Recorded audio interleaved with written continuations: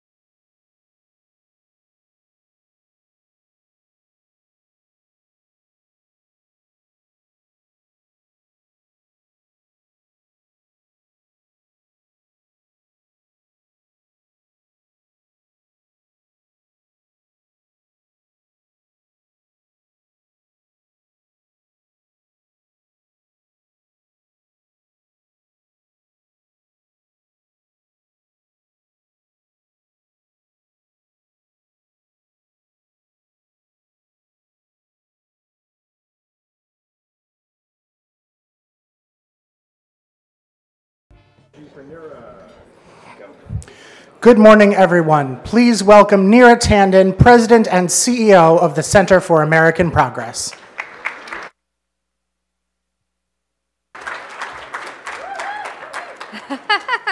Good morning, everyone.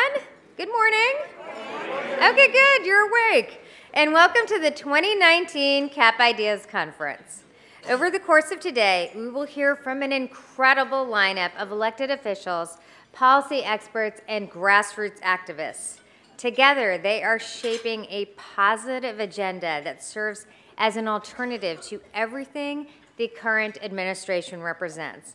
An agenda that stands up for women's rights, reforms our immigration system, strengthens our democracy, and forges a truly inclusive economy. At this moment, we're witnessing a series of rich and far reaching policy debates about the best solutions for moving our country forward. And CAP is thrilled to help drive that conversation through our work every day and through today's event. I believe that these kinds of debates are more important than ever. Now I know that some believe that thoughtful policies founded upon research and rationality or, or are no longer in fashion and no longer matter. After all, our current president often appears untethered to the facts or any sense of rationality at all.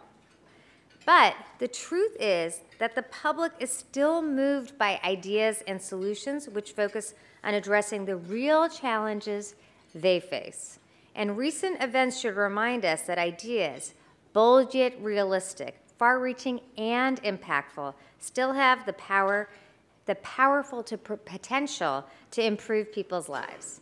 We saw the enduring strength of these ideas during last November's midterm elections, and we're continuing to see the strength, their strength during the ongoing presidential primaries. In fact, the new democratically controlled House has also passed, has already passed one landmark bill after another. And I'm proud to say that CAP has done its fair share to lay the groundwork for this progress. Let me give you just one example of our impact. In 2014, many years ago now, CAP released a major report that outlined a plan to end discrimination against LGBTQ people across all of our society, from the housing market to the workplace to our country's public facilities. Then, in the five years that followed, we worked along, alongside a host of other progressive organizations and leaders to rally support for this proposal. And just last week, the House passed the Equality Act, a historic piece of civil rights legislation that championed the same ideas we put forward in 2014.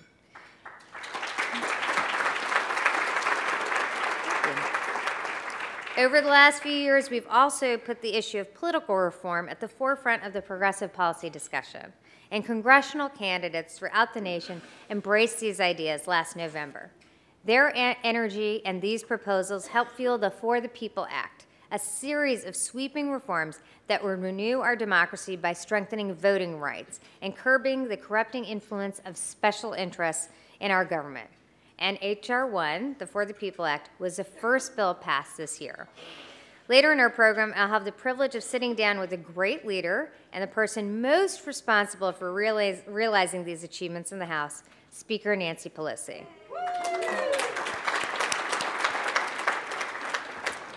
Now, we all know that America is currently in the midst of presidential primaries that feature a remarkably deep and diverse selection of candidates, all 23 or 2,300 of them.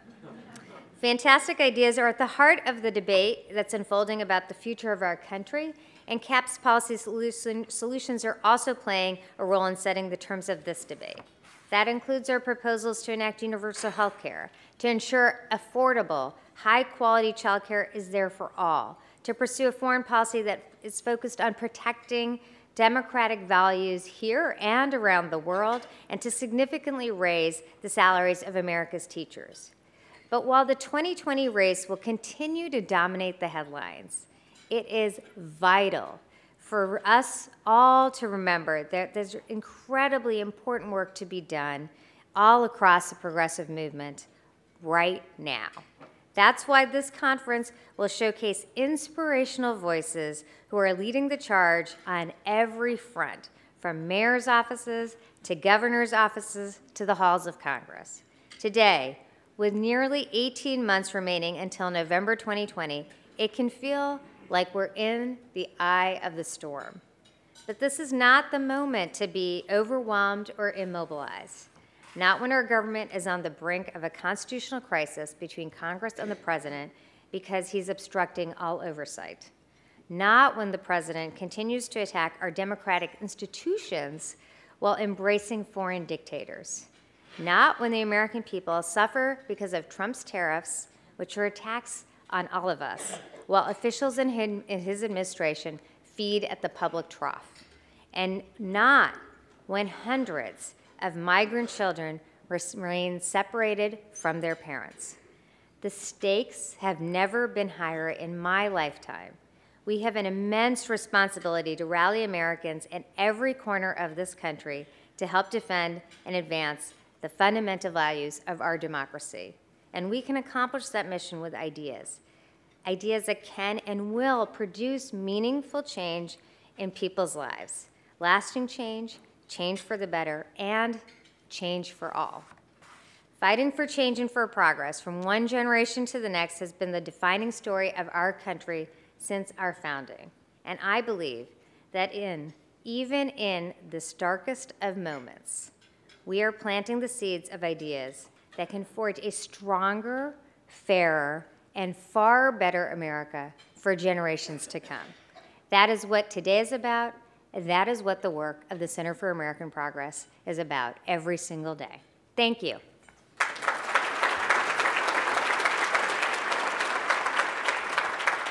Now I have the great pleasure of introducing our next speaker, a true trailblazer and fighter who has always understood the stakes, Stacey Abrams. Stacey? Now let's do it around. Woo! Stacey is the first woman and the first African American. Come on up.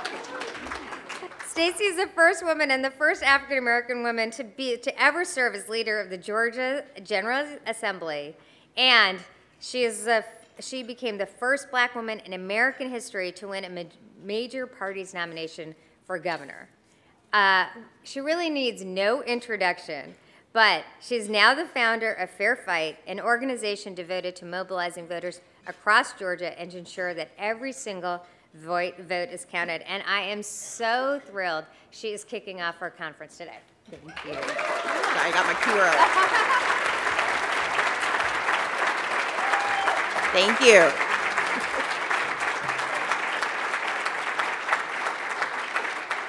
I don't drink coffee, so I got my cue a little early, sorry. Thank you, Neera. Thank you, Center for American Progress, for not only having me on the board, but allowing me to open this conversation about how we amplify voices and our values in this coming election. I want to remind us that it's not just 2020, it's 2019. In Virginia, Louisiana, Mississippi, and Kentucky, we're having elections and we're setting, we're setting the stage for the future.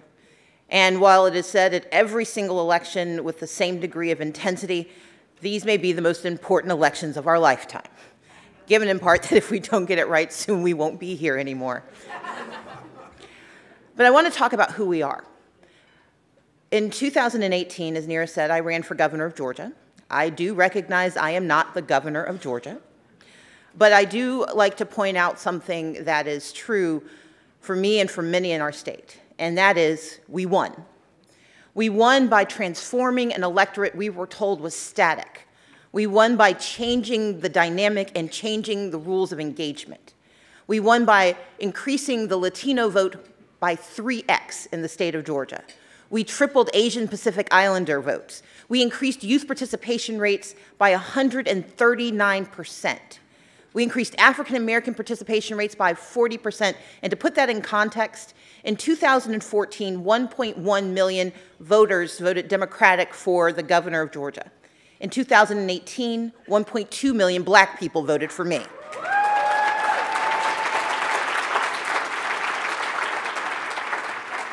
We accomplished this transformation of the electorate by centering communities of color, by talking about marginalized identities, by reaching out to the disadvantaged in all 159 counties, because we have one county per person. We did this by pulling people together and saying that we had a shared vision for the state, but that we understood the obstacles that stood in the way of many. But we also transformed the electorate by doing something we were told could not happen, that if we talked about the demography of Georgia, we were going to ignore and eliminate and exclude the normative white voter who's been the soul and the center of the, of the state of Georgia. But in 2018, I accomplished something no one has accomplished since Bill Clinton. I increased the white share of Democratic votes in the state of Georgia.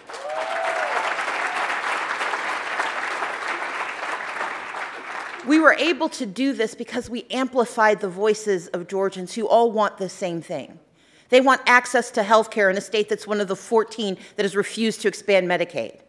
We increased participation by talking about economic security in a state that still has a state minimum wage of $5.15 an hour. We had conversations with domestic workers and farmers, with tech CEOs, and with startup business owners. We did the work of building a coalition of the marginalized and their allies yoking them together with union members and traditional Democratic voters, and it worked. Unfortunately, we also have one of the best voter suppression systems in the country operating in the state of Georgia. And that's the challenge.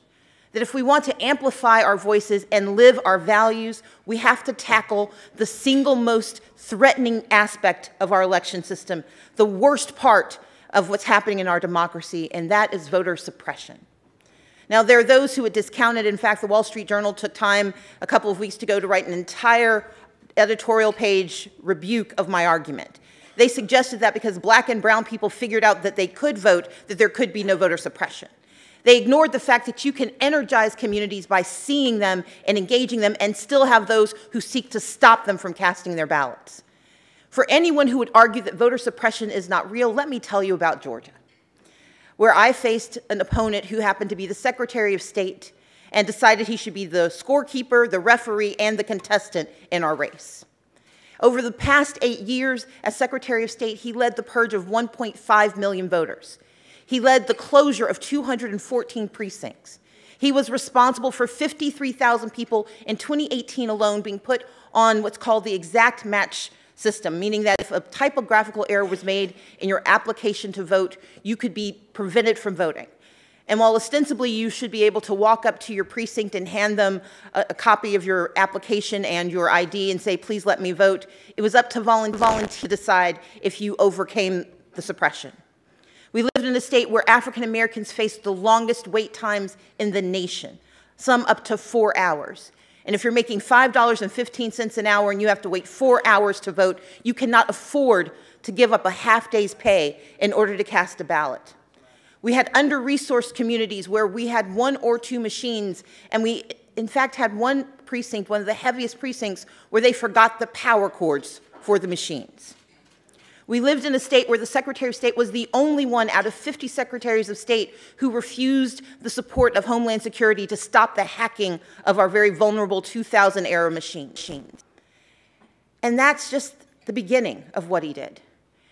Over time, he not only mismanaged his office, he encouraged localities to underperform. We had absentee ballots that were rejected at an, an alarming rate including one county that refused to send out 4,700 ballots. We face the issues of registration access, ballot access, and ballot counting, which I like to refer to as Florida. because it was hard to get on the rolls, to stay on the rolls, to get to your polling place, to receive a ballot, and to have that ballot counted, on November 16, 2018, I refused to concede the election. Now, let's be clear I acknowledge the legal transfer of power to Brian Kemp. I acknowledge that he is the legal governor of Georgia. But what I refused to condone was the process that silenced the voices of thousands of Georgians. Voices we know were silenced because we received 50,000 phone calls to our election protection system in a 10 day period. And if 50,000 people knew to call, 50,000 more didn't know, and 50,000 more thought it was their fault. Because that's the insidious nature of voter suppression It convinces us that it's user error. It convinces us that it's a one person problem. But it is a system of oppression that is weakening our democracy and corroding our trust in our country. But if you think it's just Georgia, look around. We know that in Wisconsin and in Michigan, voter suppression had a great deal to do with the outcome of 2016. But this is not a faraway problem, and this is not a yesterday's problem. Because in the last six weeks, Tennessee passed a law that would limit the access of third party registration organizations to the registration of people to vote. This is in direct response to 90,000 African Americans being registered by the Tennessee Black Voter Project. And this new law would make it a criminal act to register voters under certain conditions. Knowing that the research says that if you want low income or communities of color to register to vote, it requires third party action.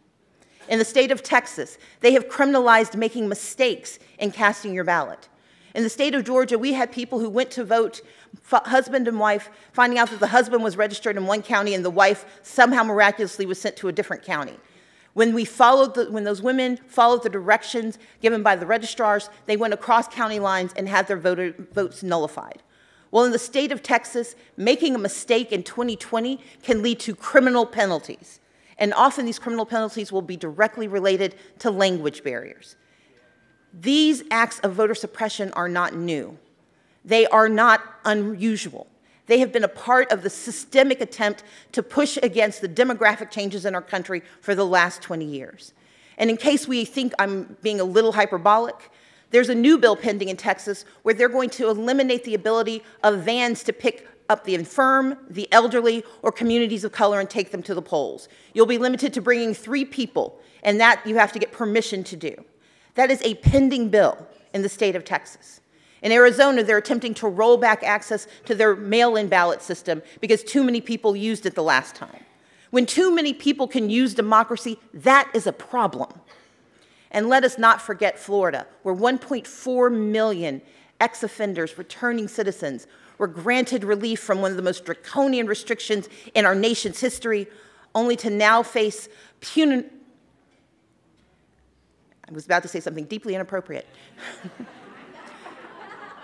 they now face a poll tax that will strip them not only of their rights, but their dignity. Voter suppression is real and is an external threat to amplifying our new voices.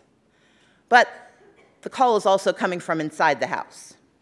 For those of us who are in this coalition of new and engaged, who are in this pursuit of progress, we have to recognize that the internal threat we face is a fear of who we are. The notion of identity politics has been peddled for the last 10 years, and it's been used as a dog whistle to say that we shouldn't pay too much attention to the new voices coming into progress. I would argue that identity politics is exactly who we are, and it's exactly how we won.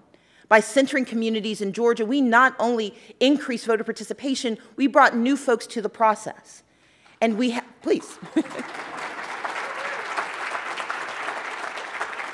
But when we refuse to engage in the conversation of identity politics, when we refuse to acknowledge that we see you and we understand you, when we understand the barriers that you face, then what we are met with is a lack of trust. And the very communities we need to show up to engage and to ensure economic security, climate change action, access to abortion rights. When people see that you don't trust them and you can't understand them, they have no reason to engage and no reason to show up. And when I hear Democratic candidates, progressive candidates, American candidates decrying the identities of their voters, I am deeply worried for our democracy.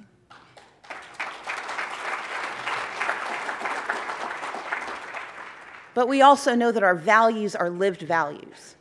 That when our elections occur and when our elected officials do their job, people will engage, solutions will be found. And we know the corollary is true that if their voices are silenced, if they are not seen and not heard, then the policies that are passed do not reflect their needs. In the state of Georgia alone, where 70% of Georgians say they believe in support of Roe v. Wade and do not want it overturned, we are one of the states leading the nation with these aggressive and deeply unfortunate forced pregnancy bans. Anti abortion is not the will of the people. Less than 25% across the country believe that we should overturn Roe v. Wade, and yet in Kentucky, in Ohio, in Indiana, in Missouri, in Mississippi, in Georgia, in Alabama, we see these bans moving forward, and it is not a reflection of the will of the people. We still grapple with access to health care, and we still question whether or not the climate is changing because leaders are being elected who not only reject science, but reject the voices of the people they were elected to represent. But I'm here to tell you there's a solution. It is not, however, having everyone in America run for president.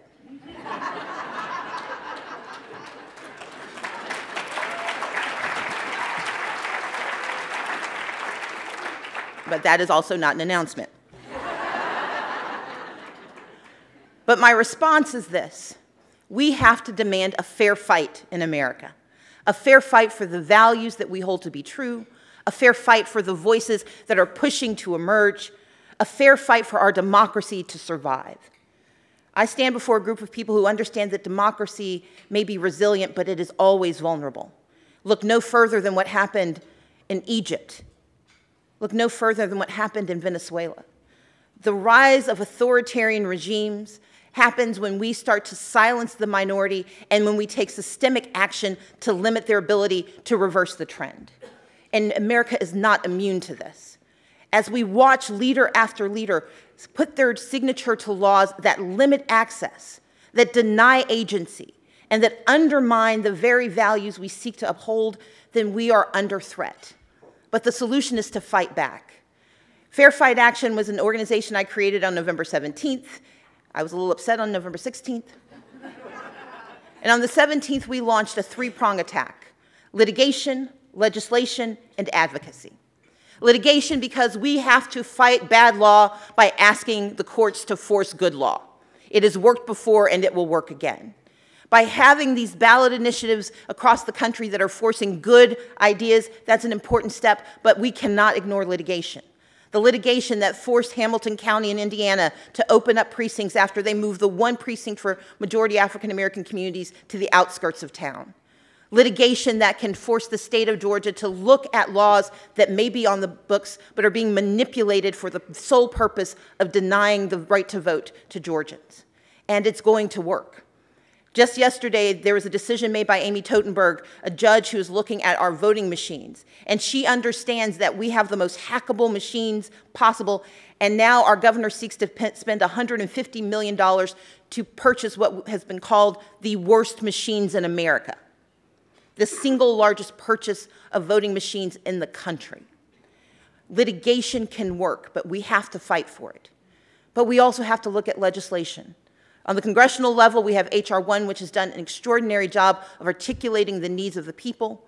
But in places like Georgia and Alabama, in North Carolina and Texas, we are still fighting for the basic access of legislation. And we know that in Wisconsin and Virginia, I apologize. One second, please. This is not a Marco Rubio moment. Sorry. In Wisconsin and Virginia, we know that in, in Pennsylvania and in Maryland and across the country, we have a fight happening in legislation. Legislation to expand who can vote and legislation to restrict who has access. But that legislation should be met by, by strong action, strong action from the people demanding that their voting rights be restored and that the Voting Rights Act be restored. In the state of Georgia, we were proud to be a part of Marcia Fudge's panel that looks at how we restore the Voting Rights Act across the country and how we expand access to every single voter. But we also have to bring new voices to the table. The internal threat that we face can only be fought back by making sure we have candidates running for office who see everyone, who understand all of us, and who are willing to do the work standing at podiums, but also standing in the streets and pushing people to vote. When we have candidates who look like our communities, we have communities that see themselves and engage. It is a virtuous cycle. The more we engage, the more the people engage, and the more the people engage, the more progress is made. And that should be the goal of every person. That should be the goal of our democracy. We are not an authoritarian regime just yet. We have time in 2019 and 2020 to roll back the stakes and to change our trajectory. We have the ability to call out our values and to stand in those values firm and true. We have the ability to demand better from those who are elected, and if they will not behave, we have the ability to throw them out of office and bring in new voices. That is our opportunity.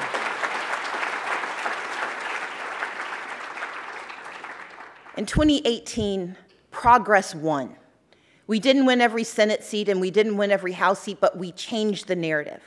We achieved the highest turnout rates in midterm elections in a century. And more importantly, we brought new voices to the table that should remain. I was with Ayanna Pressley yesterday, and she said power should be closest to the people who are in pain. And I will say this it can be done because it has been done. And whether we have 23, 24, 25, or 150 candidates for president, we should demand from every single person an adherence to the values that we hold to be true. They must speak about voter suppression every day until every person who is legally entitled to vote has the right to vote in the United States of America.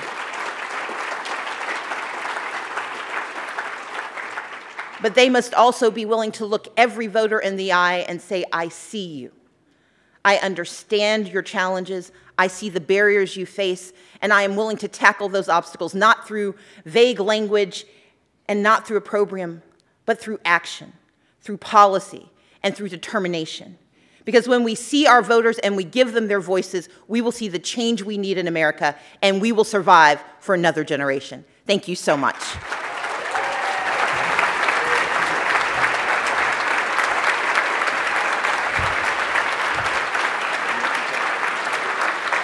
Please welcome to the stage Representative Sharice Davids, Representative Katie Porter, and moderator Daniela Gibbs Leger, EVP for Communications and Strategy at CAP.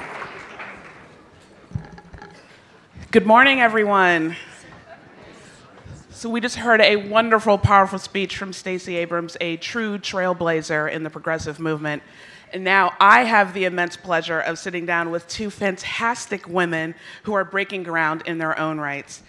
Representative Sharice Davids is, along with Representative Deb Haaland, the first Native American woman ever elected to Congress. And she's also uh, the first openly gay person to represent the state of Kansas on Capitol Hill. Representative Katie Porter is the first Democrat to ever be elected from California's 45th district. She also knows how to go viral, which we'll get to in a moment. Together, they embody a new wave of women leadership sweeping our country, and we are delighted that they could join us today. So, I would like to start by asking both of you, as women who've recently been elected to Congress, can you describe your impressions of Washington, D.C.? Uh, what has surprised you most about Congress? Um, well, I don't know. I, am really curious to hear Katie's answer. Uh, so, I would say a couple of the biggest surprises were, um, and maybe this is because I know we're going to talk a little bit later about um, what these who these institutions are built for, but um, my lived experience um, led me to not expect so many sitting members of Congress to reach out to me after I won my election and ask me what kind of help I needed and what kind of support I needed. Um, it was it was a really interesting, heartwarming experience to have uh, just a whole bunch of people instead of saying, well, "Why do you think you should run for Congress?" to "Welcome to the team. We're glad you're here. What can we do to help?" Um, and then it is. Well, I, I, shouldn't say this with Katie sitting next to me. It's a lot flying back and forth every week. but I, I rescind that comment. I'm not even a third of the way there when Sharice is home. Um, it is a lot of flying back and forth, though. Um, so I think for me, one of the things that's been a surprise is when I came to Congress, and I had testified before and had the privilege of knowing some sitting members, I knew there weren't a lot of women. I knew there weren't a lot of people of color. I don't think I'd focused as much on the class issues um, as I do now. So we sometimes see things in the media about you know members of Congress are millionaires and therefore they must somehow have done something inappropriate. But the reality that I don't think I realized is a lot of people are able to run for this office and endure serving in this office because they have means. And I'll give you a couple of examples of that that came home to me very early on. So when we had our orientation, we were actually in the same room with the benefits person together. I don't know if you remember this. It was your birthday. It was no, my- it was, yeah, you- it was swearing November. Okay, sorry. So we were sitting there next to each other, and she was doing her benefits thing, and I'm doing mine. And they said, "Well, um, your health insurance starts February 3rd or February 1st." And I said, "Well, but my job starts January 3rd. What, what should I do?" And they said, "Well, you can go on your spouse's insurance." And I said, "Well, I'm a single parent. I don't have a spouse." And they said, "Well, just buy Cobra." as if I could just buy Cobra. Um, and so we ended up figuring something out, but I literally was confronted. I was like, doesn't everybody complain about this? And they said, no, mostly people complain about how their pension's gonna be less. And I thought, wow, like what a different perspective. We had the same thing when I was trying to rent an office. Um, we were not, you're not able to use government funds to put down a security deposit. And in Orange County, California, a lot of the landlords weren't super excited to have me as a tenant. and it was very difficult to find rental surprising. property. And um, they, one of the excuses they kept using was there's no deposit. The government doesn't give you a deposit. So I called the house admin office and they said a phrase that I have come to dread, which is just use your personal funds. I don't know what these personal funds are and what account they're in, but if somebody could direct me there, I would be so grateful. Um, so I think that aspect of it, um, particularly for those of us who are, are single earners who have families to support. I mean, I am the first single mother to be elected um, in her own right to Congress, and so, I- you know, I've been surprised by how things like my everyday experiences are somehow fascinating simply because I'm a member of Congress. So we literally have reporters from wonderful institutions like the New York Times who want to see me grocery shop. How else would the groceries get there? Like, I mean, I just don't understand. I mean, I appreciate the media coverage, but how else do they get there? And then I started thinking, I guess for some people, somebody else does this, right? And so that class element, which I think, I think, you know, part of the diversity of the new freshman group is around class, both how we grew up and how we were living when we made the decision to run for Congress. Can I can I add a little bit? So actually, um, I'm glad you brought that up. I remember the meeting. uh, There were a couple of different times when this specific issue came up, and I think I actually like glossed over it when I said my lived experience has not been one where I show up and people actually are happy that I'm there. Um, it is when the government shutdown was going on and uh, there was an awful lot of discussion around whether or not the members of Congress would take their paycheck or not. And um, it actually was a moot point for most of the time because there was we weren't going to get paid for uh, a month after we started anyway. So, um, but one of the things that ended up happening very quickly that, and I don't know, I'd love to hear your your thoughts on this, was that very quickly you could tell which members were very eager to give up something that they weren't depending on already anyway. And then the members who were coming off of nearly two years of not having a paycheck, of not having health insurance, of not having real financial stability because um, a lot of us cleared out our entire savings. I didn't have nearly no retirement to speak of. And it was not an option for a lot of the new members who are coming in to say, I'm not going to take a paycheck. And to me, it just highlighted how many new members are here that are actually more reflective of, a, of the, the vast majority of, majority of people in the country because um, I can guarantee you, I don't have any friends or family members who could just say, I'm not going to take my paycheck this month or every two weeks. You know, we, don't, we get paid monthly, which is also an interesting adjustment. this is a perfect segue into my next question, half of which you answered is, um, you know, it's clear that Congress is not an institution that is set up to support women, women with families, uh, people without means. I was going to say, so do you think that's true? Obviously, it is. Uh, what can we do to change that? I mean, I think one part of this is there's sort of two parts of this. One part is how do we support candidates um, as they run who are people who are have different life situations, single moms, single parents. Um, I said that um, people with moderate means, people who maybe don't have access to savings or health insurance or things along the way. And you know, one of the hot fundraising tips I got since I got to Congress was I was saying I'm really I said to a member I'm I'm really stressed about raising money my first quarter. I, I don't want to let anybody down. I know my seat's going to be tough. I want to keep working hard. And they said, well, make sure you get your spouse to double max to you. And I just, I was speechless. I was like, this is what you've got for me? Like, I, I don't have a spouse, but when I shop for one, I'll look for a double maxer. Like, well, I, I just. At the grocery store. I, I just was like, this is not helpful. But like, this person was truly trying to, I mean, there was not a comment met with ill will. It was actually meant with reflecting their I'll just say his real life experience. Um, and so I think there's that side of it on the campaign side. And then I think on the, on the existing side, I mean, there are a lot of parts of this institution that are just not very functional. And I hear a lot of people kind of afraid to acknowledge some of that because they think it will uh, weaken the American public's belief in Congress's efficacy. But to be clear, if you've seen any polling over the last like 80 years, the American people have some concerns about Congress's efficacy. And I think we will regain their trust by admitting what some of the barriers are to our doing our jobs effectively. So for me, an incredibly long meeting is 30 minutes. And I am someone who was a professor before I came to Congress, and I worked in increments of like nine hours.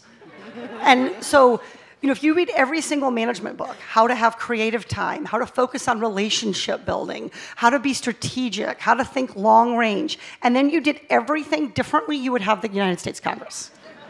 So I, I sometimes feel like Congress's slogan is solving the problems of yesterday, tomorrow, maybe. and so I think acknowledging that and then saying, how do we fix it? What do we do? We have the select committee to modernize Congress. Um, I'm eager to see what they produce. I, I think it's going to be a, a, list of recommendations. I think the question is going to be, what kind of will can those of us who are trying to shape the institution, not just let it shape us, what kind of political will can we as freshmen push back on to actually move this Congress forward? It's not just about it's not really about making our lives better. It's about making serving this country better so that we continue to attract a new group of candidates, and it's about being better leaders. Um, it's just hard to lead in, in 10 minute increments. It just is. That's why I have 12 minute meetings. Makes all the difference. It does. Um, so I, uh, I agree with all of the things that you said. Um, I think that there are there are a lot of very interesting ways that things, and you got presumably most of the people in this room know that uh, DC doesn't doesn't function the way that uh, maybe the districts that we live in function. Um, the way the way business is done here is is just it's very very interesting trying to figure out which levers you have to pull and that sort of thing.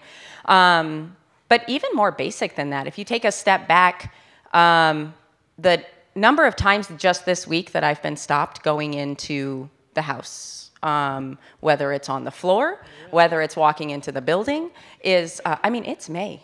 These guys all have pictures of us, and there are not that many members who look like me. Yeah. Right. so shouldn't be that um, hard. Um, there's like a couple that I get confused with occasionally, but um, just, it's like simple things like that. Sometimes it's like death by a million paper cuts.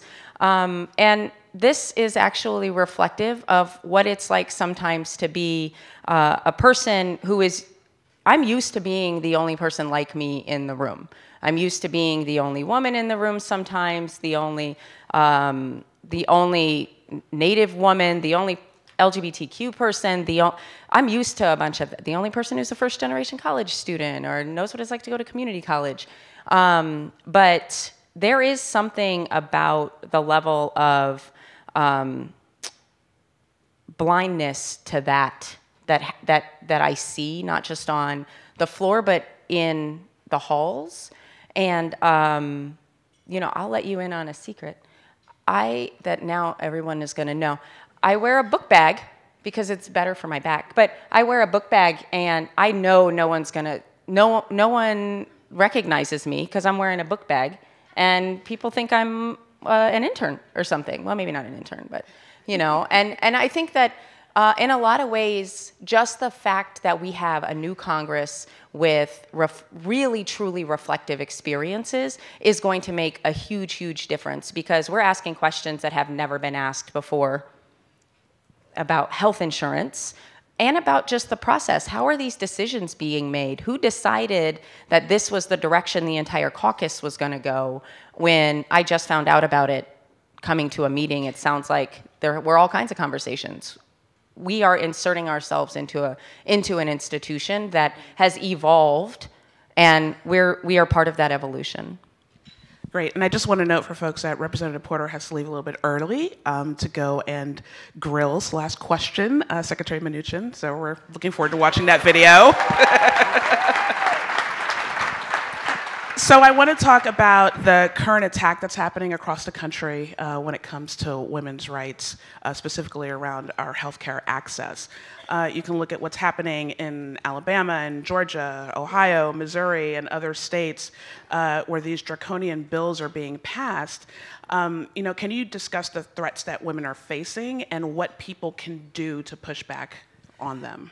Yeah, I mean, what we're seeing is wrong on so many levels, and frankly, is an attack on women's lived lives. That's what this is about. Um, and so I want to offer a thought about Alabama in particular. Under this new law, the penalty, the criminal penalty for raping somebody is lower than the criminal penalty for having an abortion. So that tells you something about how these lawmakers think about women's bodies and the control of women's bodies when they think that being violated sexually is a lesser offense compared to making the choice not to bring a new life into this country when you are not capable, able, ready, or willing to do so. And I think that just reflects that there is a deep, deep lack of understanding of what it means to be a mother, the responsibility that comes with being a mother, the weight that you carry financially, socially, economically, all of it. Um, the way that it affects your professional life and the way that it affects your family dynamic, your marriage. All of these things are incredibly important and incredibly personal decisions. And our government has no business deciding my most intimate moments, period. And I think we have to also be able to say abortion is a woman's choice. And we have to say that word, abortion. And I'm all for women's health care. I am a, I'm a Planned Parenthood patient myself. Um, they tried to get me to tour the clinic, and I was like, dude, I was just there. Like, I was a patient. I, I just was there. Um, but I think we have to be able to say the word abortion, and we have to talk about that is what is being put at risk here. And so we see, you know, at the same time, I had a great conversation with one of you who might be in the audience today about the failure of health insurance to cover infertility treatments and to treat the decision to have a child as a completely optional one and not to fund and treat infertility as a medical problem, which it is, treat that as a healthcare issue, but then when it comes to abortion, it's all about deciding what's right for us, not allowing us to make our own healthcare choices.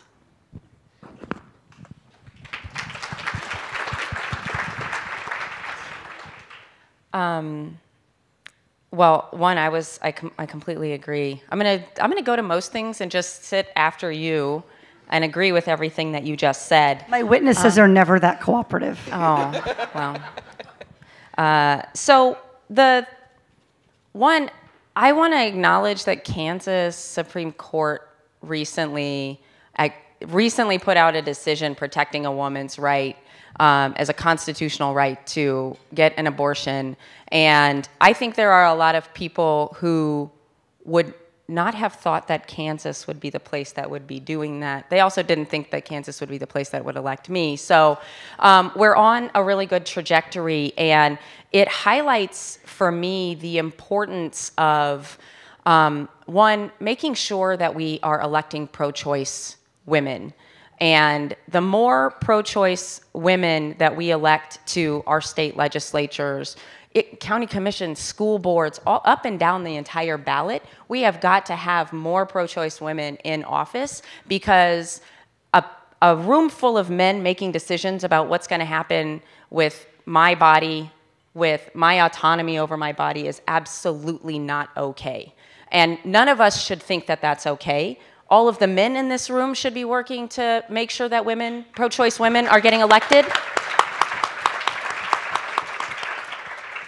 the men who are helping to decide whether or not it is a good idea, helping a woman decide whether she should run for office because is she going to have enough support or not, all the men in this room should be stepping up to make sure that that's that that is happening and supporting organizations that are helping women get elected because at this point it is going to take a very concerted effort for a very long time one Kansas Supreme Court decision is not going to make sure that every single woman in this country is, uh, has access to the reproductive uh, care that they need, that they have choice, that they're able to get an abortion. And that's not okay, that we're still trying to fight off these attacks on Roe v. Wade. That is, it is, blows my, it blows my mind that in 2019, this is where we're at right now.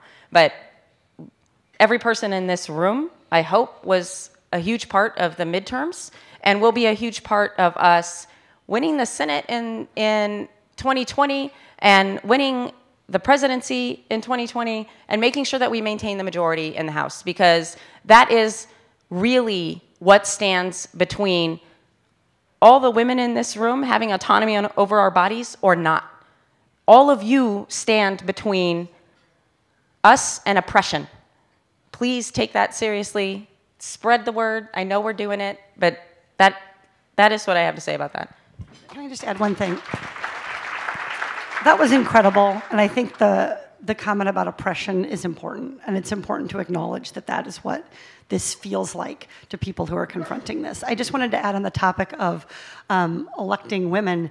The probably women. besides pro-choice. Thank you. Um, I want to add that the single most common question I get, besides "Are your kids okay?"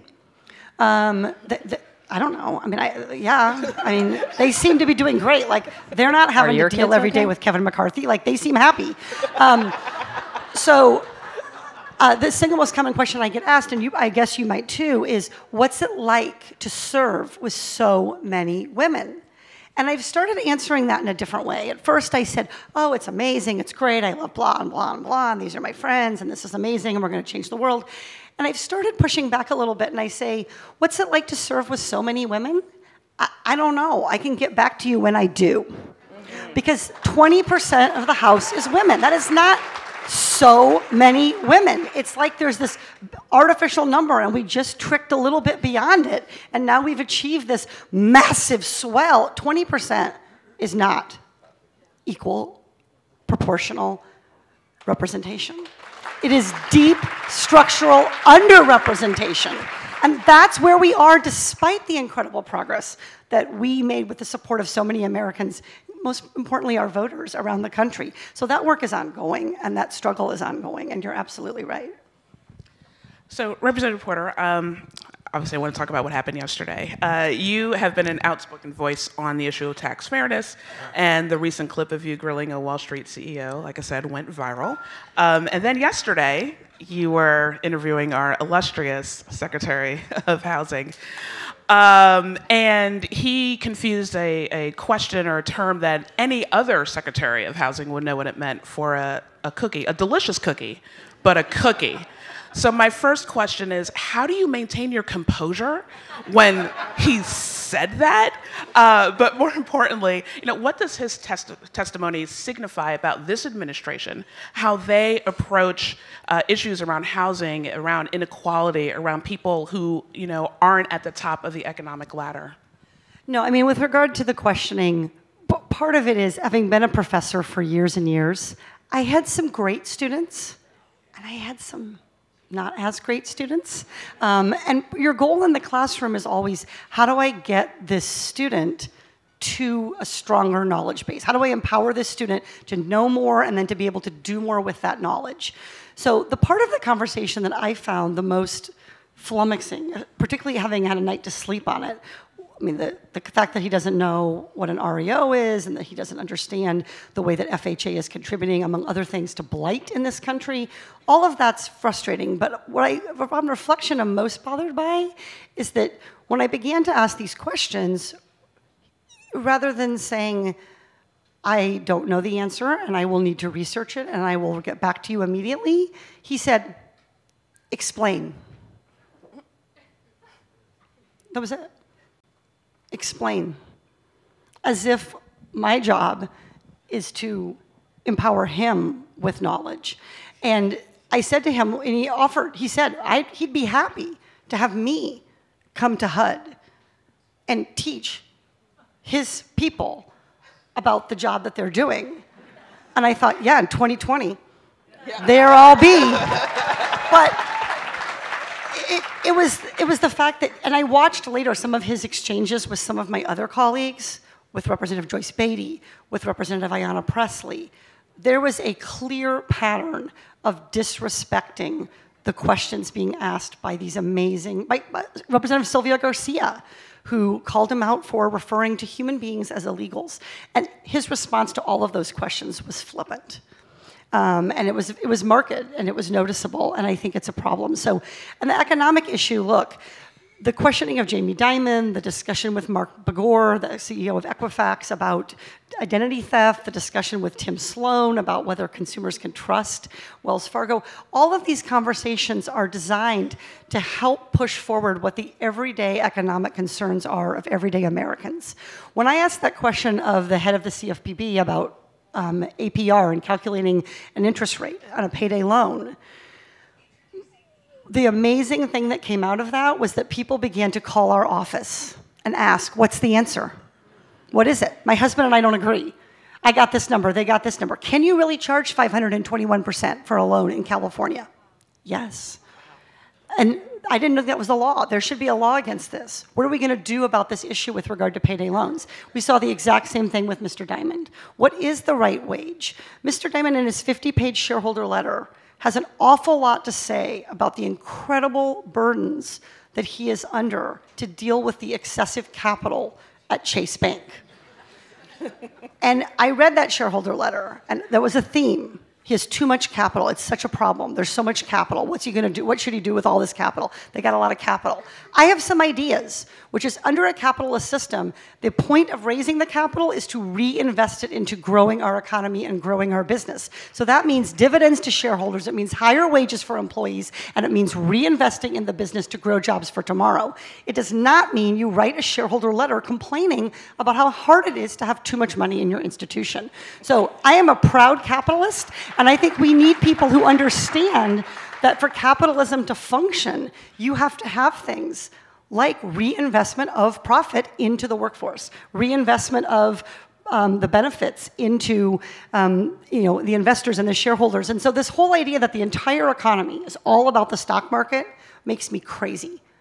50% of Americans have no retirement savings at all. They are not glued to the stock market ticker right? And so this, the economy is more than the stock market, so much more. The economy is about what housing costs. The economy is about the ability for people to save for retirement and have enough left over to do that.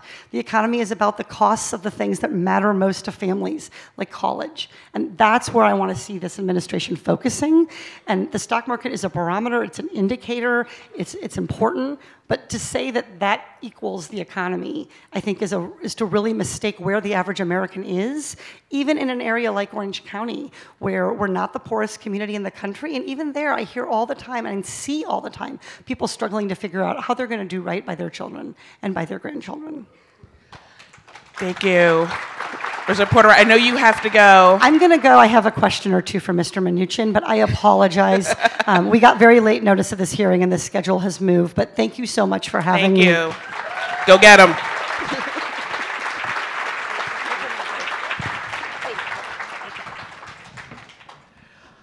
So, Representative Davids, I want to ask you also about the economy, um, especially for communities of color and for you know the Native community to go to tag along to her point about the stock market and how that's not an indicator of how things are going. Uh, so, what are your ideas on how you build an economy that is actually inclusive of everyone? Well, I sit on the Transportation and Infrastructure Committee, and one of the reasons that I fought so hard to get onto the. so, first of all, I didn't know that it was going to be so hard to get onto transportation and infrastructure. Uh, I think 85 new members started um, this past Congress, and like 90 of them wanted to be on T&I. I didn't know that. um, but the reason that I wanted to be uh, on this committee is because, first of all, most people don't think about transportation or infrastructure generally. In, our, in the day to day, people are not thinking about that until something has gone horribly wrong. Uh, we are on the cusp of a lot of things going horribly wrong, and in some places it's already happened, like in Flint.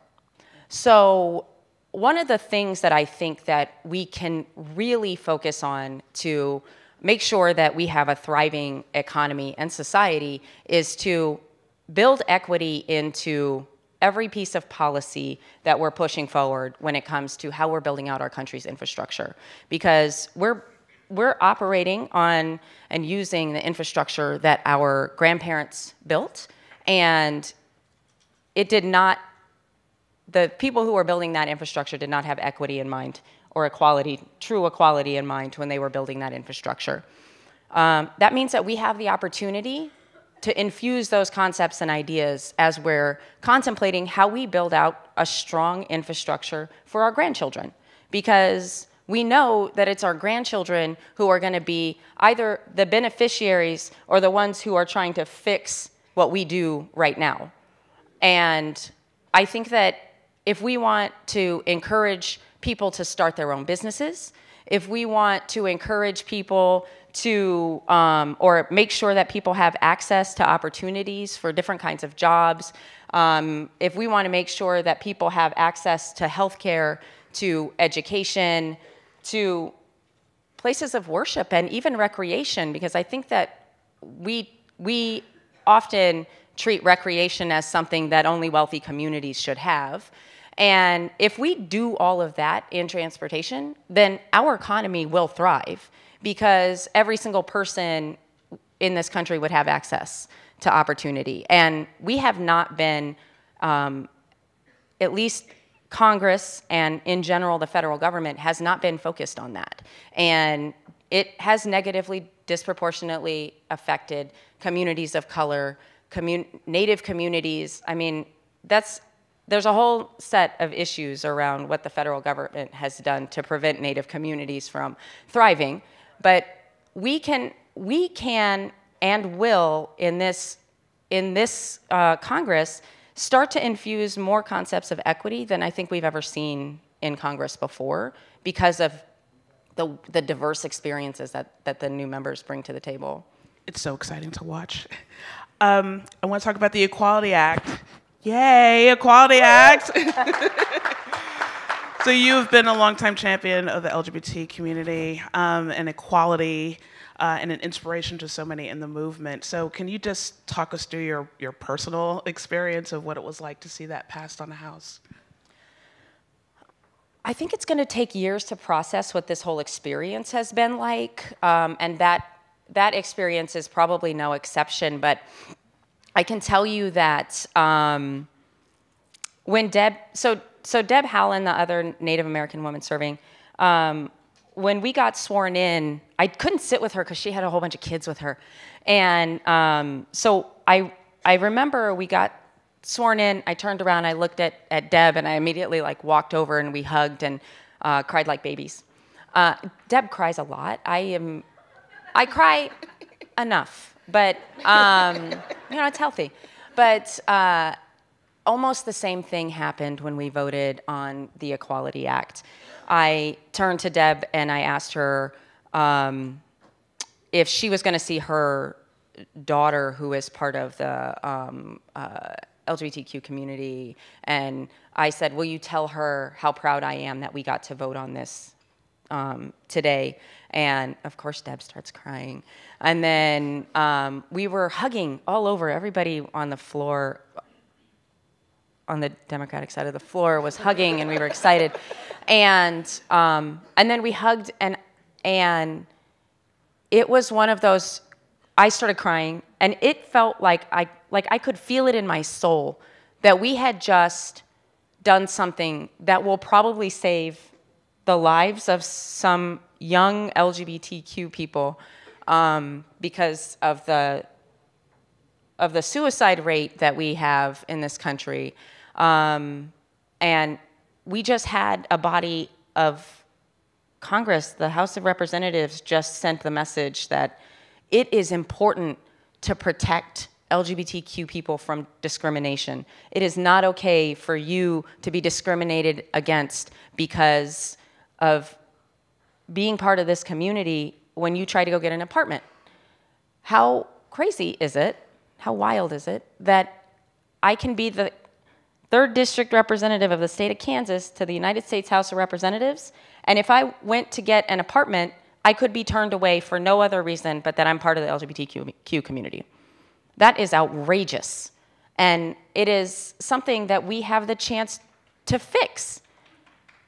Now, if the Senate would do their jobs and vote on things. Mm. Say that again. Yes. if the Senate would do their job and vote on things, we would have more people in this country living without fear of discrimination. And imagine what that would do for a thriving economy, what that would do for a thriving society. Those are the things that I think so many of us came into office to work on. And a lot of times it's in it's it's in the I know I already said this, but the questions that we're asking of people have not been asked before. And I think Congresswoman Porter is, a, is an amazing example of that. And we've seen over and over and over again that these, uh, the cabinet secretaries, the people who think that if if you don't have money in your bank account, you can go out and get a loan. That that is literally that is going to stop. And it is going to happen really, really soon. These folks are all on notice that in 2020, we're coming for the seats, we're coming for the White House, and if we can do it in Kansas, it can be done anywhere. Yes. So I, I want to end and, uh, and ask about something I call imposter syndrome, which is something that I feel a lot of women, especially women of color, myself included, feel that we know we're talented and we're able to sit at the table that we're sitting at, but we start doubting ourselves and we let those voices uh, get into our head um, you are a member of the LGBTQ community. You're a Native woman. You're a former MMA fighter. And if we had more time, we would talk about that for like 20 minutes. Uh, so I, I want to know did you have that syndrome? Did you doubt yourself? And what advice would you have to any you know, young girl or senior citizen or in between who's thinking about running for office? For sure, I'm, yes. Um, I would say that it's hard not to question your ability, your voice, your experience when the default is so different than the experience that you have. And um, I only know what it's like to be me. I only know what it's like to be a woman or part of the LGBTQ community or native. Um, and so I think I was probably just out of uh, law school. The first time that I realized how much of an impact it was having, it was having on uh, my participation in meetings. Um, and when I, when I got to law school, I knew that in my head, I knew I was there because I was native. And that is a, now thinking back, what what that, just that thought carrying through with me might have done, I don't know. I made it through law school, don't worry. Um, but but what did that do to my interactions? What did that do to how I participated or didn't? And then when I got to the law firm, I remember sitting down at a meeting. Um, this is one of those flashpoint moments where you you have an epiphany. And I was so nervous because I knew I had to ask something in this meeting. I don't remember the question, but, um, and I realized, wait a minute, nobody here knows how nervous I am. You guys don't know if I'm nervous or not. I'm a little bit nervous. But I remember thinking, these guys don't know if I'm nervous. So I like took up a bunch of space and I like spread my things out all over the table. And I was like, I'm just gonna this guy over here seems like he's got all kinds of confidence. I'm just to do that. So I like took up a bunch of space, and then, um, and then I started thinking, you know what? I'm to ask a question every time. And when I got to the Department of Transportation as a White House fellow, and I was sitting in the room with the Secretary of Transportation, and people were going around the room asking questions. First of all, I went and sat at the table. Um, I'm not sure if I was supposed to, but I was like, I'll sit at the table, and then if they tell me to leave, then I'll, you know, to sit back away from the table, then I will. But other than that, I'm, I'm just going to sit here because I think I have something valuable to bring. And I asked a question every single time. And I remember the number of times that I asked a question that nobody else in the room was even thinking about demonstrated to me that a, per, a Native American, a woman, an LGBTQ person, uh, a person with an associate's degree from a community college, someone who's a first generation college student, someone who came from a family with no money. It's, it's not that I think I'm worthy of being in the room, it's that I absolutely have to be in the room. I have to be asking the questions. Because my experience and what I'm bringing to the table is valid and it's real. We have a different experience. Your experience is valid and real, and you're bringing stuff to the table that if you weren't there asking questions, no one would. And that's not how we get to a, a, real democratic process. It's not how we get to a system that engages and, and thinks about every single community. It's only by making sure that, that all of these decision makers have a very reflective group around the table. Now, our job is to make sure we bring more people. Mm-hmm. Representative Davids, thank you so much for joining us. Thank you, everyone. We, we didn't plan this. No, this was not planned.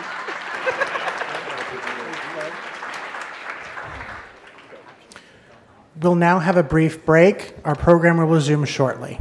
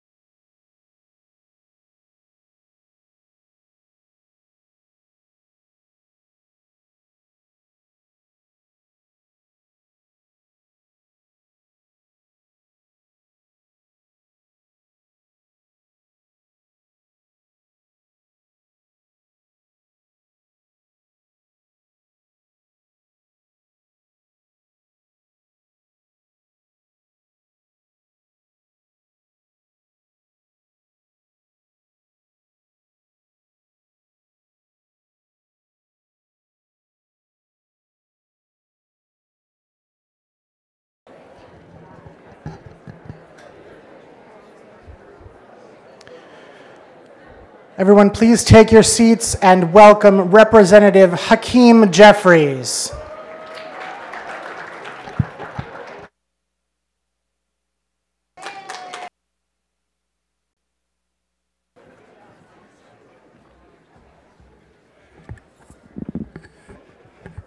Morning, everyone. Morning. It's an honor and a privilege to be here at the CAP Ideas Conference, and certainly thankful to uh, Neera Tandon for her tremendous leadership. She's a voice for the voiceless and a defender of the disenfranchised and an all-around force of nature on behalf of the progressive causes that we all hold dear. I want to thank each and every one of you for your tremendous uh, involvement over the last few years in particular in helping to turn things around or begin the process, of course, of turning things around here in this great country. It's my understanding that uh, after I speak, Adam Schiff is next, and so I'm really just his warm up act. Uh, and so I've decided that I'm going to follow what has often been referred to as the B rule of public speaking. The B rule of public speaking be brief, be bright, and be gone. Uh, but I do want to share a few thoughts about the House Democratic agenda. Uh, so privileged and honored to have the opportunity to serve as the chair uh, of the House Democratic Caucus, position that I assume responsibility for at the beginning of this Congress. Uh, my first act as chair of the House Democratic Caucus, in fact, uh, it was my responsibility to place the name of Nancy Pelosi in nomination as our next speaker. And isn't she doing a great job? She's doing a great job. Donald Trump has no idea what to do with her. I mean, he can't even come up with a nickname, he just calls her Nancy. Uh, she's doing a tremendous job, and we're so proud of her. My first responsibility was to place her name in nomination. And so a few days before that, I was uh, in my living room thinking through my remarks, and my youngest son, Joshua, who's 14, came up to me and said, Dad, what are you doing? I said, Well, you know, as the incoming chair of the House Democratic Caucus, it's my responsibility to nominate Nancy Pelosi. She's going to be our next speaker on January 3rd. Do you have any advice for your father? And without missing a beat, he said, Dad, don't blow the moment. and I just really want to say that we recognize as House Democrats that this is a critical moment. And we have a responsibility both to deliver on the kitchen table pocketbook issues that we talk to the American people about in advance of the midterm election with a focus on lowering health care costs and increasing pay for everyday Americans. But we also recognize, of course, and Adam will talk about this, that we have a responsibility as a separate and co-equal branch of government. We don't work for Donald Trump, we work for the American people. And we have a constitutional responsibility to serve as a check and balance on an out of control executive branch. We will never bend the knee to Donald J. Trump, the first of his name. This is a democracy, and we recognize the moment that we are in. The beautiful thing about the House Democratic Caucus is that we are the most diverse legislative caucus in the history of the Republic. Democrat, Republican, 20th century, 21st century, House, Senate, the most diverse legislative caucus in the history of the Republic. More women serving in the House than ever before, over 100. More African Americans, more Latinos, more Native Americans, more members of the LGBT community. So we authentically represent the American people. And we, as a House Democratic Caucus, recognize that diversity is a strength, it is not a weakness. Uh, we are a nation of immigrants, some voluntary, others involuntary. But as Dr. King once observed, we may have come over on different ships, but we're all in the same boat now. We are a gorgeous mosaic of people from across the world. We are white, we are black, we are Latino, we are Asian, we are Native American. We are Christian, we are Jewish, we are Muslim, we are Hindu, we are gay, we are straight, we are young, we are older, we are women, we are men, we are citizens, we are dreamers, out of many we are one. That's what makes America a great country. And no matter what xenophobic behavior is coming out of 1600 Pennsylvania Avenue, we're not going to let anyone take that away from us. Not now, not ever. And so we're proceeding with an understanding of our values and our diversity and our unity, which makes us strong. Understanding that these are very challenging times. We want to move the country forward, they want to turn back the clock. We want to bring people together, they are trying to tear us apart. We're fighting for the people, they're fighting for the privileged few. We're trying to stand up for the least, the lost, and the left behind. They're standing up for the wealthy, the well off, and the well connected. We believe in the public interest. They're all about the special interest. We want to protect Social Security and Medicare. They're trying to take it away. We believe in unions and the right to collectively bargain. They want to destroy our freedom to negotiate. The stakes are incredibly high. But we're proceeding anchored in our values, understanding that we believe in a country that provides for the poor, works for working families, makes sense for the middle class, and stands up for senior citizens. We believe in a country with liberty and justice for all, equal protection under the law, government of the people, by the people, and for the people. And so we clearly have laid out our for the people agenda. And in connection with that, we have made clear to the American people that we are going to fight and work hard to lower health care costs, protect people with pre existing conditions, deal with the high cost of life saving prescription drugs, strengthen the Affordable Care Act, increase pay for everyday Americans, enact the real infrastructure plan, defend the dreamers, clean up corruption, address the climate crisis, deal with the gun violence epidemic, and end the era of voter suppression once and for all. That is the House Democratic for the People agenda. And we've already begun to do a lot in that regard. In the first 100 or so days, we passed H.R. 8, Comprehensive Universal Criminal Background Check legislation. We passed the Paycheck Fairness Act because we believe in equal pay for equal work. We passed the Equality Act because we believe that love does not discriminate based on gender identity and neither or sexual orientation and neither should the law. And of course, we've worked to lower health care costs and protect people with pre-existing conditions in the face of an onslaught from this administration. What is clear is that this administration wants to take away health care from tens of millions of Americans. We're not going to let that happen. This administration wants to impose an age tax on people between 50 and 64 because that is what will happen if you take away the Affordable Care Act, and that will dramatically increase premiums, copays, and deductibles for those Americans. We're not going to let that happen. This administration wants to take away protections for pre existing conditions that would impact more than 100 million Americans, perhaps one of the most significant accomplishments of the Affordable Care Act. And we're going to stand to defend that. In many ways, we believe that is what the 2018 midterm election was about we recognize as House Democrats that there are millions of Americans who are battling cancer. That's a pre existing condition. There are millions of Americans struggling through heart disease.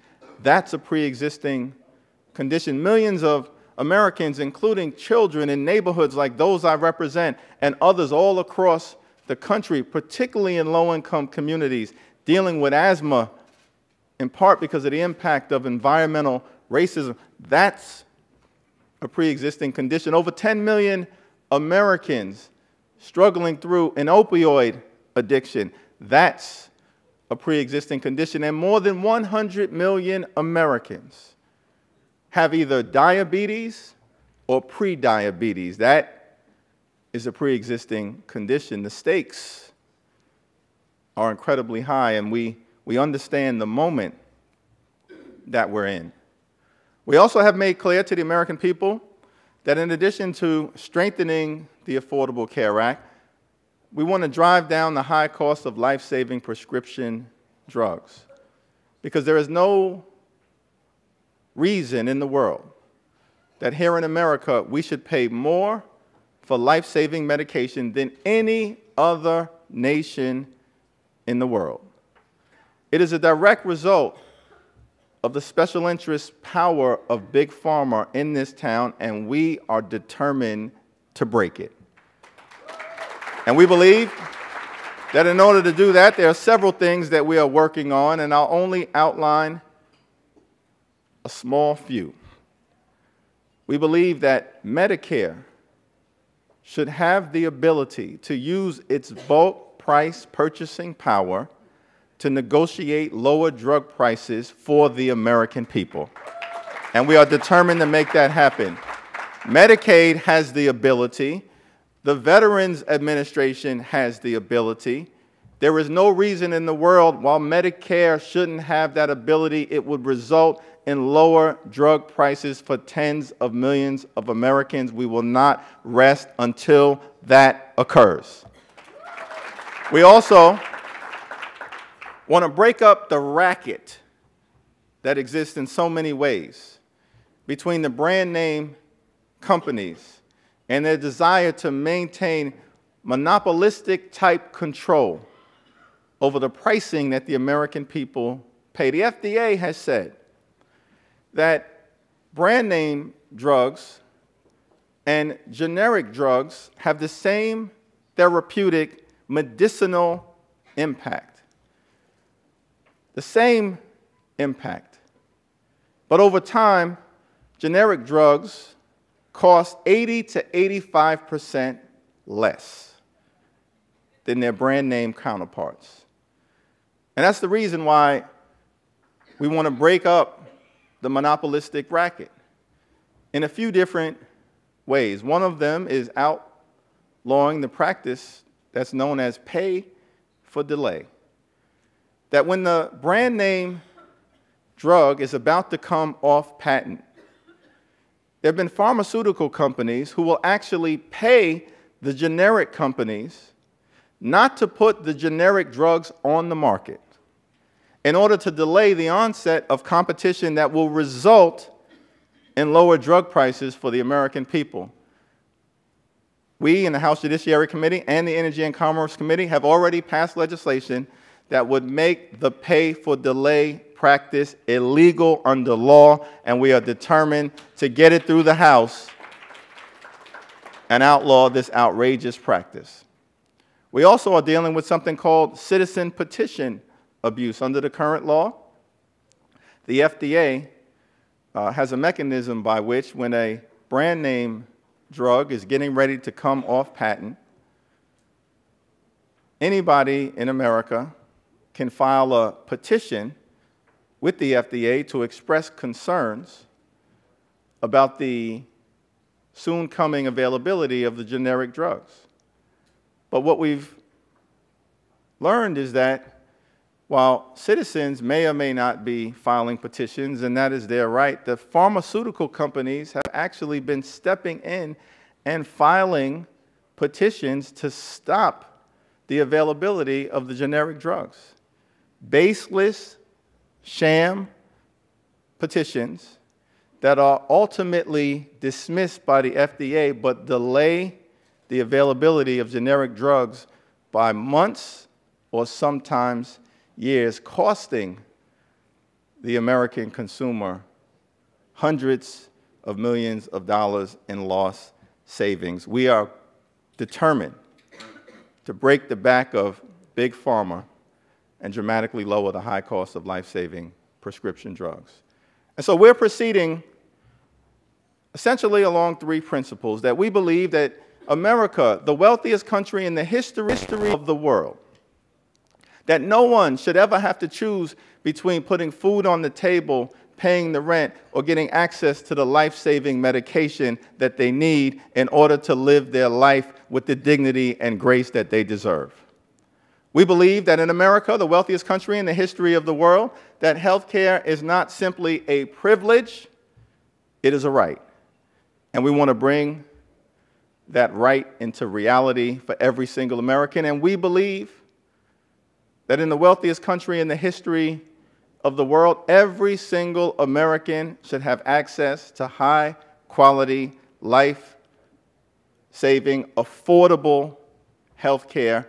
And that is a position that is shared by every single one of the 239 Democrats in the House of Representatives. And we're going to make sure that that principle becomes the law of the land. And in closing, let me simply say some have said, well, that's an ambitious agenda. You're dealing with an obstinate Senate, the Grim Reaper, self described, over on the other side of the Capitol, and a president who, of course, is out of control. How do you expect that we can bring all this into fruition? And some of those ideas we hope to enact during the 116th Congress. Others, we will lay a foundation and be able to move them forward. But ultimately, I'm confident that we will succeed. Let me quote the words of our, our great president, Barack Obama. Some of y'all were getting nervous on me. Our great president, Barack Obama, when he said, Yes, we can, Democrats can be successful because we've always gotten things done on behalf of the American people. Democrats are the party that gave this country Social Security, Medicare, Medicaid, Head Start, a living wage, the Civil Rights Act, the Voting Rights Act, the Fair Housing Act, the Lilly Ledbetter Act, the Fair Sentencing Act, the Affordable Care Act. Democrats and Barack Obama saved our economy. Democrats saved the automobile industry, and together, Democrats will save our democracy. God bless you. God bless CAP. God bless the United States of America.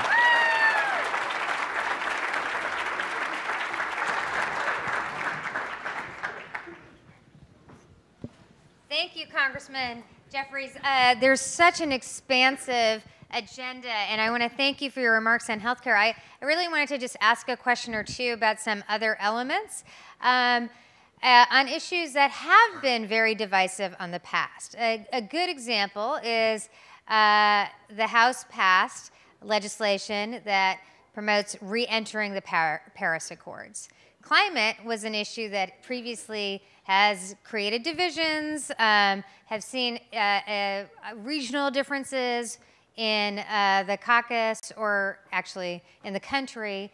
Um, could you talk a little bit about what it was like to pass uh, that bill and how United the Caucus was doing in that, and how do you see that issue as a, a front line on the issue of climate? Well, thank you for the question, and that was uh, an important first step and a foundation for what I expect that we will continue to do to address the climate crisis uh, that we face here in the country and, of course, throughout the world. In our first legislative act uh, on day one, uh, we enacted a rules package that included as a feature the uh, constitution of a select committee on the climate crisis that the speaker indicated uh, would be a focus on how we move forward, led by Kathy Castor from Florida. Uh, the first piece of legislation in that regard was legislation that would uh, express a resolution of disapproval in connection with uh, the effort to exit the Paris Climate Accord, and we're going to pursue legislative and appropriations remedies designed to prohibit the use of funds uh, to do anything other than make sure we keep our commitments in that mm. regard and uh, explore the other legislative options uh, that we can do in a bold fashion uh, to confront the enormity of the problem under the legislative mandate, the Select Committee on the Climate Crisis has to report back uh, to the Energy and Commerce Committee on its recommendations for legislative proposals uh, by early next year. Their work could come in sooner than that, uh, but we want to hear from a wide variety of stakeholders uh, on the thoughts that people have as to how we can proceed boldly and aggressively. Great, and, and one last question I wanted to ask on another issue that uh, people have seen as divisive in the past, but had a pretty significant uh, victory in the House was background checks and, and gun safety legislation. And uh, can you talk a little bit about uh, how much of that, why that was a priority, and how you see that playing out in the future? Yeah, this is an incredibly important distinction between the last time Democrats uh, were in the majority, and I wasn't uh, in the Congress at the time, in the current moment. Uh, there, there was a decision in the prior majority not to address the issue of gun violence in a comprehensive way, in part because many of the members of that new Democratic majority came from rural states and districts where uh, those members felt at least they could not address this issue. Things have changed significantly, and every uh, member of the House Democratic Caucus is of the view that we have to do something meaningful mm -hmm. to mm-hmm. deal with the gun violence epidemic. We started with universal criminal background check legislation. Uh, it did receive some Republican support on the floor of the House of Representatives. We know that the overwhelming majority of gun owners and NRA members support the notion that no individual, particularly one where there's reason to believe, could do harm to others should be able to access a gun without background checks. And so we're going to continue to aggressively push that and other issues forward and keep the pressure on the Senate so that Mitch McConnell either does his job and allows these bills to come to a vote or we vote them all out of office and we have a new Senate majority in 2020. That's a great ending. Thank you. Thank you so much. It goes either way. Either way. Here, let me take the mic. Thank you. uh, let's give another round of applause for Representative Hakeem Jeffries. Now, we all understand that one of the fundamental roles of Congress is to serve as a check on the potential abuses of power performed by the executive branch. Uh, I don't know why we have potential in there, but we have potential. Uh, at the same time, it has become abundantly clear that the presidency of Donald Trump represents an existential threat, threat to our democratic norms and to the value of transparency in our government. So, ever, given everything that is at stake, and in this particular moment, we are thrilled to have the discussion coming up about. Uh, I assume many topics, the, the findings, our democracy, uh, oversight in general, and I'm thrilled to have the pleasure of turning things over to Ari Melber, an attorney, journalist, and host of MSNBC's The Beat with Ari Melber, who will moderate our next conversation with the chair of the Intelligence Committee, Adam Schiff.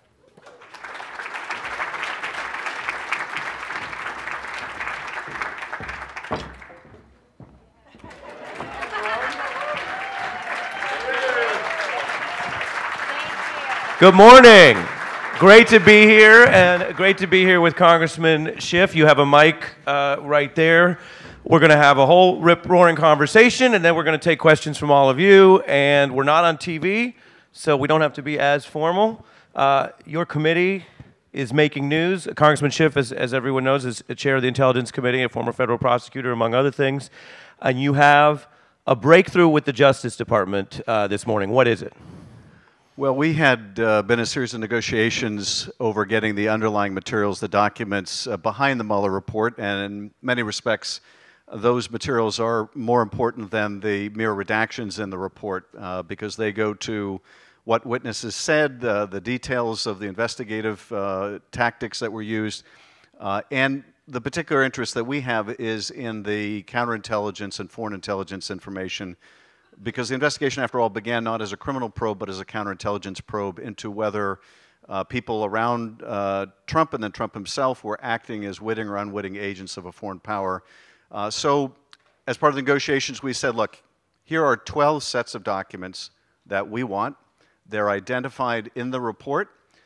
None of these are even arguably privileged in any way. All of these involve counterintelligence or foreign intelligence information start by providing these or we're going to go to an enforcement action. Uh, this was a test of whether they were acting in good faith or without any faith. And uh, close to midnight last night, they uh, finally agreed, okay, we'll provide those documents as the initial set of what we hope will be a rolling production. So that's a positive step. On the 12, you, you haven't publicly identified what they are. We have not. But your description suggests it's, for example, presumably not grand jury material, but could be other underlying evidence that informed uh, the intelligence parts of the probe? Yes. Uh, you know, if you look at uh, any number of the uh, incidents that are reflected in the report, there's intelligence behind them that goes into far more detail. Uh, and, you know, just to give you illustrations of the kind of thing without saying whether this is implicated in these documents or not, um, we know that Manafort was giving polling data to someone linked to Russian intelligence. We know very little about that. Is, is, that a totally normal thing? Um, in this campaign, the answer would be yes, apparently. Uh, and you know, discussing uh, election targeting in the Midwest and whatnot. Um, a lot of the chapters, or really sub-chapters, in the report are not fleshed out beyond very summary descriptions and conclusions. Uh, and so what we're predominantly interested in is where did the counterintelligence investigation lead? We don't even know at this point whether it's still ongoing or whether it was closed at some point. Uh, we do know from the Mueller report that periodically FBI agents who were embedded in the Mueller team would send findings back to headquarters. Um, we, and those fall into two categories those that directly related to Russia and the election, and then there was a, another category of things that didn't relate to the election. Uh, but nonetheless could compromise our country. And you know, to give you the paramount example of a counterintelligence issue, which is discussed in the report, and that was the effort by Donald Trump to build Moscow Trump Tower during the campaign, the lies about it, and the fact that they sought to get the Kremlin's help to make it happen. Uh, and here, and this is uh, you know kind of astonishing, a year later, when it's disclosed that even though the president had been saying no dealings with Russia, no business deals, blah, blah, blah, that in fact he'd been seeking to make the most lucrative deal of his life um, and seeking Kremlin help. When that became public a year later, that they'd made outreach to Dmitry Peskov, this guy close to, to Putin at the Kremlin, Peskov issued a statement saying, We never followed up on those inquiries. That was a lie. And so here you had the Kremlin covering up for lies of the President of the United States. So you can imagine what counterintelligence and compromise concerns that kind of behavior raises. And so, in a room like this, uh, people are familiar with what's been happening in Washington, what the storylines are. Most of the storylines in the relationship between a relatively new Democratic House of Representatives and the White House are of stonewalling, are of alleged obstruction, are of people blowing through even typical oversight hearings, defying subpoenas, refusing to show up and testify. Why today are you making news with your committee getting what looks to be progress from the Justice Department? Is there something you're doing right? Are your underlying statutes stronger? Or are you at risk of being played by Attorney General Barr? What is your view? We don't know whether the, this kind of last minute decision to comply is tactical uh, or whether this is indicative of the uh, thinking at the Justice Department that ultimately they're going to lose on these issues. Uh, it may be a result, for example, it may be influenced by the Mazars court opinion uh, earlier in the week, which not only rejected a lot of the same arguments that the Justice Department uh, and Trump administration have been making, uh, that there's no legislative purpose or that it has to be somehow set out specifically what bill you're going to introduce as a result of your oversight. Of course, that's a completely false reading of our oversight authorities. Uh, so it may be a result of the major court saying basically the legal equivalent of get out of my court. Um, that, that argument makes no sense whatsoever. So let me push you on that. If that's door number one, that the DOJ is adjusting in response to an adverse court ruling, why only then giving ground to the Intelligence Committee and not also the Judiciary Committee? Well, my hope is that they will give ground in all of these committees. And uh, what we're doing, we've made it clear to the Justice Department, um, doesn't, doesn't have the need for them to comply with the rest of our document requests. This is just the first. It also doesn't mean that an enforcement action against Don McGahn should not go forward. It should. Uh, or Bill Barr. Uh, the actions the Judiciary Committee uh, is taking are very important. None of those are uh, mitigated by compliance with a different committee on a different issue. We have different statutory authorities. Uh, the National Security Act provides that counterintelligence and foreign intelligence information must be given to our committee upon request.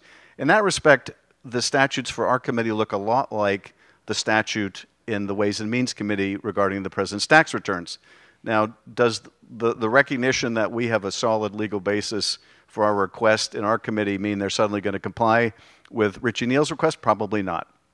So tell us a little bit, uh, although some people have worked on the Hill obviously in this room and know about it, but, but tell us how it works with your fellow chairs. I mean, we're hearing this morning that you're getting more breakthrough on this, some of the same underlying Mueller evidence than Chairman Nadler. So do you guys compare notes? Are you saying, well, you know, Barr called me back, he didn't call me? You know, he, he said to me that Mueller was snitty, but then to you, he, didn't, he wouldn't even say anything. I mean, how do you guys compare that? Uh, and yes, we're in a town where people sometimes make it too much about personalities, but it does look like you, right now, are on better terms with uh, the, the Barr Justice Department than the Judiciary Committee. I don't know whether we're on better terms or not. Um, but in answer to your question in terms of how the committees are operating, uh, Chairman Nadler, Chairman Cummings, uh, Chair, Chairwoman Waters, uh, Chairman Neal, and others, we uh, discuss what we're doing constantly. Um, the chairs meet constantly. We meet with our leadership constantly so that we keep each other abreast of what we're doing, what we're hearing, so that we cannot be played off against each other, so that our legal strategies are harmonized, so that we're making the same arguments in court.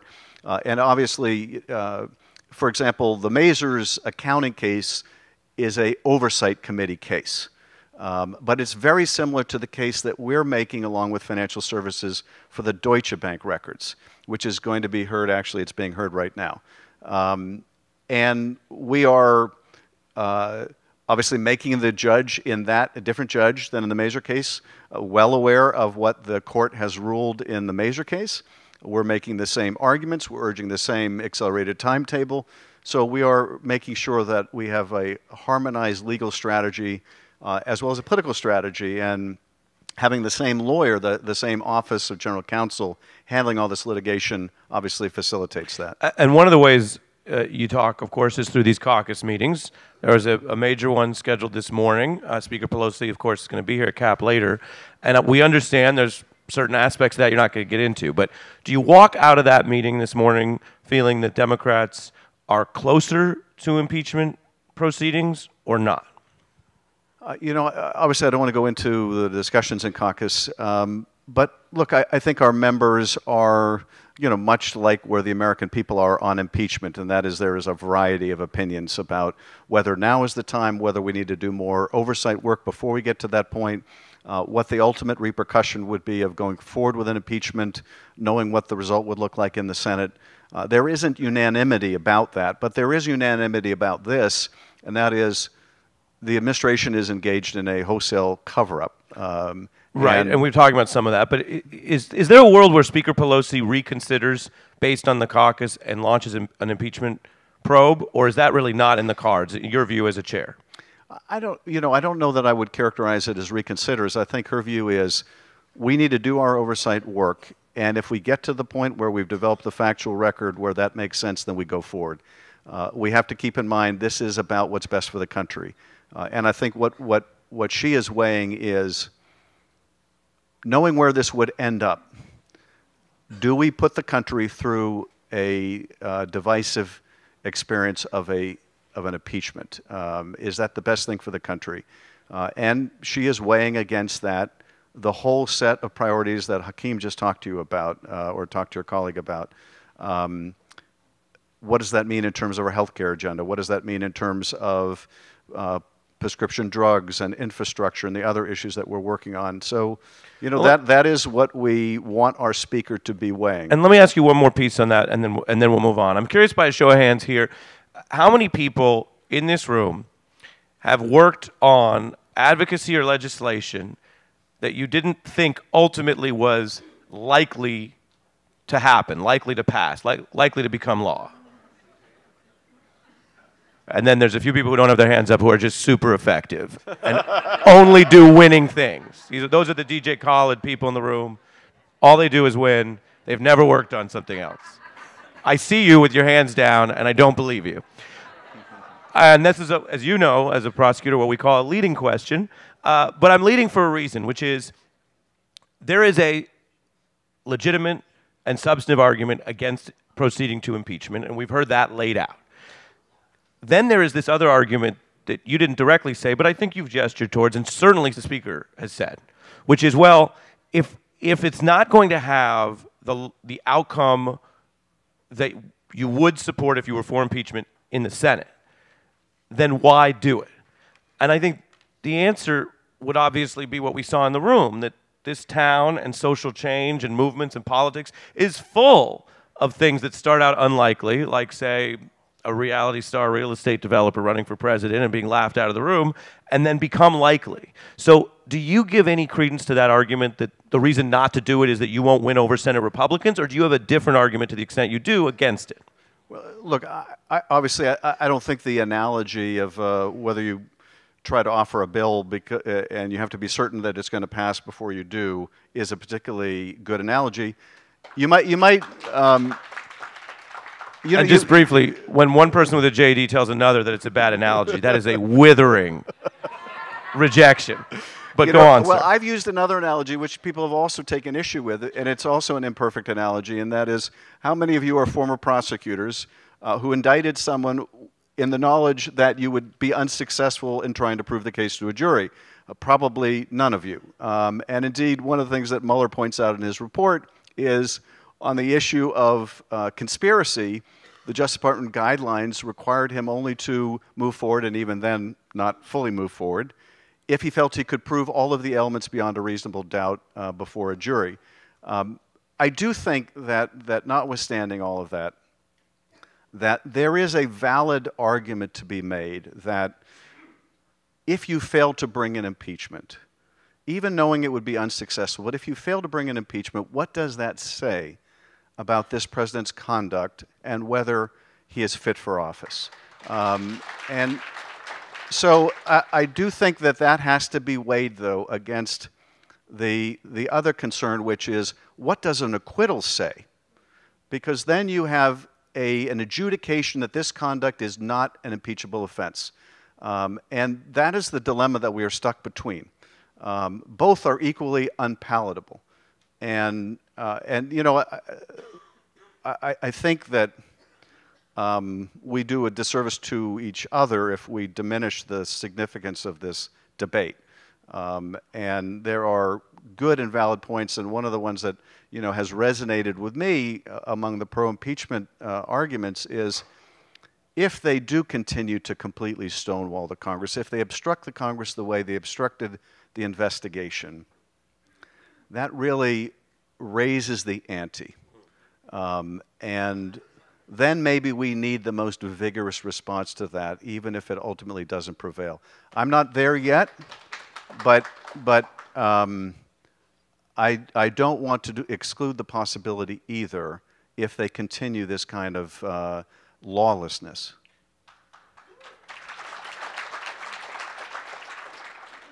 I believe you drew applause for both sides of the nuanced argument, which is very Talmudic. well, uh, there's, you know, as they say in my line of work, I have friends on both sides of this issue, and I stand firmly with my friends. uh, so we've we've dug into all that, and that's where your committee was making news. There's a lot of other issues that you work on that I also want to get to now. So turning the page, when did you first learn uh, that the president was seriously considering uh, pardoning more than one convicted war criminal, a story that broke in the New York Times recently. Well, probably like, like most folks when it broke in the New York Times. And what was your first reaction? My first reaction is that uh, this is classic Donald Trump thinking, that this would score political points, but at a cost of sending a message that um, disregarding orders, uh, murdering people in violation of the, the laws of conflict uh, is something that be, can be excused if it's politically advantageous.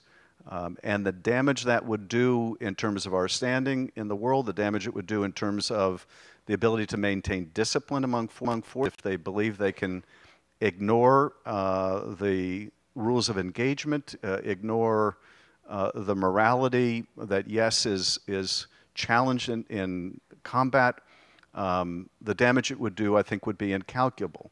It's one thing if you were to decide as the, the, as the President of the United States that someone that had been brought up even on a war crime charge uh, had been, for some uh, reason, after vetting by the Department of Justice and thorough examination, deserving of a reprieve.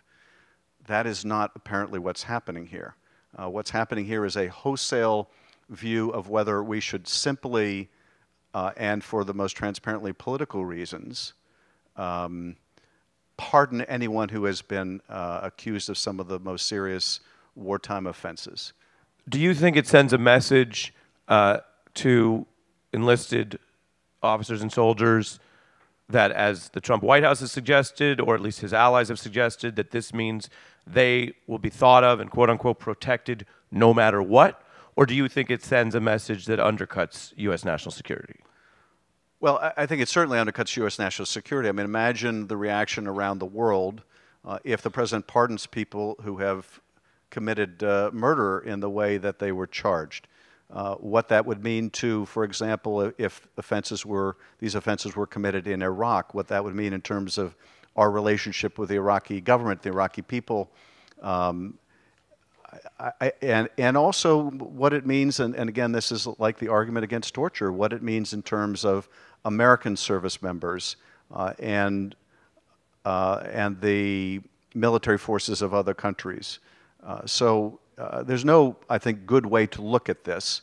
Um, and of course, it is not happening in isolation either because it's taking place when the president is pardoning people for other obviously political reasons, such as they're conservative and they wrote a book talking about how great Trump is.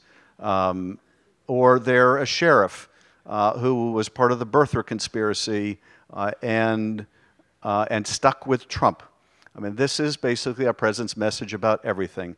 If you say nice things about me, if you have my back, I will have yours. The law be damned. Uh, and um, it is just part and parcel of the most serious attack on the rule of law and our democracy, certainly in my lifetime. What do you do with the riddle that, on the one hand, the pardon power, like other uh, national security powers of the commander in chief, uh, is it's not completely unreviewable, but I think we would agree it's close. It's it's an incredibly powerful unitary option, and yet we have a president who is actually so responsive to the media, to public pressure, to, as you just alluded to, his own general vanity, if you want to call it that. Um, that a, the fact that this leaked in the Times and then sparks a debate over whether it is quote unquote, I don't mean to oversimplify, but part of the debate has been is that quote unquote pro military or not, may actually be the thing that prevents him from doing it. Um, do you, in your role, obviously you have a very serious security role, but do you also and your colleagues think about, okay, how do we use that lever to prevent a thing that might be negative because you're almost certainly not going to prevent or override that pardon once it's issued. Well, the pardon power, like any power in the Constitution, is not absolute. And, uh, and you see this absolutist argument made in many contexts. Uh, you see now the, and I hesitate to call him the Attorney General, he's really more the personal attorney for the President. Uh, but you see the argument What made, do you mean by that? You don't think he deserves the title anymore? No, uh, I, I, think I think Bill Barr. Bill Barr has all the duplicity of Rudy Giuliani without the good looks, uh, and uh, and a general likability of Rudy Giuliani. Um, well, I mean, the most dangerous thing I think that that, that uh, Bill Barr has done is basically say that a president under investigation can make the investigation go away if he thinks it's unfair, which, by the way, means the other 14 investigations farmed out to other offices he can also make go away. Uh, but it also means that if you want to fire the FBI director because he's not doing what you want, he's not going easy on Michael Flynn or some other friend of yours or some other witness who might incriminate you, that you have an absolute right to do it. There's nothing absolute about it. The fact that the president has the right to fire an FBI director doesn't mean he has the right to fire one for an improper reason. Uh, any more than an employer who has an at will employee can fire them because they reject their sexual advances. Uh, that's not how the law works, it's not how the Constitution works. Uh, and in the pardon context, if the court were to interpret the power of the pardon as absolute, it would mean that a president could instruct people, like Arpaio or others, to violate the law on his behalf and say, don't worry, if you get arrested, I will simply pardon you. Um, you know, to, to paraphrase one of our justices, the, the, the Constitution is not a suicide pact.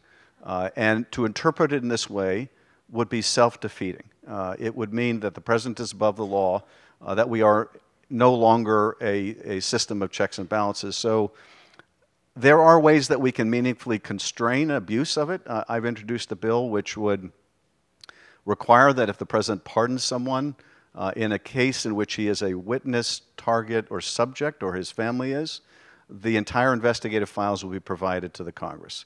Uh, that may not prevent the issuance of that pardon, but it will deter its abuse. Um, and there are other steps like that that we can take uh, to chill its abuse. Um, but uh, I do think that, like every other power in the Constitution, there are limits to it, uh, and the abuse of it is unlawful. And of course, the abuse of it can also, uh, if we have a, a Congress that is beholden and dutiful to the Constitution and not simply the person of the president, can remove that president from office for violating those standards. A couple other topics before we go to uh, questions from the audience. Uh, Iran, in your role, including the intelligence you see that we don't, number one, factually, how grave a security threat is Iran to the United States and its allies, which is sort of what should we know? And then, second, the part that often gets collapsed into that, given your view of the threat, what is the right way to contain it right now, uh, and what is your view of the administration's approach? Well, you know, I have to say, and, and, there's been a lot of discussion about what does the intelligence show about the Iranian threat. In many respects, I, I think, uh, not your question, but I think that question is the wrong question. Um, I think the, the more important I'm question, a television news anchor. I do that all the time. I, I, think it's like a the, specialty. Uh, I think the, the more important question is how did we get here? Um, because the steps that have been taken over the last two years that began with a president who refused to keep certifying that Iran was in compliance with the agreement, even though Iran was in compliance with the agreement.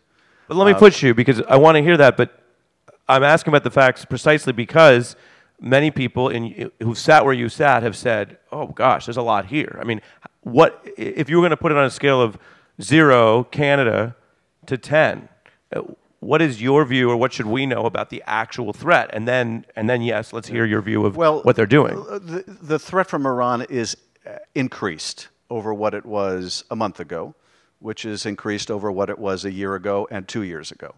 Um, now, I think some of the steps that we are taking and have taken are increasing the risk, not decreasing it.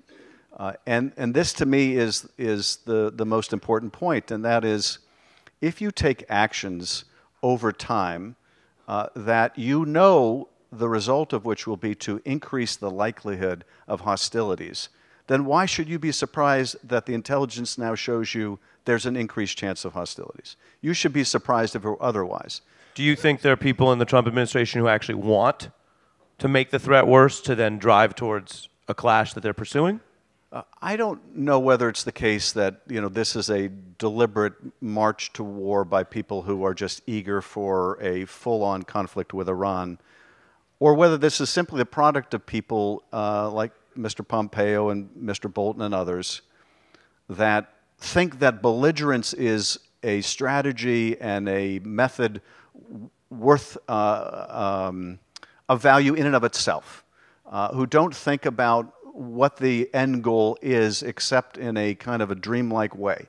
Because it is, I've never gotten an adequate answer to the question how will our leaving the agreement, how will our forcing Europe to leave the agreement, how will our forcing Iran to leave the agreement and go back to enriching, improve our national security. Um, what is a realistic expectation of where this leads other than to conflict or a nuclear armed Iran? I've never gotten a, serious answer to that question. And the, and the reason I think is there is no good answer to that question, except for maybe a uh, philosophical belief that if you act tough and sound tough, that maybe good things will follow. Um, but the, the idea that this maximum pressure campaign, which I would more aptly describe as a maximum belligerence campaign, is somehow going to cause the mullahs to say, okay, you got us. Um, let's completely renegotiate the agreement that we were complying with and you reneged on, uh, and we'll give you everything you want. That is so, I think, pie in the sky that uh, proceeding down that path with no expectation of success means that we're just proceeding down a path where the likelihood of conflict is that much greater. And, and I think that's where we are. The final thing I want to ask you about before we go to questions uh, relates to trying to get ahead of the efforts to use propaganda to sow discord or disrupt our deliberative process in America. Uh, and some of these uh, efforts are more sophisticated than ever. And your committee has been looking at that, which is very interesting. And so, one way to do this, I'm just curious, because I wasn't very familiar with this in scanning uh, your hearing schedule. How many people in the room uh, have heard of this term deep fakes? Pretty good room. And that's still a minority. Uh, and yet, part of what you're arguing is that it is precisely learning about this and having some sort of attitude inoculation that may help us. So, what are deep fakes? Why are you holding uh, hearings on it? What do you hope to achieve? What should we, and particularly policymakers uh, in the room, know?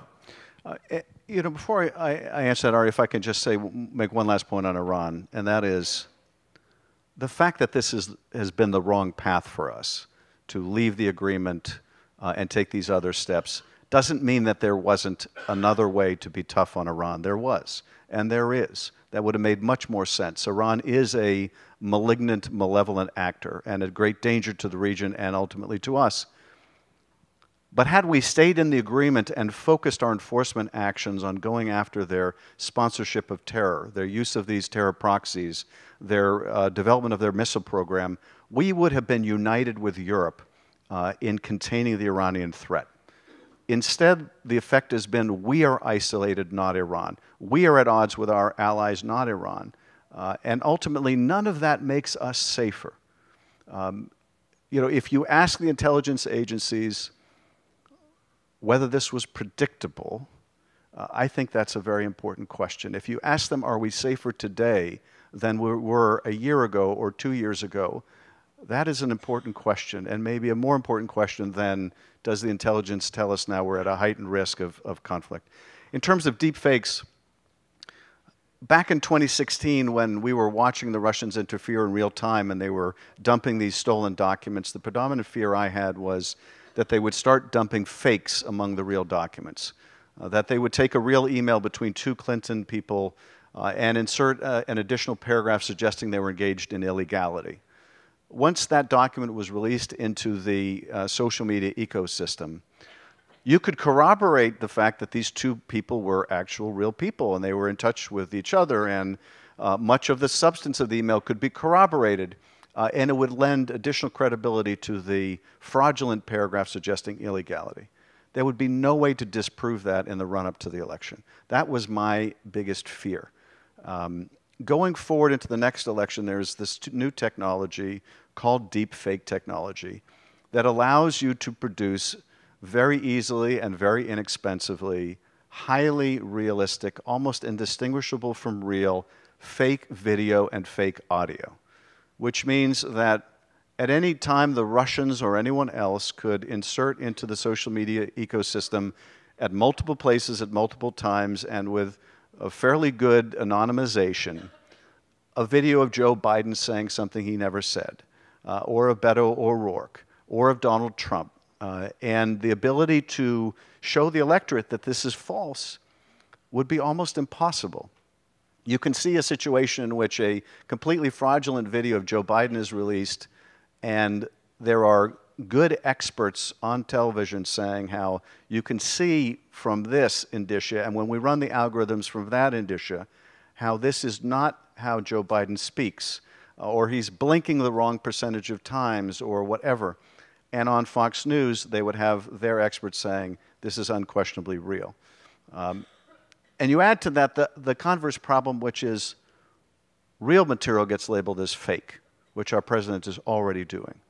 Uh, and we end up in a world where the truth is now uh, so difficult to ascertain that people just fall back on their tribe and their political party, uh, and it doesn't matter whether something is real anymore. And it's hard to imagine something more corrosive to a democracy than an environment in which the truth doesn't matter anymore. It sounds terrible. Does it make you want to just retire to a beach? Try something else? No, it doesn't. Uh, but you know, I will share this anecdote with you, apropos of nothing, uh, except that you know you do need a little levity now and then, given what's going on. I was in your hometown uh, last week um, visiting my daughter, and we were walking down the street in the Upper West Side, and I was in blue jeans and a canvas jacket, and I was wearing sunglasses, and I thought pretty unrecognizable. But I was still getting stopped, uh, which was irritating to my daughter. Um, particularly when it got to the point where somebody asked her to hold their beer while we took a picture. Does your uh, daughter know how powerful you are? Probably she, not. She said, "What am I, the beer holder now?" uh, but you know, after the third time I was stopped, I turned to her and I said, "Alexa, I'm kind of shocked that people recognize me uh, looking like this." And without missing a beat, she says, "Well, you know, Dad, it's the pencil neck." Well, your family keeps you grounded always. Yes, they do. Um, yes, they do. Thank you to Congressman Schiff. We will take some brief questions. Uh, we have mics, as you all know. Please state your name, your affiliation, and a good rule of thumb is if it ends with a question mark, it's a question. Or uh, right here, right by you. Hi, Congressman, thank you for your service. My name is Diane Wachtel, and I started a group called Lawyers United to support the legal groups working on the rule of law in the country. I heard you say um, that you thought that some of the progress uh, you made this morning might have been due to an adverse uh, court ruling, uh, and the administration changed their stance. And um, I understand that you feel that if the administration defies congressional subpoenas, mistakes may go up. Do you have the sense that they might defy a court ruling, and what would happen then? Well, that's a very good question. And, you know, we, we had a debate uh, a week or two ago about whether we were in a constitutional crisis or not. I, I think we are at the precipice of one. We would be in a full blown crisis if the court ordered the administration to take action to provide documents, make witnesses available, and the administration simply refused. Now, it's one thing to refuse pending appeal if the court stays the ruling. But if the court doesn't stay the ruling, and the refusal is simply um, a violation of court order, much like they are violating the uh, constitutional obligation to provide the Congress, they would now be ignoring yet another branch of government, then I think you are in a full blown crisis. Because how does that get resolved? Um, so, you know, I, I, do think those circumstances would certainly uh, uh, be another grounds for impeachment. Um, but the, at the end of the day, it still leaves us asking, where is Howard Baker? Um, there is no Howard Baker. Now, Justin Amash, I give him credit. Um, he's had more guts than any other GOP member of the House or Senate. Um, I, I remember uh, talking with John McCain before the midterms, and uh, I think in one of the last conversations we had, and marveling at why isn't there a single Republican in the House or Senate who feels they have a constituency to be the John McCain of the House? You know, why is that? I would think that'd be a good place for any number of my colleagues to be. And his answer was, well, if it stays that way, they'll soon be calling you chairman. Um, and up until this week, it did stay that way. And, um, and I think it was a courageous thing for, for Justin Amash to do. Whether you agree or you don't agree, um, the fact that he is willing to risk his seat um, shows a lot of the courage of that conviction. And that has been in very short supply. Uh, you know, we all have known, I think, intuitively that courage is contagious, but so is cowardice. And I think there's been a real contagion of cowardice. Uh, if the Congress of the United States won't stand up and defend its power of the purse uh, against this bogus claim of an emergency, and, and then what chance is there we will defend any of the other institutions? Uh, so I'm, I'm, grateful for what Justin Amash has done. I hope others will find their voice because what really has our republic trembling right now is not just the lack of ethics and character of the President of the United States and his anti democratic inclinations, but the fact that um, one party has made itself a cult of his personality, utterly unwilling to stand up to him. And that really has what, is what has our democracy trembling. Thank you. Uh, why don't we come to the middle here?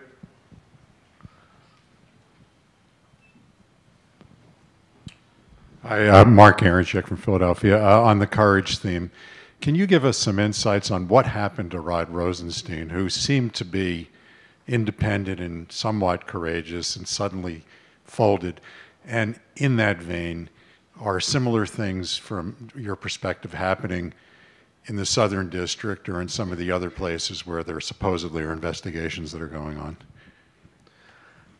Um, you know, it, it's, a, it's a very good question. Um, during the last session of Congress, uh, the Republicans in Congress sought uh, documents in the Clinton email investigation uh, and documents in the Mueller investigation, and they subpoenaed the Justice Department. Uh, and the Justice Department ended up providing over a million documents. Uh, by June of last year, they sent me a letter saying that to date they had provided 880,000 documents. Now, that was the same Justice Department led by Rod Rosenstein that has refused all of our requests until last night, and also under Rod Rosenstein. Uh, and when they were in the process of turning all these materials over last session, I raised this issue repeatedly and said, You're setting a precedent here uh, that you're going to have to live with if the Congress changes hands. You're not going to be able to tell a Democratic majority that you give a million documents to only a Republican Congress, but as to a Democratic Congress, you're going to claim privacy and privilege and all the rest of this. But that's exactly what they've done. Um, what explains that of a career Justice Department official? And, you know, I think James Comey came probably very close to the accurate critique of Rod Rosenstein. He just wasn't strong enough. Uh, and you know, someone made the observation, uh, and I don't recall who the writer was, that power doesn't corrupt, it reveals. It reveals who you are. Um, and I think for, for Bill Barr, it has revealed who Bill Barr is. I think for Rod Rosenstein, it has revealed who Rod Rosenstein is. And I think Rod simply wanted his job too much uh, and was willing to make too many accommodations to, give, to keep that job. Uh, and, and I think that um, in, in Bill Barr, uh, when he was serving with George Herbert Walker Bush, when he was serving with a president of integrity and character and decency, then it, it uh, kept him tethered. But serving with this unethical president, he has become completely untethered. Uh, and, and, and, on that, I'm curious, what do you think when Rod Rosenstein, who was directly involved in the removal of James Comey, then was a fact witness in that part of the obstruction probe, so soon after the Mueller report was finished, was publicly attacking James Comey, uh, who he helped oversee the removal of. Did that strike you as inappropriate at a time when the Congress hadn't even fini- hasn't finished its review of those issues? What, what I, I guess what I found most inappropriate is that someone who participated in uh, one of the most important vignettes that this, that this counsel wrote about might constitute the crime of obstruction. In writing the memo that was used as a pretext for the firing of Comey, that he would participate in the whitewashing of the obstruction, that he would participate in Bill Barr's decision to say there was no obstruction here, that he would stand behind Bill Barr at that press conference. That to me was, was the most um, uh, offensive uh, and destructive to the rule of law. Do you think the Congress should call or subpoena Mr. Rosenstein to further explain that very controversial memo, which is the origin of the Mueller probe, in a way? Uh, I think he should be brought before both the Judiciary Committee as well as our own committee, and, and we are taking steps along that uh, regard. Well, now I have to ask, what are those steps? Have you, have you, are you telling us today that you have requested Rosenstein testify to the House Intelligence Committee? I'm, I'm not prepared to comment on where we are in terms of specific witnesses, but I feel like you kind of did, though. Well, we, we, our ordinary course of action is we request voluntary compliance of documents and appearance, and that's not forthcoming. We move to subpoena, and, and So my last one, I don't want to turn into a deposition. It's an ideas conference. Would it be reasonable to infer you've already requested a voluntary interview with Mr. Rosenstein? this does feel like a deposition. Uh, you know, it would be more than reasonable to infer that I think it's fully appropriate and uh, for him to come and testify before Congress. Um, and explain what were the circumstances, among other things, what were the circumstances under which you wrote that memo that was used as a pretext for the firing of James Comey? Did you know when you were asked to write that meeting, that memo, that Comey was going to be fired? Did you know when you were asked to write that memo that Comey was going to be uh, fired for a reason different than the one that you set out in the memo? Uh, why is it you felt that didn't require your recusal from the ultimate decision on obstruction of justice? And Did you seek an ethics department uh, opinion? Did you follow that opinion? And doesn't the Mueller report state that Rosenstein knew that Donald Trump was going to fire him and that Russia was the reason he wanted, and he removed that but wrote the, the memo anyway? Well, um, let's, let's have Rosenstein come before the Congress and the American people uh, and articulate exactly what happened, whether he disagrees with Mueller's conclusions, uh, whether he agrees with them, and why it is that he felt that the country could have confidence in his judgment uh, on an issue in which he was a very important witness. All, very interesting and forthright answers. I see zeros here. I want to confirm. Does that mean I am? We're out. I'm getting a correct from stage right. Uh, if you're like me, you could listen for even longer uh, to Chairman Schiff explain much of these difficult issues around the world and here in the United States with nuance. We are out of time, and I want to be respectful of the time of the next speakers. Please join me in giving a warm welcome and thank you to Congressman Schiff for coming to CAP today. Thank you.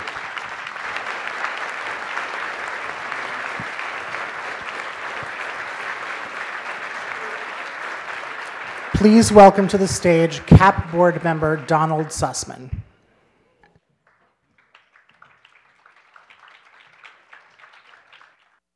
Good morning and welcome. Um, I have the distinct pleasure of uh, introducing Jon Tester, the senior senator from Montana, who distinguished himself in being one of only three organic farmers in Congress, one who still actually drives his own tractor, is a former school teacher, and someone who actually won for reelection when Trump won in his state by 20 points. I welcome my friend Jon Tester.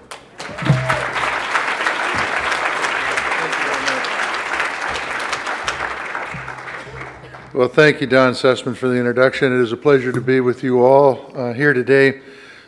As Don pointed out, I am indeed a farmer. Uh, could get in trouble for this, but it's the truth, the only working farmer in the United States Senate. My wife and I, and I literally mean my wife and I, uh, run an 1,800 acre farm in north central Montana outside a town called Big Sandy, population 600. Uh, it is the same land that my grandparents uh, homesteaded a little over a century ago. It's the same land that my folks farmed for 35 years. Both those generations were FDR Democrats, and they were FDR Democrats because they knew that without the policies of FDR, uh, their grandson and son, myself, would have never had the opportunity to take that farm over.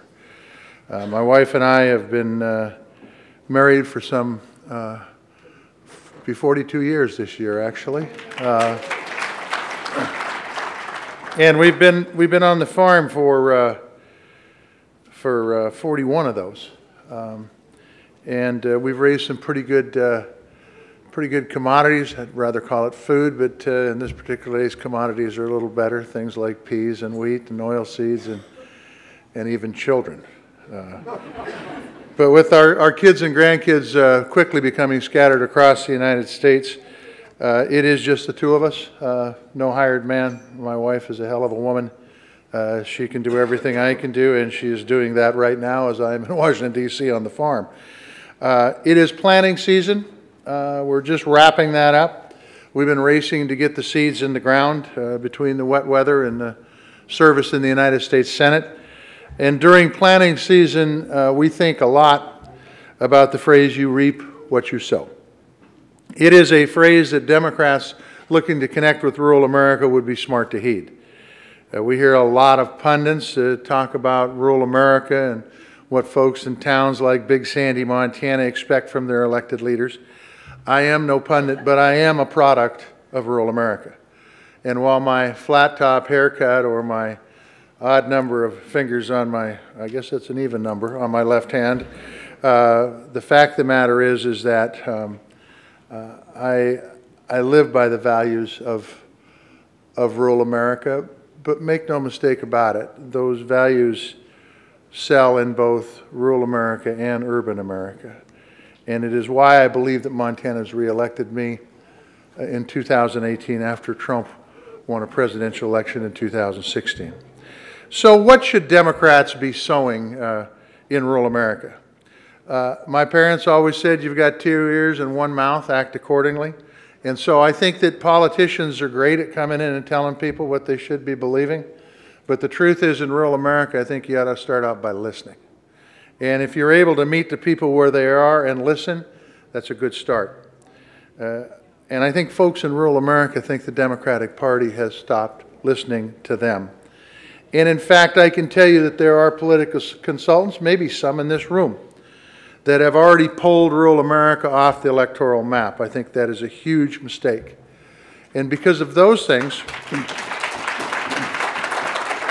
because of those things, I think rural voters believe that, that all politicians, all politicians aren't fighting for their families or their way of life, and they're not listening to them. But the truth is, is rural America's values uh, are things like accessible health care and good paying jobs and affordable education. Those are, those are our values. And, and quite frankly, uh, they are progressive values.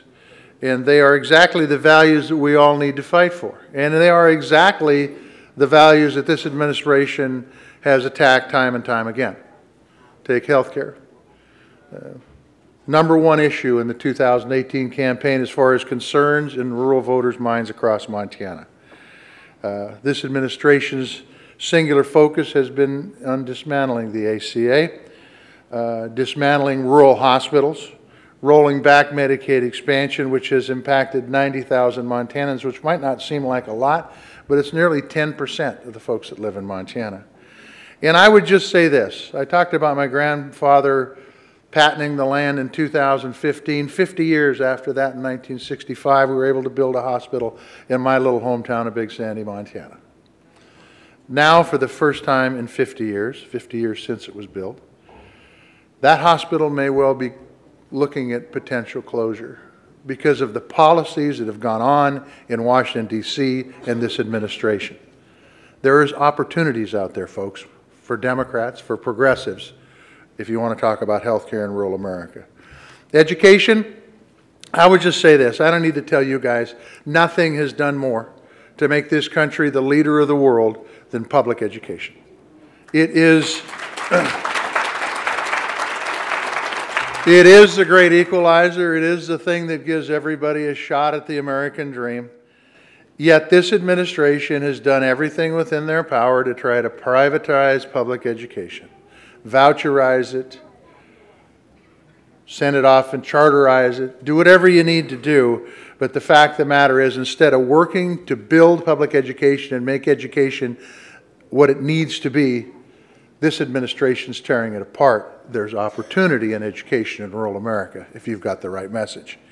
College affordability. Look, my grandmother and grandfather, and I'll put it on my grandmother, uh, they had four kids. Three of them were girls, one of them was a boy. All three of those girls in the 1930s went to college and got a college degree. In the 1930s. Okay?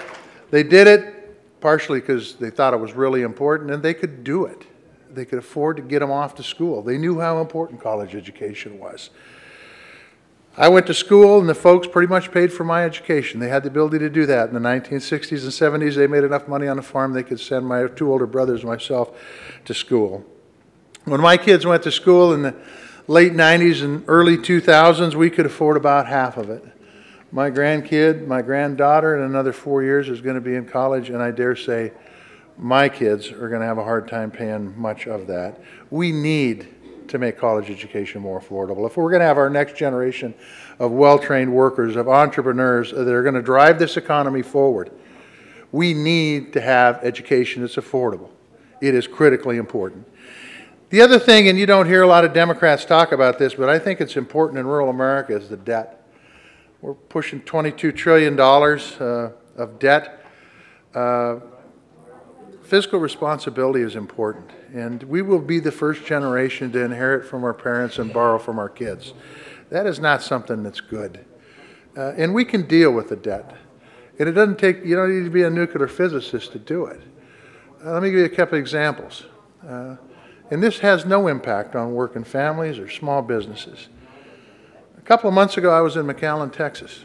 Got a chance to look at the uh, border wall on the southern border a border wall that's going to spend 24 to 32 million dollars a mile. A border wall that, quite frankly, in my opinion, and I would debate anybody on this, is going to create more problems it's going to solve. A border wall that uh, is going to provide um, security uh, to no one. Uh, and something that we could do with technology for literally pennies on the dollar. So let's start there if you want to start addressing some debt issues. Let's start talking about that tax bill that we passed a while back that added $1.5 trillion to the national debt and has caused us to have a structural imbalance in our budget today of $1 trillion a year. That's the kind of stuff we should be doing. That is smart politics. By the way, and it's smart politics for rural America. Another lesson that my parents taught me is your handshake means something and that your word is your bond. I don't say this as an overstatement, I say this as an absolute fact. Trump's handshake is worth nothing. He's quick to make a promise, he's even quicker to break it. 25 years ago, the American bankers saw him for what he was and quit doing business with him. And over the last two and a quarter years, we have seen, uh, we've seen our trading partners and our allies say, no more. We want no more to do with this dude. And pretty soon, I think the American people will see that too. They're starting to see the impacts of this reckless trade war that we're in. They're starting to see the impacts of ripping away health care from rural communities. And his attempt to get tough on China has only tightened the screws on folks like me in family farm agriculture. And it is no secret that our folks in production ag are hurting. Commodity prices are down. Folks are filing for bankruptcy at an alarming rate and those who are making a living off the land are seeing our market access disappear, and the Republicans' promises of better trade deals ringing hollow. Let me give you an example. I don't remember what I did last week, but I will tell you in May of 1978, I went over to my neighbor's house. That's when we took over the farm. And I said, I've got a little bit of wheat to sell, Willard. It's at 350 a bushel. Do you think I should sell it? Willard said, you know, it's been banging around that for a while. If you need the money, sell it. I sold it for 350 a bushel. A month ago, I called the little elevator in my town to see what hard red winter wheat was worth. 414 a bushel. That's not inflation adjusted prices. It's a fact. We're going to lose one of the two most important things to our democracy, public education being number one, family farm agriculture being number two, if this administration's policies continue on as they have in the past. So, look, I could talk about climate change I could talk about, uh, uh, which has had amazing impacts on my farm. Uh, but the truth is, and this administration has completely written it off, written it, written it off. And, and if we don't start doing something about that, you want to talk about draconian actions that our kids' generations are going to have to take. It's not going to be pretty. But Republicans have gone after our schools, they've gone after health care. In rural communities, it's a killer. You lose your school, you lose your hospital. It's not if your community is gone. We understand that as Democrats, as progressives, and our leaders and our candidates have bold initiatives. Often bipartisan plans to drive down prescription drugs, to incentivize teacher hiring in rural schools, and to keep the doors open in health clinics. My folks always said, don't make a promise you can't keep, and it is true in rural America. But rural Americans appreciate hard work, and they appreciate talking truth. Unrealistic promises of things like totally free college or jobs for everybody and a living wage doesn't make sense in rural America because it doesn't make sense. You got to figure out how to get that done, and I don't see how you do it with just words. In my family, it is more important to show up and to be yourself and not be a rubber stamp. I will tell you that that uh, when I ran, um, Trump uh, to my state four times. Uh, Pence came three times. They tried to make little Donald came a whole bunch of times. He's thinking about running for governor uh, in Montana. Uh, but the fact is, is that I didn't waver. I stayed with what I had done for the last two terms before that. We talked about what was important to rural America. We talked about health care. We talked about education. We talked about infrastructure. We even talked about climate change. And I'm going to tell you, in the end, when the distorted view was put forth and people went to the ballot box, they said, you know what? We know who Jon Tester is, and that's who they voted for. Hmm.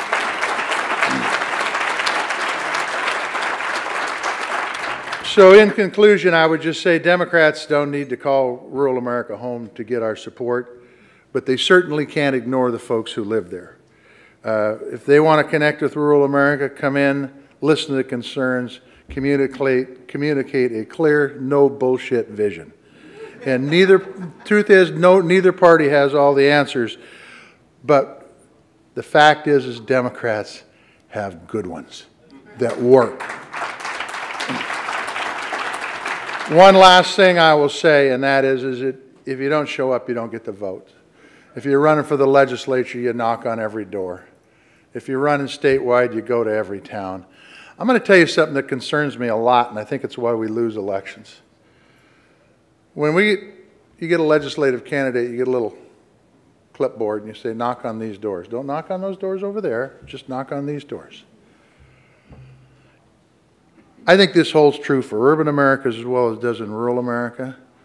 But you knock on every door if you're going to win. You knock on every door. And the folks out there, the folks out there that tell you you're wasting your time when you're knocking on that door, well then, as Max Baucus has told me, go figure out where you can get some more time. Because the truth is, is those people are important, and those people are the, the folks that if you can get them to vote for you, you'll win that election. So lay out common sense initiatives, listen, don't be phony. Guess what happens? We win in 2020. God bless you all. Thank you.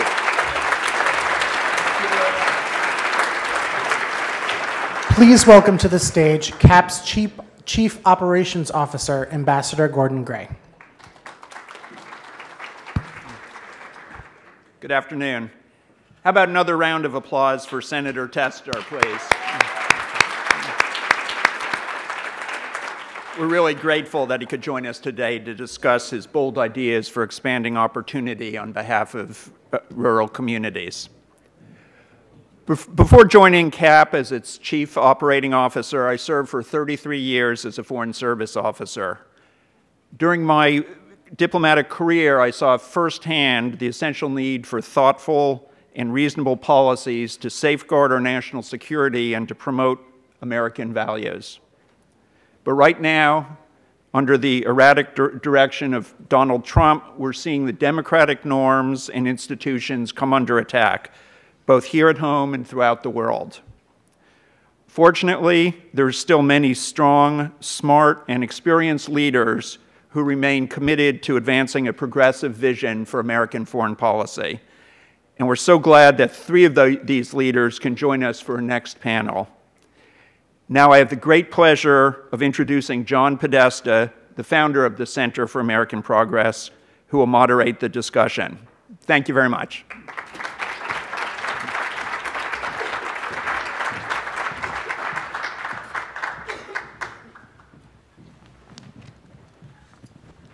Uh, well, good afternoon. And um, I would note that it's just under two and a half years uh, of his presidency, and uh, President Trump has shown little regard for U.S.'s traditional treaty allies. He's welcomed autocrats to the Oval Office. He's had a brief love affair with the little rocket man, but now seems to be nowhere in regard to denuclearizing North Korea. He's on the brink of triggering military confrontation with Iran. He's engaged in an escalating trade war with China. He's stated his intention to pull out of the Paris uh, Climate Agreement, and he's diverting $6 billion of defense spending uh, to build a wall on the southern border that the American people don't want and security experts say won't work. So Donald Trump promised to disrupt U.S. national security policy, and I think we can all agree that is one of the few things he didn't lie about. Um, with me to discuss the implications of these actions for American security and how progressives should respond is a terrific group of experts who have been on the front lines of national security policy making, two of whom now serve uh, in Congress. Uh, Susan Rice uh, served as National Security Advisor to President Obama, U.S. Ambassador to the United Nations, is now a senior fellow at both American University and Harvard University. Uh, her memoir, Tough Love, will be published in October. I might have something to ask about that in a little bit. Uh, Elissa Slotkin served as a CIA officer on the NSC staff under uh, both Presidents Bush and Obama as an acting Assistant Secretary of Defense for International Security Affairs. In November 2018, she was elected to represent the 8th District of Michigan in Congress.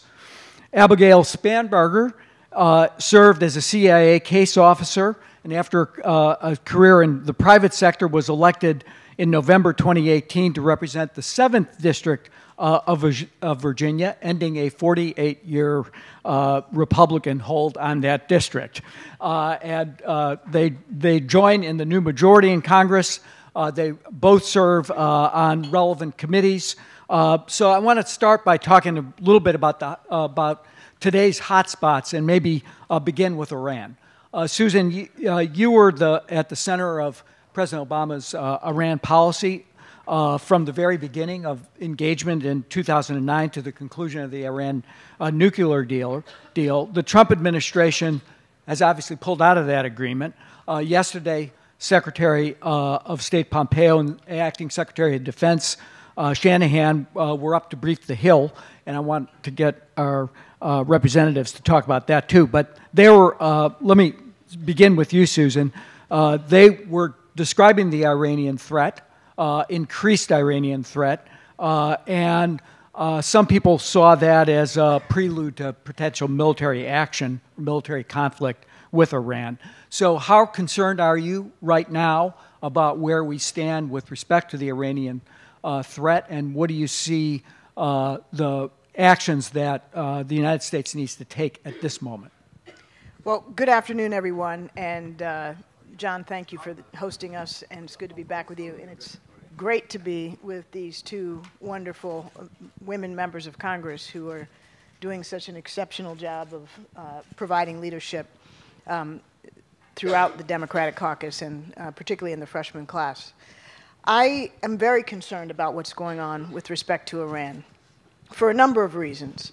Um, one, the decision to withdraw from the Iran nuclear deal um, and to put on uh, crippling sanctions unilaterally, um, alienating our allies uh, and um, driving Iran to a place where, um, after a year of pressure, uh, it is likely to come to the conclusion that the benefits of staying in the nuclear deal um, are uh, outweighed by the downsides, and thus a deal that had effectively constrained Iran's nuclear ambitions, cut off every pathway to a nuclear weapon, verifiably so, as validated by our intelligence community, DoD, the International Atomic Energy Agency, is likely to fall apart. And the constraints on Iran's nuclear program will be lifted without the attendant benefits that the administration sought by pulling out of the deal, i.e.,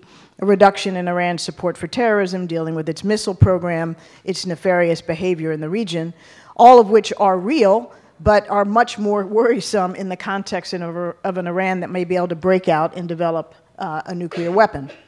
So that's the first reason I'm concerned. The second reason I'm concerned is because it does seem, and I don't say this lightly, I say this with um, concern and regret that there are some within the administration in senior positions who really seem intent on trying to provoke a conflict with Iran uh, or you know, cause Iran uh, to take steps that give them some justification for military action, whether initiated by the U.S.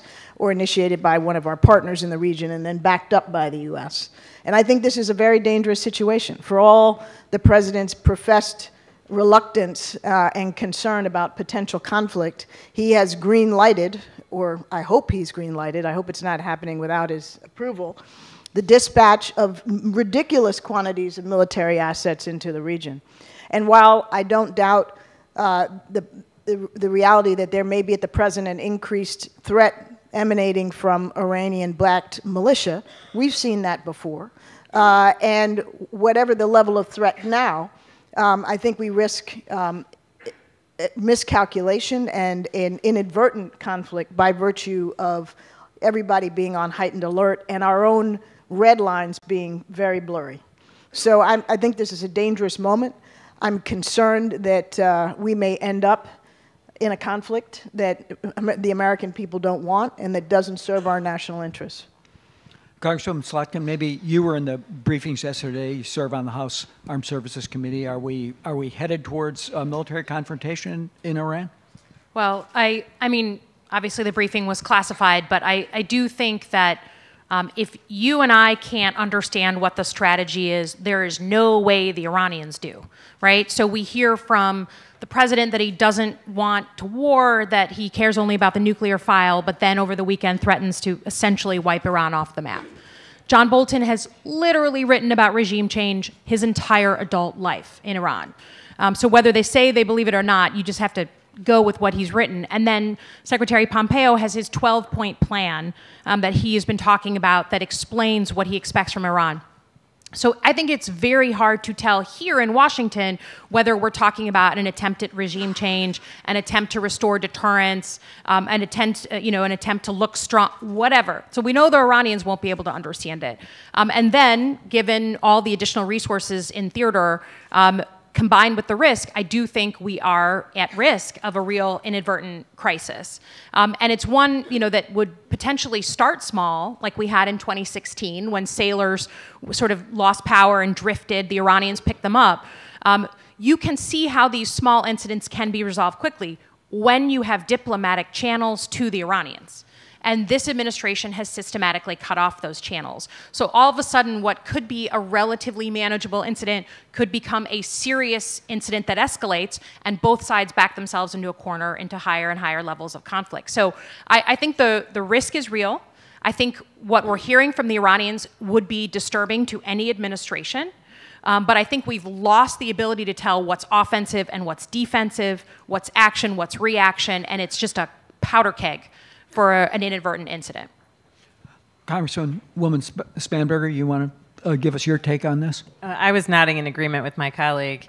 Um, I, I, think that Elissa's point is exactly made. If, if on a day-to-day basis we don't really understand where it is that the administration is taking us, um, from an Iranian perspective, how are they to know? And I, I, I think that Elissa's point is, is really well made that you know, whether or not it is something intentional, we are creating such a frenetic uh, space where there seems to be zero apparent strategy, and that is just a recipe for disaster. And you know, ideally, we will continue um, to to not see that type of disaster. But as the example she gave, that was an you know an, an, an accident that was resolved quickly and diplomatically. And if we don't have the ability and the channels to do that in the event that something occurs again, I, I think it's a, a, really challenging time. Let me ask uh, a question that uh, to, to maybe just require speculation, which is Susan raised the question of whether uh, the president ordered the Abraham Lincoln Carrier Battle Group into into the Gulf, uh, sent B-52s over. Uh, he says he doesn't want war. There's been reports that he thinks John Bolton's gotten ahead of him. Uh, what do you think is going on inside the White House with respect to who's essentially on first with, with respect to calling the shots on Iran? Well, first of all, I mean, it's inconceivable to me, even in this administration, that the president wouldn't be the one to, to make the decision to send those assets. Uh, I can't rule out that possibility, but that would be uh, an even more frightening breakdown of process than at least I'm aware of to date. What concerns me, though, about how things are decided is that there really seems to be no national security decision making process. There are not regular, thoughtful, well prepared meetings of the National Security Council principals uh, and the president with his national security cabinet to weigh the costs and benefits uh, and the various options on these very complicated decisions. Uh, it seems that the National Security Advisor is um, hoarding a lot of the decision making and information, um, keeping uh, the process to a minimum, which I think is um, whether it's designed to or has the benefit of enhancing his authority over what happens. Um, there just doesn't seem to be the normal, uh, transparent kind of decision-making process within the interagency. And that's quite concerning, not only in the case of Iran, but I think on a whole range of issues. Uh, Slotkin, you served both Republican and Democratic National Security Council staffs, as I mentioned. Does this seem aberrant to you? What what what's your sense of what's going on now? Uh, you probably have some friends who are still kind of left behind. but uh, what what what do you think is is uh, happening in in Yeah. the White House today? I mean, I, I think it's clear this is pretty different than you know the past 60 years of national Process security matter. Um, yes, I mean, I think. Listen, I was at the White House on the last day that President Bush was in office, and then I was there the first day that President Obama came in. Things change. Leadership styles certainly change. The drink cart in the sit room had Diet Dr Pepper. That's Obama, right? That's not Bush. So the the things change, um, but uh, I think that the the the the behemoth of the U.S. government, right? There's lots of people who worked in the administration. The behemoth that is the U.S. government is on a good day really hard to get your arms around and to figure out how we're all on the same page on a certain policy issue. If that's a good day, a bad day is a lot of kind of Yosemite Sam just popping off of ideas that are not, you know, they're just a loose collection of activities, not an actual strategy. And when it comes to the issues of war and peace, these are grave issues. And it's just a bad time to be popping off different ideas. Yes, process matters. Um, let's let's sh- uh, shift uh, world scenes and go go on to China. Uh, I want to ask you a couple of questions about that. Uh, Congresswoman Spanberger, you serve on House Foreign Affairs. They've been holding hearings on the China threat. Uh, we've had this escalating trade war that's been going on for a while. The focus now seems to be uh, in ratcheting up pressure on Chinese technology companies with the Huawei um, uh, uh, um, uh, in you know uh, sanctions in particular. Uh, now we read in the paper this morning that they're uh, thinking about sanctioning facial recognition uh, technology. Uh, what do you think is going on? Is the administration actually pursuing the right policies there? How do you assess the threat uh, emanating both on an from an economic perspective, but also from a security perspective? I, I feel like uh, Elissa's Yosemite Sam example might again be appropriate. Uh, so I think there's there's a couple pieces here that we've been trying to get to the bottom of. We've been trying to discuss on the Foreign Affairs Committee.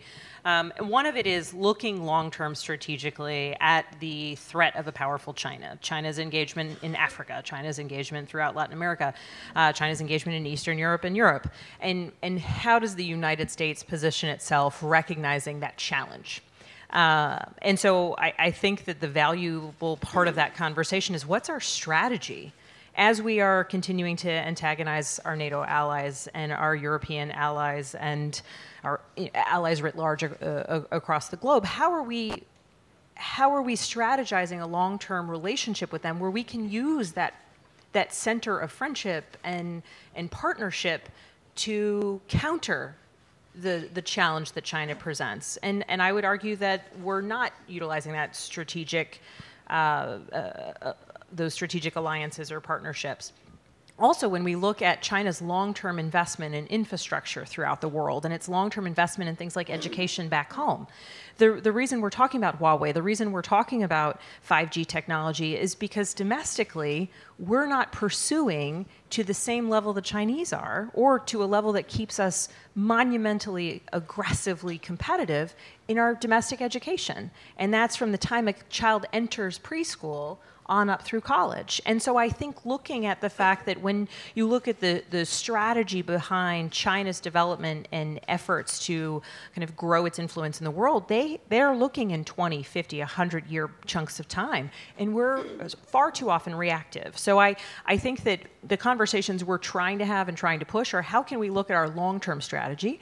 And then relative specifically to some of the 5G technologies and Huawei, for example, um, and, and the concerns that those technologies may allow uh, Chinese military or Chinese intelligence agencies to gain access to information of U.S. consumers or, or uh, consumers throughout uh, Europe or other uh, allied nations we've been talking a lot about it, but we need to take action. And actually, Elissa and I introduced a bill yesterday called the 5G and Beyond, uh, Secure 5G and Beyond Act that would require that the administration and the president come out with a plan for how it is that we can, into the future, um, ensure that the technology that's being developed doesn't have the, the, the weaknesses that will make American consumers vulnerable and um, make it so that American companies can't compete. So I, I, think to answer your question, we've got to have a more long-term strategic viewpoint, and we have to actually start taking action on some of the more immediate threats and concerns that we have. Congresswoman Slotkin, uh, CAP just recently introduced a, a, a, report on strategy for China and made some of the points that uh, Congresswoman Spanberger made, which is investment here is in our greatest strengths in our technology uh, portfolio in uh, education, et cetera, in infrastructure, were really key to be able to compete in the 21st century. Do you agree with that? And you want to say a little bit more about the bill that you just introduced? Um, sure. It was actually Abigail's bill that she allowed. This is this is what we do, especially us foreign policy members of Congress. Um, is there a little we, caucus up we, there? Yes, we do. We do have a little caucus. There's the there's um, uh, nine of us in the freshman class that are either service or veteran members of Congress, um, and we hang out a lot. Um, and then there is a subset of the women, which are in my district called the badass women. Um, Abigail has. some people don't like that word. I'm sorry. Um, the, the, um, so we do ping pong back and forth on bills that we like. I think, I mean, listen, I think the, the, the only thing we have to know is I think today, as we were coming out here, we heard that the president canceled the meeting with Nancy Pelosi on infrastructure at the exact moment that the Chinese are investing billions in their own infrastructure, right? Um, our education is going the wrong direction. In Michigan, unfortunately, we've gone from being top 10 in the country to bottom 10 in the country, while the Chinese are investing heavily in education. I think sometimes um, they just um, frame the question and frame the strategy differently. Um, and we're caught constantly on our heels. So I do. It sound. I haven't read the report. I'll put it on the list. Good. it's good reading. Let me tell you. Uh, Susan, you worked, uh, you and I worked together on uh, on climate change. We had some success with China on on that question, on getting them to do more in Ebola, et cetera. But uh, President Obama has been criticized for for maybe not being tough enough on some of these uh, economic questions. Do you? Uh, how would you assess the you know the role that the economy played in trying to develop a relationship with President Xi? Would you do anything different if you had it to do over again? Well, I think, as President Obama actually often said, the U.S. China relationship is the most complex and consequential in the world. And the ways in which it, we are now intertwined economically, from a security point of view, in terms of the span of global issues that we have to deal with, makes it a very complex relationship to manage. Um, and I'm, I actually think that you know, we managed it rather well, given that we, we were able to find significant areas of cooperation. And in those areas where we have to compete, which are serious on the economic and the security front, um, we competed effectively and with confidence with the backing of our friends and allies in Europe and Asia. So, you know, John, you deserve an enormous amount of credit for the progress we made with China on climate change, without which we would not have the Paris Agreement. Um, but it goes beyond that. We were able to work effectively with China on nuclear security and thereby help lock down materials around the world that would otherwise be vulnerable to terrorists. We worked together not only on the Ebola outbreak effectively, but on the wide span of global health security issues, um, which, you know, if you're worried about potential pandemic flu or Zika or what have you, is, is a very proximate concern. We were able to work with China on the Iran deal and other aspects uh, of our uh, multilateral agenda. And at the same time, we were engaged in fierce competition over things like their cyber theft. But rather than uh, get into uh, a trade war or an economic conflict over something like that, we were actually, through the uh, effective threat of the use of sanctions, not the application of sanctions, able to get China to subscribe to some commitments on cyber theft that were very important and meaningful, which they adhered to until they got into the trade conflict uh, with President Trump. And so, you know, the, the thing with China is yes, this is a serious competitor. As Abigail and, and uh, Elissa said, we have to have a long term strategy. We need to do it in conjunction with our partners and allies. Um, we need to do better on the domestic side, absolutely.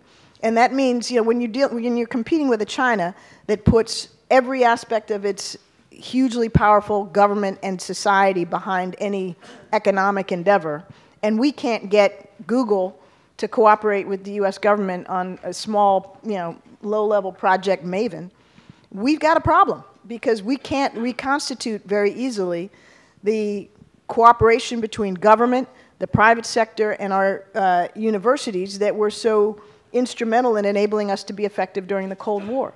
So we've got to get our own house in order. The fact that we don't have a 5G competitor in the mix is on us. Um, and, and so going forward, John, uh, we have to take the China threat very seriously, as I think has been the case in the past. And I think what we're seeing now uh, is, you know, China's uh, rise has, is, you know, been, is going on an exponential curve. It started like this, and now it's going you know, up faster. And we have to deal with that. But we need to deal with it without making conflict inevitable.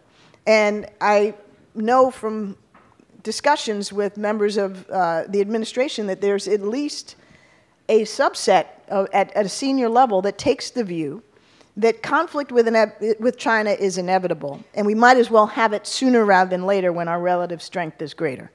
That's literally one mindset within the administration. Whether that's economic conflict or actual physical conflict, um, that's a scary perspective. Um, and it, it's not, in my view, the way we, we need to go or ought to go. Kind of miss Jim Mattis right now. Congresswoman, you want to get in on this? Yeah, I just wanted to say something about climate change because I feel like we're we're um, in a room full of some of the great minds on foreign policy, and as someone who represents Michigan, I think that there's this misperception that the middle of the country doesn't care about climate change, um, that we don't care about the environment, that it's a coastal thing, and I just want to tell you the single most bipartisan thing in my district and in my state are protection of the Great Lakes and our local environment. Um, and I think we need to acknowledge that thinking on climate change is, is changing. It's changing in the heartland, right? Where um, for me, you tell a cherry farmer that in the future there may not be a certain number of hard freeze days, he's not going to have cherries on his tree, right? He is thinking about that. And then I come to the Armed Services Committee where I serve, and the Republicans are supporting amendments in the NDAA that require the Defense Department to do prudent planning on climate change. That's change. So let's acknowledge it. But the other thing that I think is happening, obviously we can see it from the young people, is we need to reframe the conversation um, and start thinking about environmental security the way we think about homeland security. It's literally about the safety of our kids and the preservation of our way of life. We need to talk about it in muscular terms. It's not a niche issue for environmentalists. It's literally in Michigan. I live 15 minutes from Flint, Michigan. Our water um, is at risk, and that is you are more likely in Michigan to hand your child a cup of water that will cause an early childhood cancer or a lifelong learning disability than you are to ever be the victim of a terrorist attack. So let's talk about it in those muscular terms and not be squeamish because it's the environment. Thank you.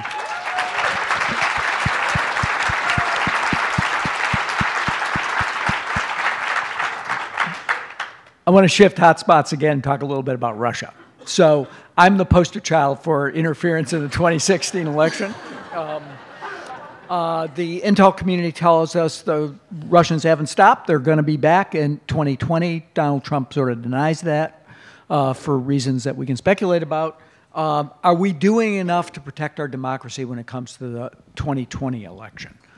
Maybe Congressman Spanberger, I'll start with you. So, so I think an important point is they've never stopped. Um, and in terms of the the influence efforts that they have endeavored to uh, undertake on social media, they've never stopped. They continue to work to sow division, to recognize what our vulnerabilities are as a people, and to seek to divide us, and that continues and has continued. Uh, and, and, I think really making sure that people understand that is so vitally important. I think that when we do talk about the Mueller report or when we talk about Russian interference, people think of it in binary terms. Did it impact the election? Yes, no and and I think that that is so detrimental to our ability back in, in home in our districts to have a conversation about the fact that we were attacked. A foreign adversary nation sought to influence our our population and continues to do so. A foreign adversary nation um, stole from us and used that information against us. They hacked a major political party. They hacked a um, presidential campaign. And, and if we look at it in terms of they did it there, what's what's next? Is it the electrical grid? Is it a major bank? I mean, recognizing that these threats are transferable, I think, is so vital to the conversation.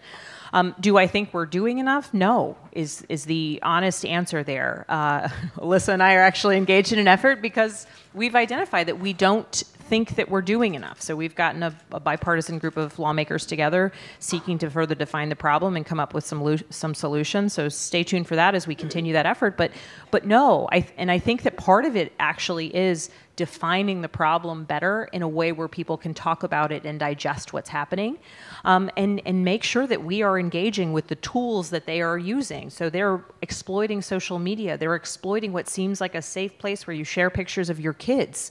Um, and, and, and recognizing, I think it's hard for people to understand or even accept that they might have been influenced, but recognizing the tactics that they're taking on the influence side of it, I think, is vitally important. And, and talk, how do we strengthen ourselves against that? How do we build that resiliency where we're looking for fact and truth, and we're not saying, "Oh, that's fake," or "Oh, that's true," or you know, this validates my pre-existing opinion, therefore I'm going to consume this. Um, and so it is, there isn't an easy solution. I don't think we're doing enough from a legislative perspective. We also need to make sure that foreign actors can't be buying ads the same way, um, the same way we did in an election. I, I'm sure we did 18 television ads. So the number of times I recorded myself saying paid for by Spanberger for Congress so that people knew it was an ad that I was paying for, whether it was one that was in favor of me or against my opponent. But the fact that those same sort of influences can be purchased by, you know, foreign entities and nobody has to know where it's coming from, that is really deeply problematic. And we're working on the campaign finance side to make sure that there's that clarity. Uh, but it's a long process. The, uh, Susan, I, I, I, want you to answer that question too, but I also want to just put it in context, which is they're not just playing around here, they're playing around uh, globally, really, but particularly in Europe. Euro, EU parliamentary elections are tomorrow. We've seen a rise of uh, pro Russia, right wing populist parties, uh, some of which with the help of Russia. How concerned are you about Russian activities here, and how concerned are you about Russian activities more uh, globally in terms of uh, interfering with democratic processes? Well, I'm concerned about both, but I think what we've seen in Europe, at least in some places, is a greater willingness and ability on the leadership to call it out and, and, and put it on Front Street, which is what Macron did again today uh, in uh, highlighting the, the connections between Bannon, Russia, and all of these uh, efforts to sow uh, division within Europe. We don't have that here. We have uh, a president who, uh, as you would say, is, is trying to sweep this issue under a rug, and a, uh, a part, his party in Congress, uh, which knows better and, and ought to understand that you know what goes around comes around. This is not Russia, you know, on behalf of the Republican Party. This is Russia screwing with our democracy and can flip the tables and, and, and undermine an election at any level in our system against either party. We're not handling it uh, effectively. I think everything Abigail said is right. We need to uh, do multiple things simultaneously. One is the physical infrastructure of our election systems, ensuring that they are as impenetrable as possible, that we have paper backups, that, the mechanics of the election are impervious to external um, intrusion. That's job one. Uh, and we still have progress to, to, to make on that. Secondly, our social media companies and our traditional media companies need to do a better job of ensuring that they are not the vehicles uh, for this abuse. Um, and I think that, you know, the tech companies have come some distance. I think there's more to go, absolutely. Um, thirdly, it, it's on us, the American people, to understand and recognize that this is a new normal, that, that Russia and other adversaries are going to continue uh, to try to undermine our democratic institutions and sow internal division and dissent. Um, and we need to be prepared for that practically and psychologically. But we also have to understand that we're, in some ways, our own worst enemy. To the extent that we are an increasingly polarized, divided country, where we, you know, we view things in us versus them terms. With people we disagree with, we start to view as somehow our opponents. We are setting up uh, an environment which is ripe for abuse by any external adversary. Um, so it's, you know, it's one thing for Russia to buy Facebook ads, you know, on both sides of the Charlottesville debate and, you know, pitting Black Lives Matter people against white nationalists. It's another thing for us to allow that to be feasible because of our own domestic uh, polarization and, and, and discourse being so poisoned and so uh, broken. That's on us to fix. Um, it's not on, on anybody else. So the, the one thing I will say in this bad news picture is that at least this is something that we have the ability to address if we were so motivated. Uh, I'm going to open things up to a couple of questions. We have a few minutes to ask questions, and I think people have mics. Uh, before we uh, do that, though, I want to ask one last question, which is all of you have succeeded in what is really a male dominated profession. And I want to ask you what advice you have to other young women who are coming up and want a career in the national security field. So maybe I, I'm going to end with Susan because she wrote a whole book about this. But it starts with being fearless. It starts with believing that your voice and your thoughts and and your energy can can be useful to the mission that you're serving. Um, and then to be fearless. Certainly, uh, serving in CIA is very different from running a political campaign, but I think both of those require that you just believe so deeply in the day to day of what you're doing and in the larger strategy and plan and what you're fighting for um, that it drives you to be fearless, and, and it should. Um, Um, I would echo that, but I would also say, um, in my experience at the CIA and then at the Pentagon and now in Congress, um, and people always forget because they think we have so many women in Congress now. It is like a whopping 22% people. so, like, we're psyched, but there's still a little bit of work to do. Um, and um, for me, I always found that if I was the master of my portfolio, then attempts by some male colleagues to dismiss or to, to um, disengage would be much harder because I just really knew my stuff. And when I um, meet young women are like, how do I become confident? How do I you know, play in these tough fields? It's like pick something you love and master it, bring that to the table, refuse to sit in the back. Um, and just let your expertise speak for itself. And your brain and your own um, self consciousness are something to be managed and dealt with that's inside. Deal with it and get yourself at the table. Fantastic. Susan? Tough love, love? so, the book that uh, will be coming out is a memoir, uh, and it's very much a story of my parents and grandparents, my upbringing, and then ultimately my experience in government, but it's enabled me to reflect a lot on what I learned from my late parents, who were themselves uh, quite accomplished professionals. And uh, it's interesting because both of what uh, Abigail and Elissa have already said were among the things they taught me. You've got to be your best. You've got to bring your game every time you get into the classroom, the boardroom, the situation room. Um, you, you, you can't slack. So quality is, is number one. Fearlessness, of course, yes, but my parents put it to me a little bit differently. uh, which is my father always used to say, don't take crap off of anyone.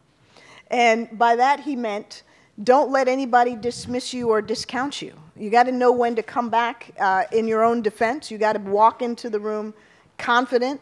And if somebody's trying to put you down, you, you don't take it.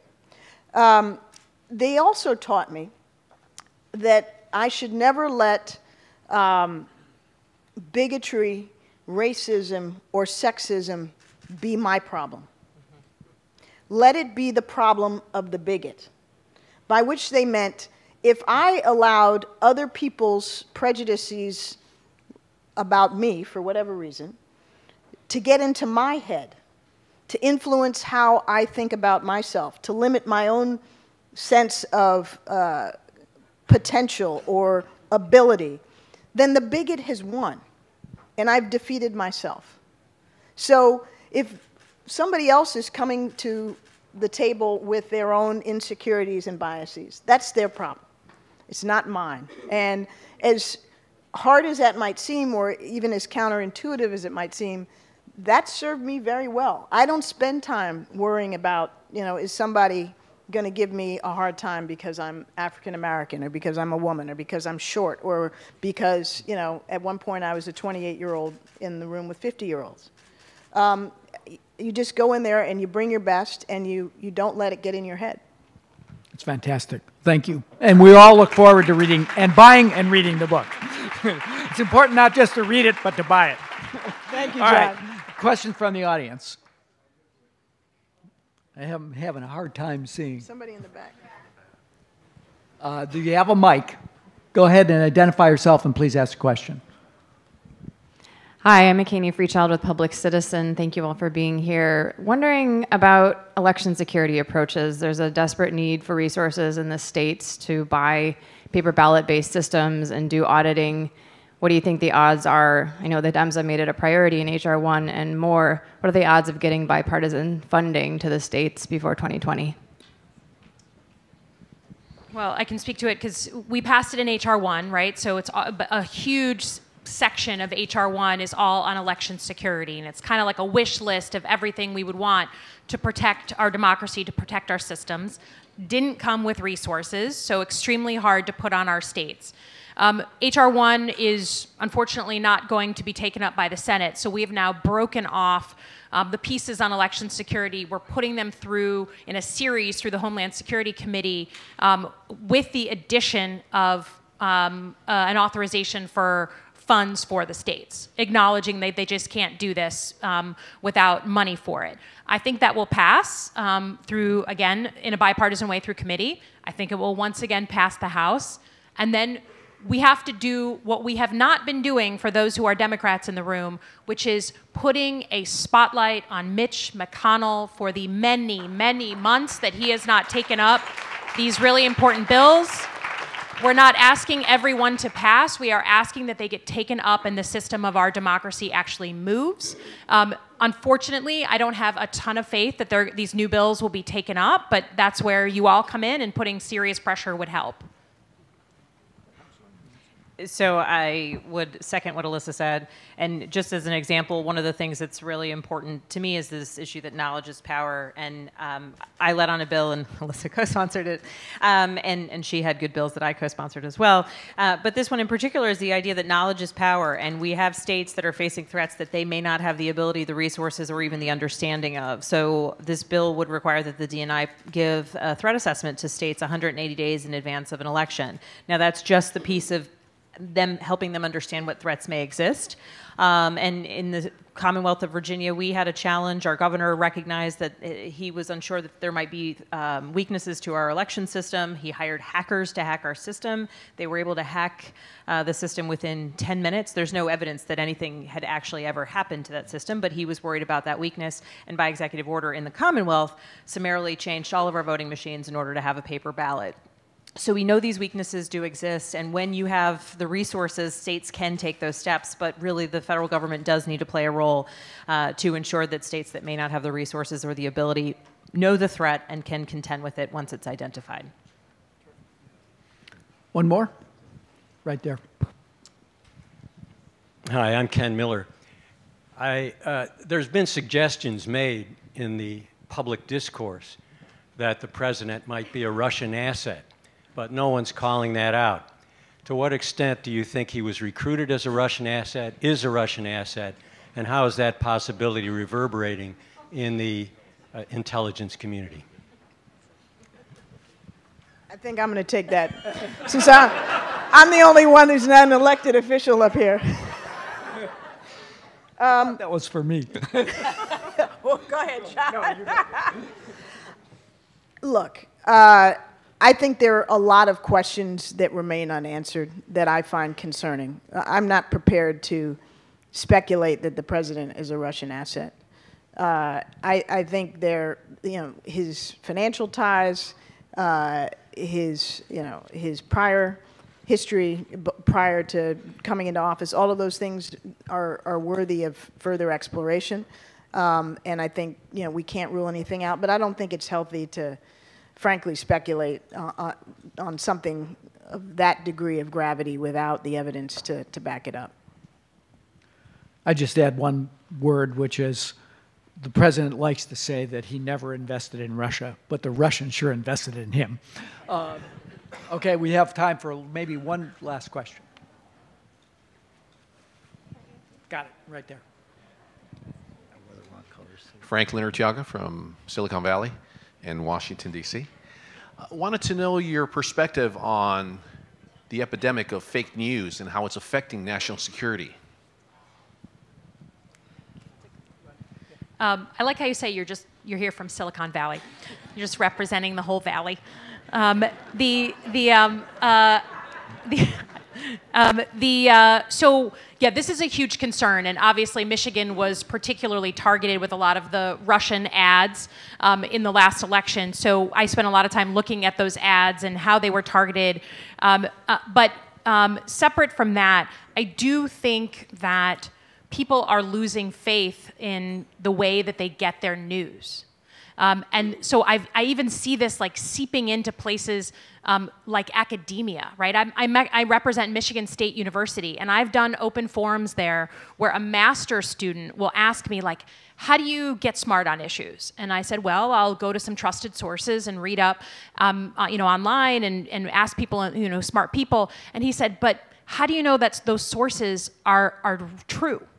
And this young person feels like he has to question every source, many, many of them legitimate, um, before he can actually take it as fact. And that's scary, right? That's scary. Um, similarly, we've now stovepiped so deeply, we see this in my district very distinctly, where people get their news through a specific stovepipe. So anything from the other pipe is just disregarded out of hand. Um, and you know, we used to have the nightly news that we all watched together. You know, we watched as a family during dinner Tom Brokaw, and no one was allowed to talk when Tom was talking. And we no longer have that common experience, and therefore, my experience on the campaign trail is sometimes you're you're talking with people who are just absolutely resistant to hearing something that breaks through their sense of the world. And that was very, very difficult and very discouraging in addition to the problem, as Elissa, Elissa described it, I think there's another aspect to it. Yes, we're all stovepiped and we have a problem with how we consume information. I think it's a very serious challenge. But I think it's our national security is threatened even more, quite frankly, right now by having a liar in the White House. And the fact of the matter is that the president stands up every day and says something that the entire world knows is blatantly untrue, utterly counterfactual and has no compunction about doing it while he denigrates uh, and, and, and calls the enemy of the people our free press, which is a critical institution of our democracy. And I think that, on top of what uh, Elissa described, is corroding uh, public trust uh, in, our, in our leadership, in our institutions. It's corroding international confidence uh, in the United States as uh, a, uh, as a global leader. And I think uh, one of the things that, that we need to be conscious of as we think about how we dig out of this trust deficit internationally um, and leadership deficit is the, the value of having, again, somebody in the White House and at the podium uh, whose word can be taken seriously. unfortunately, we are out of time, but please join me in thanking these great security leaders. I think we all sleep better at night knowing that you're on the bridge. Thanks.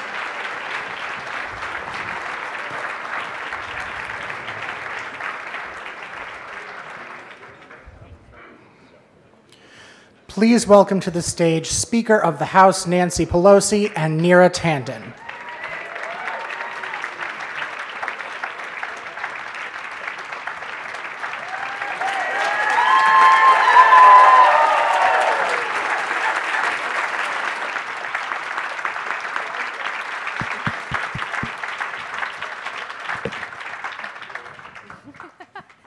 It is my uh, absolute privilege to welcome our very special guest, Speaker of the House, Nancy Pelosi. Let's just do one more round.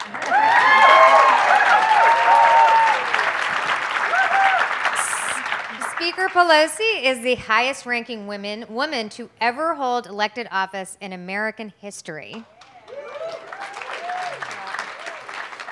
And she is one of the smartest, toughest, and most effective public servants our country has ever known. This past weekend, Speaker Pelosi also received the John F. Kennedy Profile and Courage Award for her incredible record of leadership. And we're incredibly grateful to have her today. So let me start off. Some news happened today.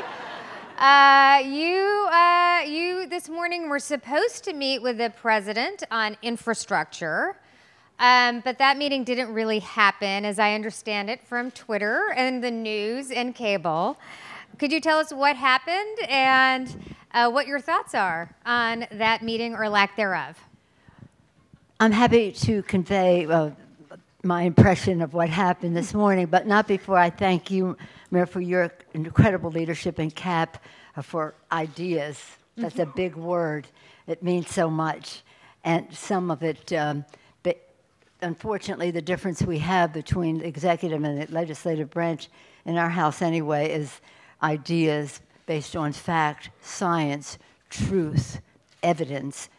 Did I say data? So we have a we'll have a different interpretations of what happens. But here's the thing. Let's salute Cap. Let's thank Neera Tanden for her great leadership. Thank you. Aren't you impressed with our freshman members of Congress? Aren't they fantastic? And I know you heard from Adam Schiff earlier. We're so proud of his work. I just want you to know this. When Watergate babies came, the Watergate babies came to the Congress in 1976. It was a, was a transformational class of members of Congress. It was fantastic. Fantastic.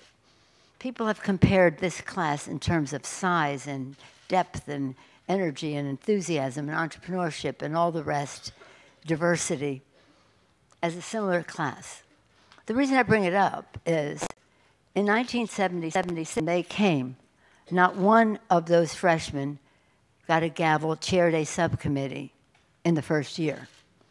In this freshman class, 18 freshmen chair subcommittees in the Congress. We view that as something spectacular. 10 women.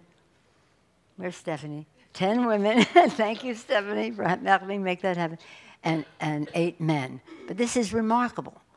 To think that the woman who is a, I'm one of the first, I know you heard from Sharice this morning, and she's wonderful, but uh, uh, and Deb Haaland, who is one of the other two first Native American women to come to the Congress, Deb Haaland is now the chair of the Natural Resources Committee Public Lands Subcommittee. That is a very big Mhm. deal, and it's a very big deal in the Native American community as well. So we're very, very proud of them, uh, all of them, the beautiful diversity of it all. 106 women in the Congress, 91 of them Democrats. Thank you, Stephanie. Isn't that remarkable? 60% of the, of the um, 60% of our caucus, women, people of color, LGBTQ. 60% of our caucus. We're very thrilled. We wish the other side would uh, have some diversity. But having said that, we say in our caucus, our diversity is our strength. Our unity is our power. As our power. And that power is recognized, to get to your question, uh, by this President of the United States. He knows that we will act together, whatever our differences uh, on one thing or another. When it comes to it, we build our consensus and we make our plan and we go forward together. So this morning we went to the we went to the White House, uh, hopeful, hopeful uh, that the president would participate in the conversation as a follow-up to a previous conversation we had about infrastructure. We shared our priorities in a previous meeting. We came to some agreement, $2 trillion. We came to how it would be divided 80% federal, 20% local. In any event, uh, today was the day he was supposed to tell us how what he would be willing to uh, support and pay for for all of that. Instead, in a, an orchestrated, almost to a oh poor baby point of view, he came into the room and said that I said that he was engaged in a cover up and he couldn't possibly, couldn't possibly engage in a conversation on infrastructure as long as, as long as we are investigating him. Now, we've been investigating him since we took uh, the majority, so there's nothing new in that. But, uh, and then he had a, a, press conference in the Rose Garden with all this um, short, sort of visuals that obviously were planned long before I said, most currently, that he was engaged in a cover up. So it's really sad. And here's the thing, and I told this to the room when he came in and made that statement, and then he walked out, and you got the Secretary of the Treasury, you got all this, that, and the other thing, and a distinguished group of members from the House and Senate, Democrats. Said, you know, 200 years ago, Thomas Jefferson tasked his Secretary of the Treasury, the other one was standing right there, to, uh, to develop a, a infrastructure initiative for America, to build into the Louisiana Purchase, the Erie, the um, um, Lewis and Clark expedition. It was the Erie Canal, the Cumberland Road, all those kinds of things for Amer America. 100 years later, Teddy Roosevelt instituted his infrastructure initiative, the National Park Service, the green initi- infrastructure of America. And so we were, and I said to them, and I said to the press after, we want to give this president the opportunity to do something historic for our country. While there are those in our family who think, why would you work with him if he, you know, and, and basically he's saying back to me, why would I work with you if you're investigating me? But the fact is, something happened there. So I pray for him and I pray for the United States of America. Uh, it's really, he, he walked away. Whether he ever intended to honor what he said before remains to be seen. But Democrats believe in building the infrastructure of our country mass transit, roads, bridges, uh, broadband into rural America, into underserved areas in our cities, wastewater, clean water, infrastructure of the satellites so that we can have precision farming. There's so many needs. And we thought we had some level of agreement, but you never know with this President of the United States. So that's what happened this morning. It was very, very very strange. but the press says to me, Were you surprised? And I said, I say to you, surprised? Nobody could ever be surprised at anything that happens here. So, I, as a follow up to that, can I just ask you, why do you think you in particular um, uh, ha- seem to have so much leverage or ability to drive uh, Donald Trump um, to this level of distraction, to run out of an infrastructure meeting. he, de- he actually hasn't come up with a nickname. I mean, why is there, why do you think it, you have done what others haven't been able to do, which is throw him so off balance? Well, I think uh, I alluded to it earlier when I transitioned to your question. he recognizes the unity of our caucus. And that is a very big deal because he, he isn't about that. You know, he's not about consent. And also, um, he, on his side of the aisle, he didn't see that kind of unity. So I think he sees the fact that we are united as something that he has to Deal with. contend with, to deal with. And that is, uh, as the leader of the House Democrats, that uh, Speaker of the House, he has to deal with me officially, but also in terms of negotiating when the, as, as the leader of the party, uh, that, that, that unity gives me leverage. Um, I mean, you've had a busy day, uh, a lot of important meetings. Um, obviously, uh, the issue of the investigations and uh, what you what you said, you know, that he's engaged in a cover up, um, is uh, a top of news. Uh, you have eloquently laid out the constitutional role of Congress in oversight over the executive branch. Uh, with a Trump administration that is defying uh, and trying to defy the subpoenas and fighting every effort to hold it accountable, how does Congress fulfill this oversight role moving forward? And what do you say to those who believe an impeachment inquiry will give Congress what it needs to hold him accountable? Well, that's a big, long question. Uh, but thank you for that. Uh, I know you heard from Adam Schiff this morning, and he's one, he's one of six chairs who are leading the way on what we are doing. First of all, let me just say we take an oath of office to protect and defend the Constitution of the United States. Democrats take that oath seriously, and we are committed to honoring our oath of office.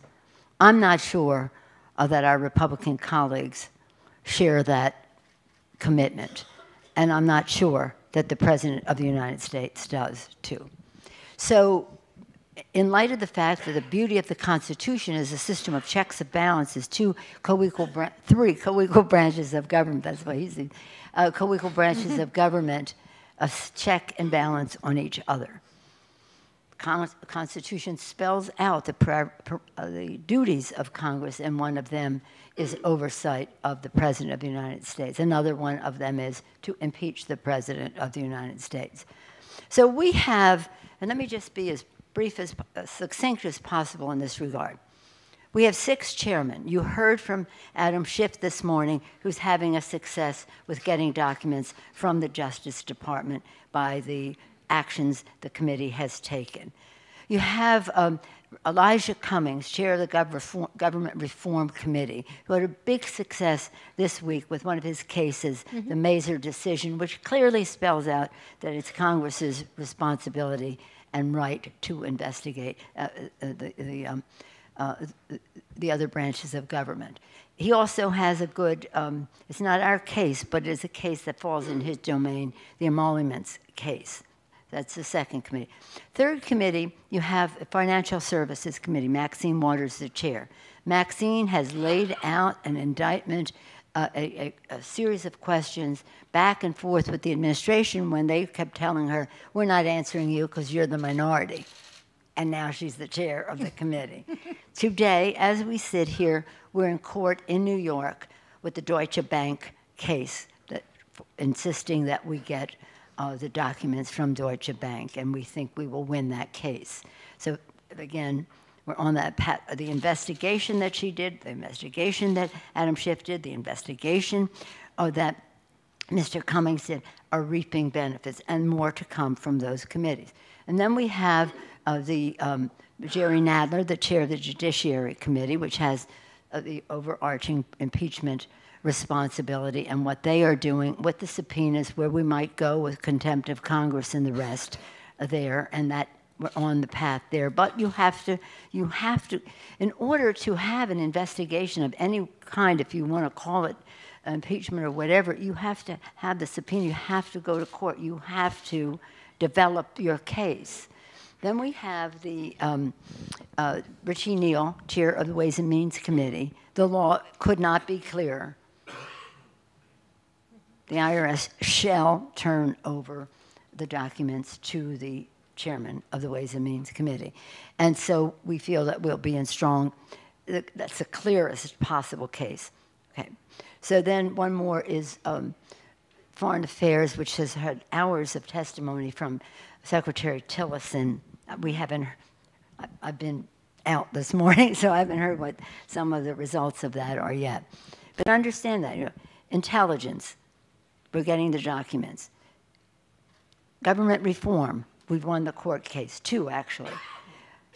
Financial services, we're in court right now, and this is a very good case for us, all built on investigation. Uh, ways and means, and, the, and again, the Judiciary Committee. So we're very proud of the work that our leadership on those committees, uh, the, the work that they have done, and they have taken us to a place where we get more information to predicate the next series of actions. But, uh, but this is why I think the president was so steamed off this morning, because the fact is, in plain sight, in the public domain, this president is obstructing justice and he's engaged in a cover up. And that could be an impeachable offense. Ignoring this, ignoring the, um, ignoring the uh, subpoenas of Congress was Article 3 of the, of the uh, Nixon impeachment. Article 3. He, he did not honor the subpoenas of Congress. So it's not just the substance that we're after and we want to have to give the truth to the American people. But in striving to get that, the intervention that the, um, uh, uh that the obstruction that the administration is engaged in is, um, as they say, the cover up is frequently worse than the crime. Very true. Uh, you know, I think there's an interesting paradox because there's a lot of people who talk in the press about some of the issues of impeaching or not impeaching because it, an, an impeachment could cloud the agenda. Um, and I think the paradox of that is sometimes reporters don't cover the agenda. And so uh, uh, that's actually happening, and these issues get much more coverage.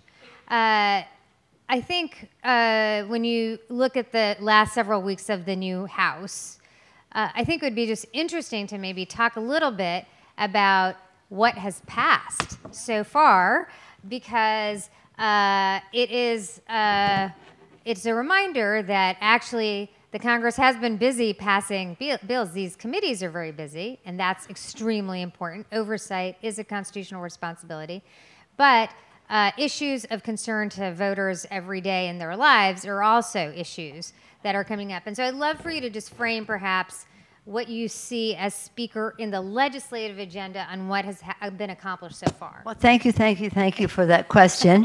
uh, when we ran, we promised an agenda for the people. Lower healthcare costs by reducing the cost of prescription drugs and uh, strengthening uh, the uh, benefit for to protect people with pre-existing conditions. Lower healthcare costs, bigger paychecks by building the infrastructure of America in a green way, resilient and for the future. And third, cleaner government. HR 1, uh, we have passed in the House. And, and uh, pieces of it, like the Voting Rights Act, will, be, will come separately, protecting of our elections, as the Congresswoman discussed earlier, coming forward. But here's the thing. Uh, we have passed, we have our top 10. The first 10 uh, pieces of legislation are the prerogative of the majority. One, for the people, passed the House. Infrastructure bill, we were working on that today. Prescription drug bill, we have passed several last week. Voting Rights Advancement Act, that's part of H.R. 1, but it has its own place because we need to build the constitutional basis uh, stronger for it. Equality Act, we're so proud we passed that last week. Dream and Promise Act, they're um, marking it up in committee today. As soon as we come back, we'll pass that. Paycheck fairness, equal pay for equal work, passed the House. Background checks on guns, common sense, gun violence prevention, background checks, passed the House.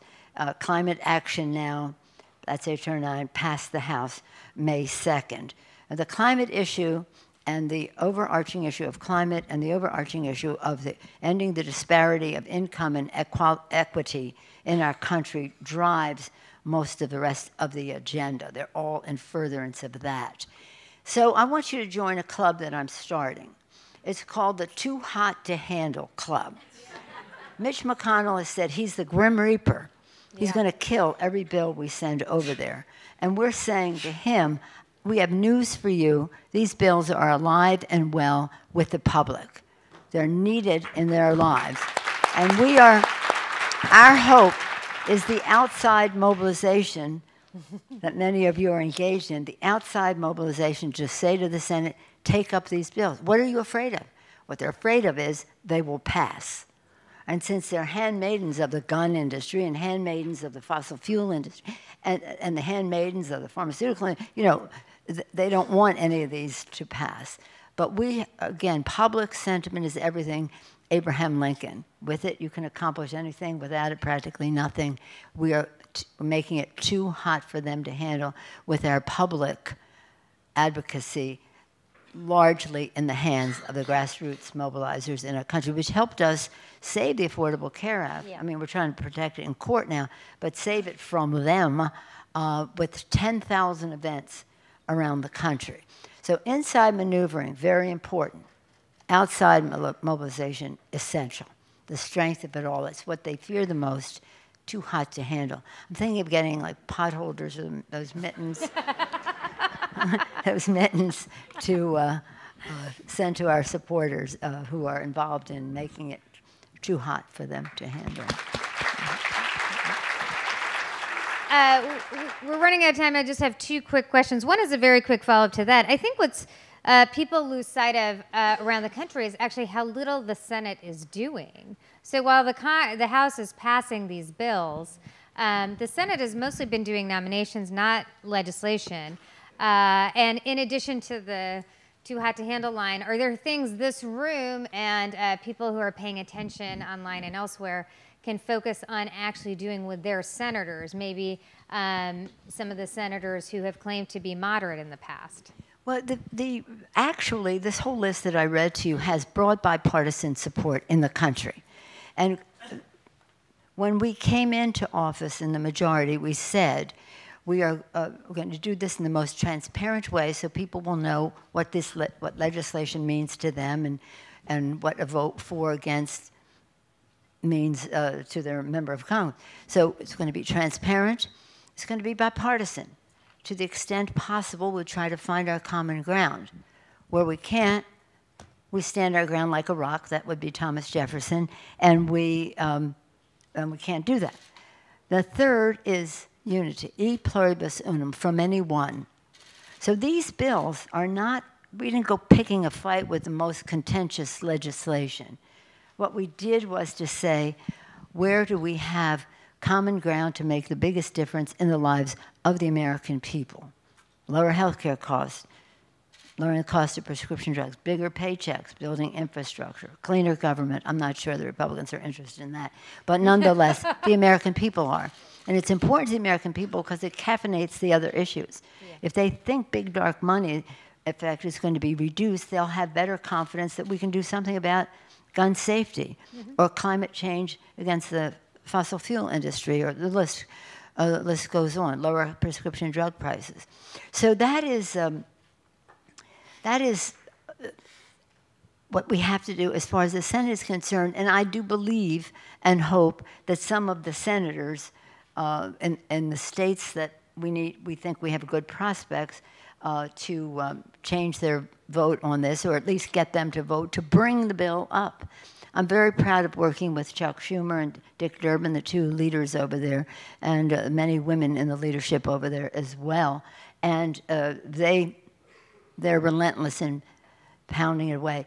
But the, the press is just totally obsessed with the uh, impeachment part of it, not obsessed enough to write the particulars of what we're doing in our committees and how important that is, but just to say, when are you going to do that?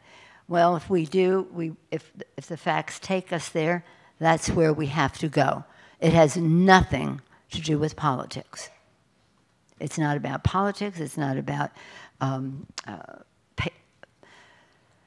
I don't know, passion or prejudice against him. It's not personal. It's about patriotism, and that the facts will take us where we need to go. To your point, I'm not sure that we get any more information by instituting an, an impeachment inquiry, but if we thought that we would, that's a judgment we have to, that we would have to make. So again, getting back to the Senate, I know this isn't a political event, I it's fully actually- it's technically not, fully. actually, so. no, well, just as a civics observation, uh, we fully intend to retain our majority in the House, and we're on our path to do that. But it is absolutely essential that we uh, elect a Democratic Senate, and of course, absolutely essential that we elect a Democratic President of the United States, not from partisan reasons, but just from the standpoint of the air our children breathe, climate, uh, uh, jobs, uh, all the things about fairness and the rest. And and an existential threat to our democracy in terms of the Constitution of the United States. So it's about the Constitution, it's about the country, this beautiful land we love, which Constitution which they are not honoring, the beautiful land we love from sea to shining sea and beyond, degraded. Who we are as a nation, a nation of in, in, uh, immigrants, denigrated. Our values, what they put forth in a in a uh, budget that they're giving tax breaks that benefit 83% benefit the top one percent, while they say, oh, well, we can offset that by cutting Medicare, Medicaid, Social Security. I think we should have a bill on the floor that says we're for Medicaid cuts for all, because that is the Trump Republican Mhm. agenda. And let's see where they vote on that. So, mischief. I, I have one quick last question, uh, but I just want to say because I think this is a, an impor- important moment for women. You are the highest ranking woman in the government today, and actually in our history.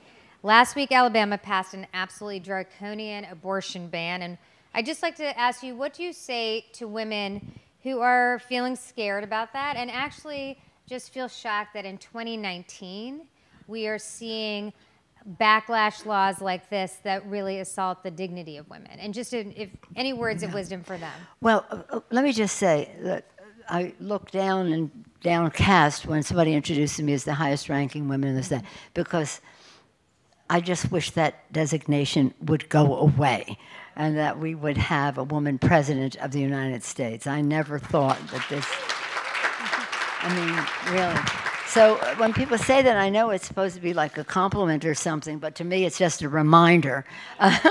Sorry. no, I, I, I thank you for that uh, recognition, but it doesn't make me happy that I am that. I wish we had a Democrat. Uh, yes, of course, a Democratic woman president. Uh, the um, and and then the issue about a woman's right to choose. Don't tell anybody I told you this. However, the reason the president is the president of the United States is because of the support that he has in certain elements of our population for the overturning Roe v. Wade. This is serious, this is dangerous, this is real. Three years ago, next month, in June, when he was engaged in the primaries, he said he would choose his judges for the court from a certain list. That was the list that had the imprimatur of the pro life agenda. I, I don't even like to give them that title, pro life, because we're all pro life, but uh, they took that title.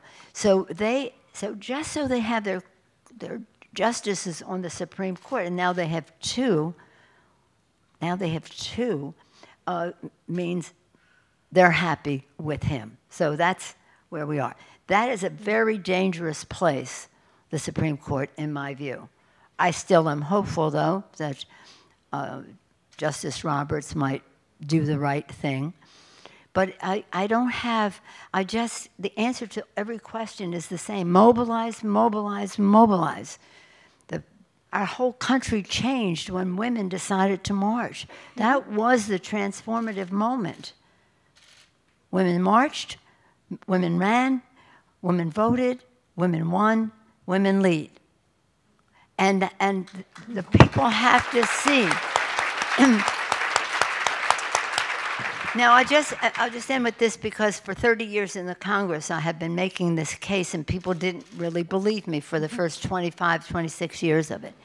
This is about family planning. It's about birth control. This isn't about, they like to argue the case in some words that aren't true but are, are uh, alarming to people about uh, abortions that must take place in the late term, the health of the mother, whatever it is, but they describe it terribly, and it has a market, and that's why they do it.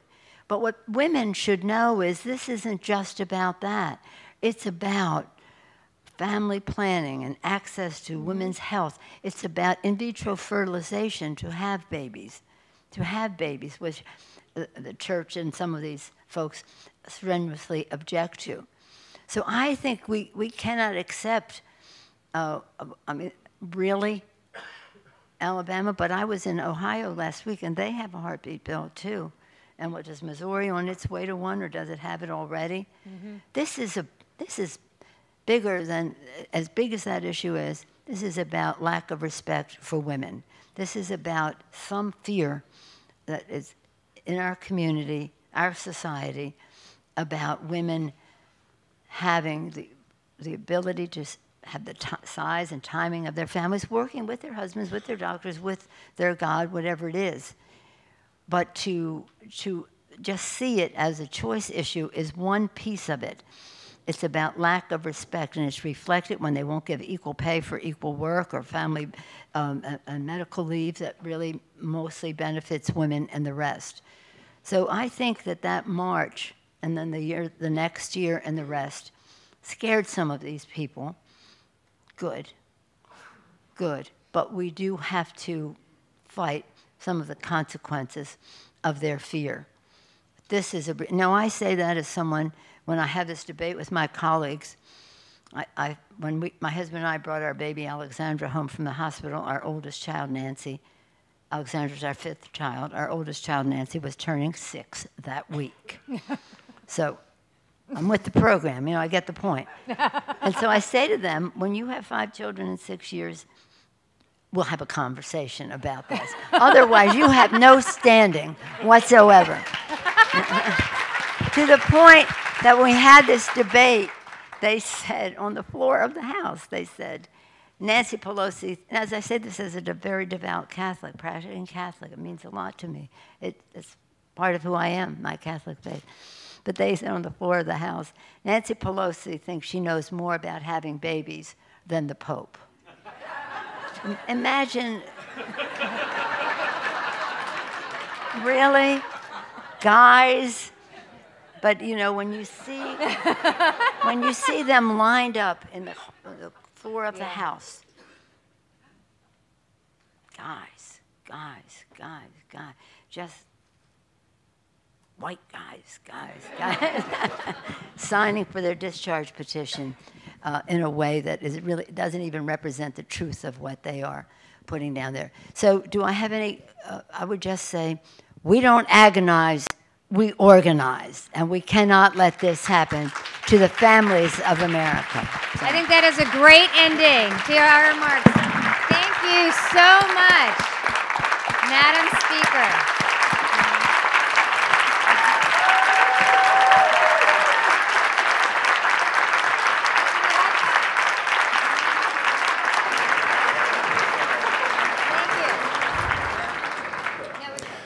Please welcome back Winnie Stachelberg.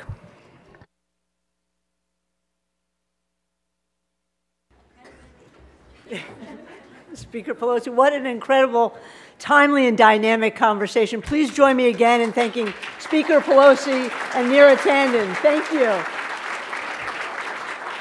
Absolutely fantastic. If you please keep your seats, we've reached the time in our program with all of these, all of these ideas percolating. We need some fuel to help sustain us as we forge ahead. In other words, it's time to eat. But please, please remain in your seats so that staff can access the tables.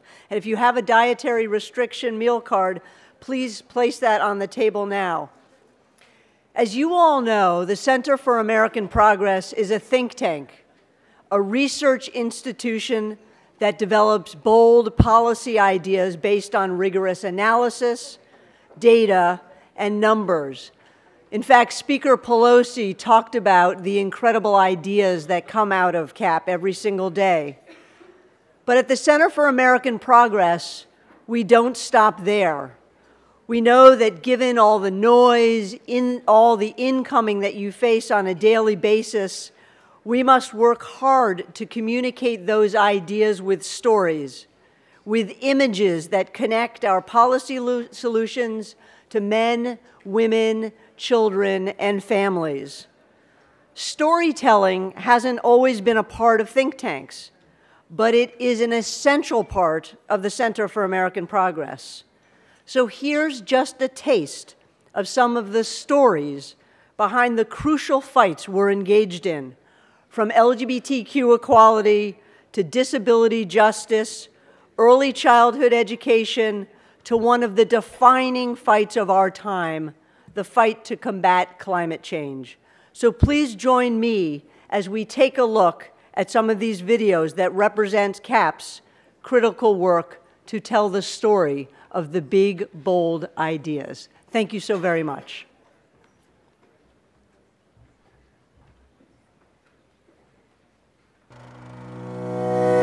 In 1974, the Equality Act was first introduced to try and comprehensively address the problem of discrimination against lesbian, gay, and bisexual people.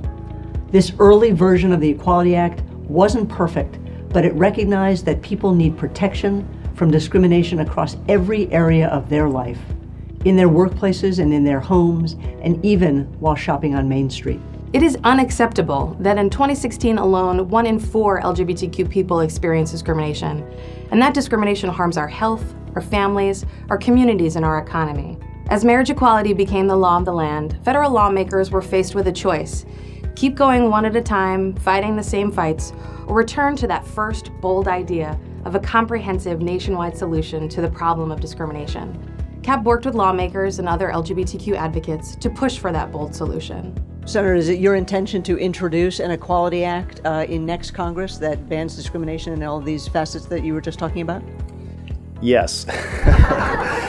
if I failed to make that absolutely clear, I absolutely intend to introduce such an act. This week's historic passage of the Equality Act in the U.S. House of Representatives shows the power of our voices and our stories to make change.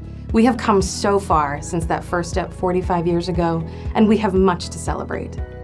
But we also have a lot more work to do to make real the promise of full equality under the law and to ensure that promise reaches every community. Please join us in making that a reality for all. Be on the right side of history. Join the movement and help fight to get the Equality Act signed into law.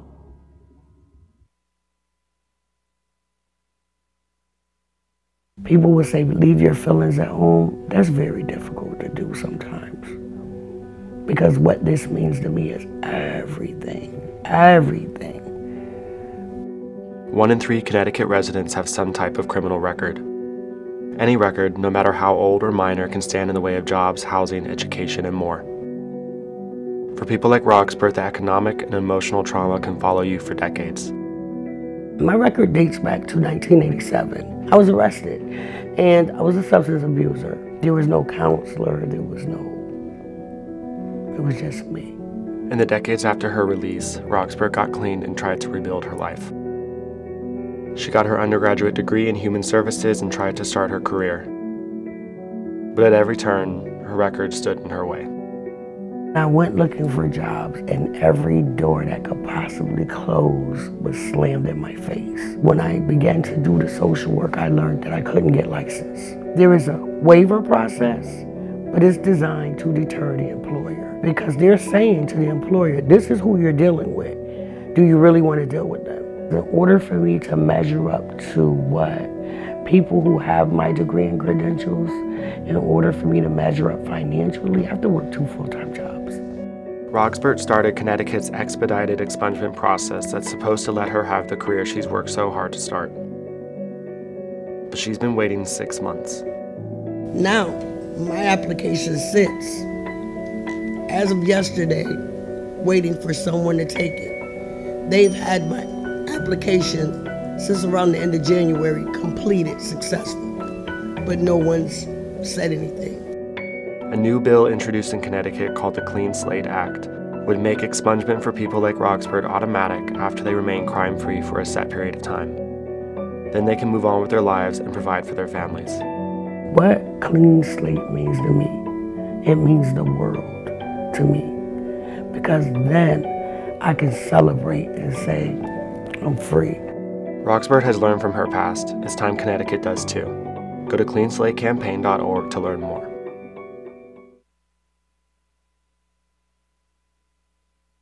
At CAP, we understand that disability rights are civil rights, and disability rights are also human rights. Disability justice is a very deliberate and intentional framework as a means of embracing difference, confronting privilege, and challenging what is considered quote unquote normal.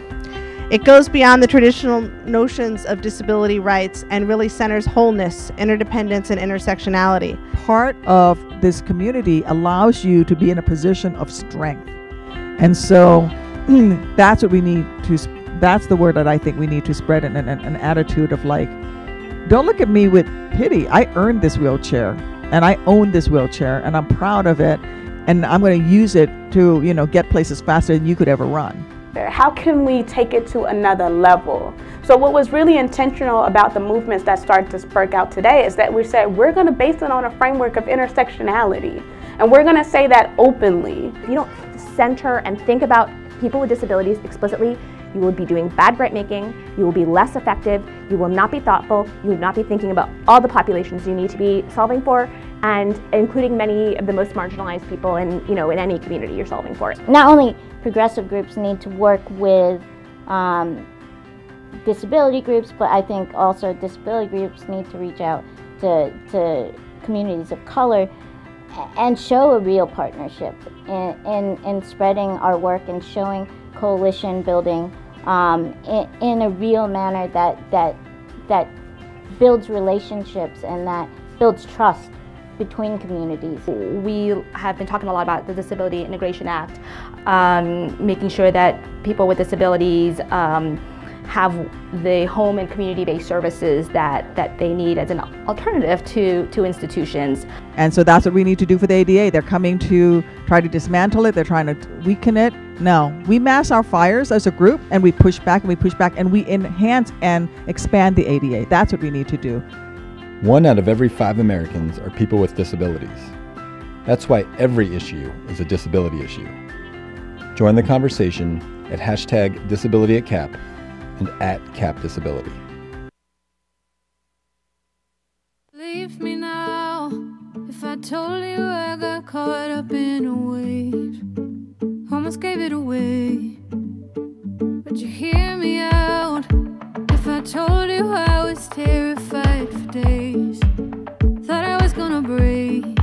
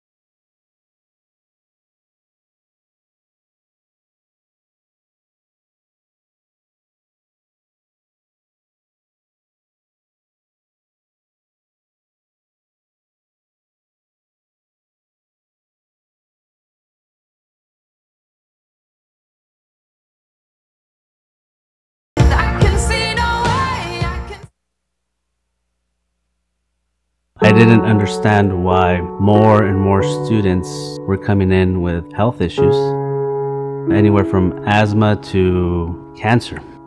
I didn't understand why I had more kids with ADHD. Learning disabilities are part of the side effects of pesticides in this area. Or Chlorpyrifos, a pesticide some studies suggest may be damaging to a child's brain. Children exposed prenatally to the pesticide had increased odds of developmental and attention disorder. The Obama administration was trying to ban it, but now the Trump administration is putting the brakes on that. The CEO of Dow Chemical, the maker of the pesticide, seen here with the president, applauded the decision. Dow Chemical had donated $1 million to Trump's inauguration fund. I've been teaching 22 years and I've seen what pesticides have done to my students. I've learned that chlorpyrifos was um, used as in war, World War II, a nerve agent. The great majority of our students' parents work out in the ag fields. A lot of them worked while they were pregnant, while not knowing the consequences. We've had reports where entire crews have gone to the hospital. The decision to ban chlorpyrifos was made based on scientific evidence. The current administration ignored everything about that science and those studies. My second graders understand science and evidence and make decisions based on that evidence. I don't see any reason why chlorpyrifos should not be banned. Unfortunately, it's not being banned because the current administration, they care more about profits than people. We need to protect our children. We need to protect our communities. Please welcome back Winnie Stachelberg.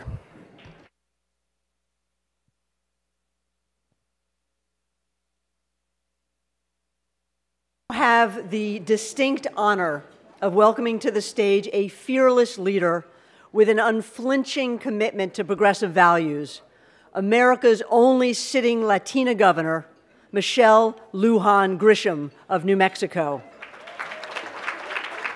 In, in 2019, her first year, Governor Lujan Grisham, her accomplishments include expanding background checks for gun sales, creating the Early Childhood Department, proposing a historic K through 12 funding increase, and increasing the minimum wage for all New Mexicans.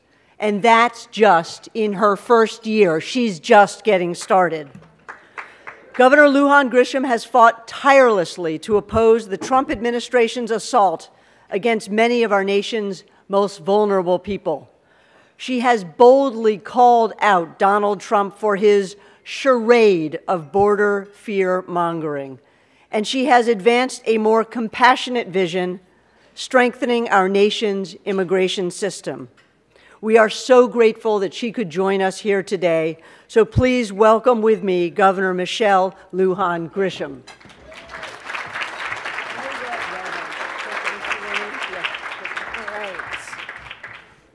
Good afternoon, everyone.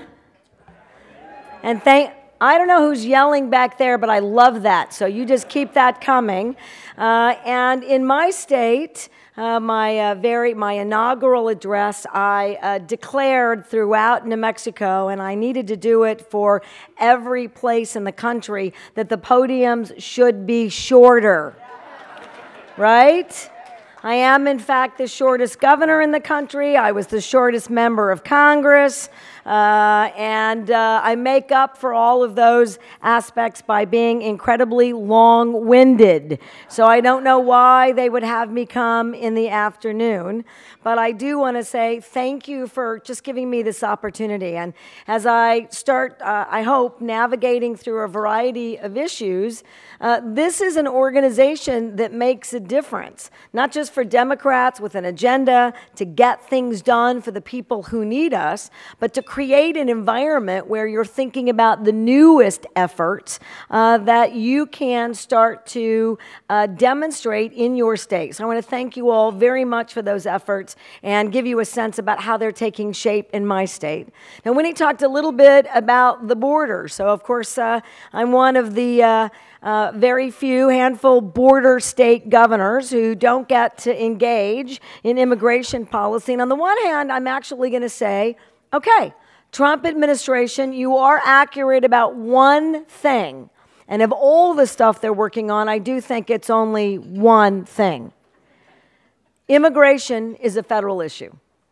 They are right about that, which makes this even more challenging and difficult because they have abdicated in every context their responsibility in day to day immigration enforcement, immigration support, and are in, uh, creating the kinds of humanitarian crises that governors like me are now dealing with at the border with absolutely no productive federal support. And I'm taking advantage of my time here in Washington by going to the Department of Homeland Security and re explaining to them uh, that they must do their job. So I want to give you a couple of highlights. One, my state was one of the states when this administration said, look, we'd like to militarize the border. They were very clear about that. They weren't interested in uh, some security leveraging. They weren't interested in looking at whether or not uh, we could en- enhance security using, right, state of the art efforts with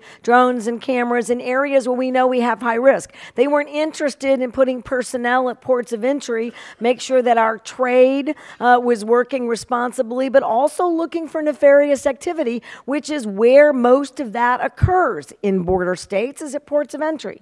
It's also where you should present, right, if you're an asylum seeker.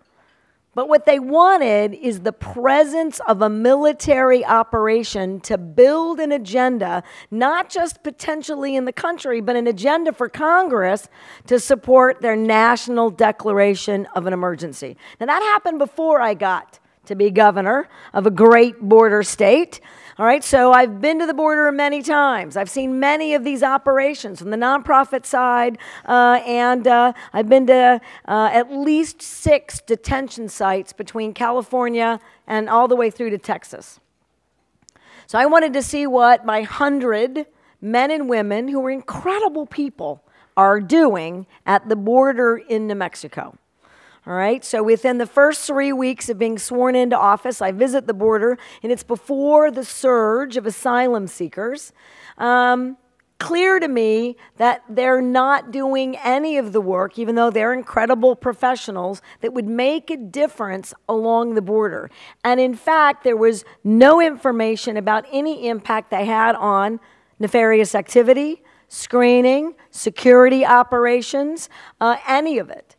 What they were doing is helping with maintenance of vehicles, which is important, except they weren't using any of those vehicles.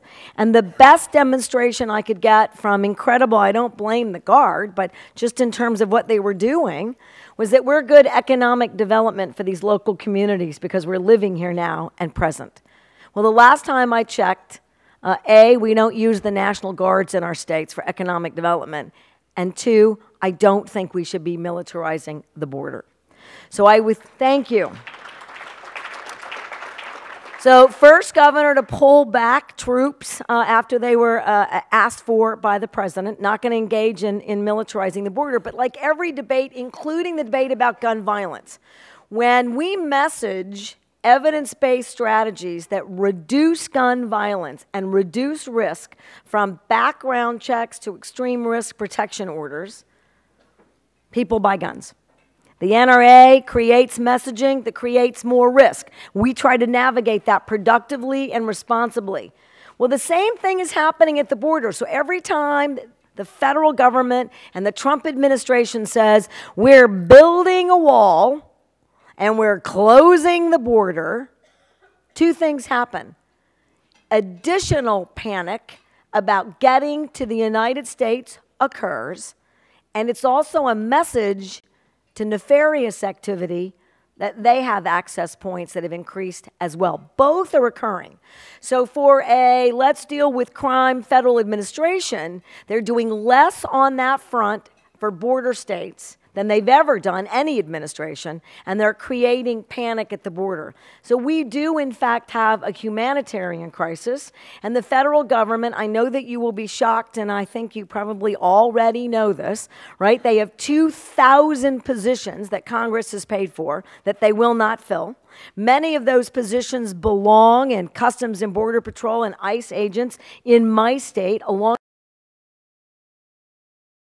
aspect is to take asylum seekers at the ports of entry. They will not do that. And even if they let a few folks in, it's automatic detention if that's where you're coming, which means we then re engage in potential family separation depending upon what's going on at any of these shelters or detention sites. So the better way, you can't get through, and now 100% of the time, it wasn't 100%, now 100% of the time, Instead of the Custom and Border Patrol agents receiving asylum seekers, doing the work that they're supposed to do to screen them for any, a multitude of issues, including getting them ready to get to a sponsor family.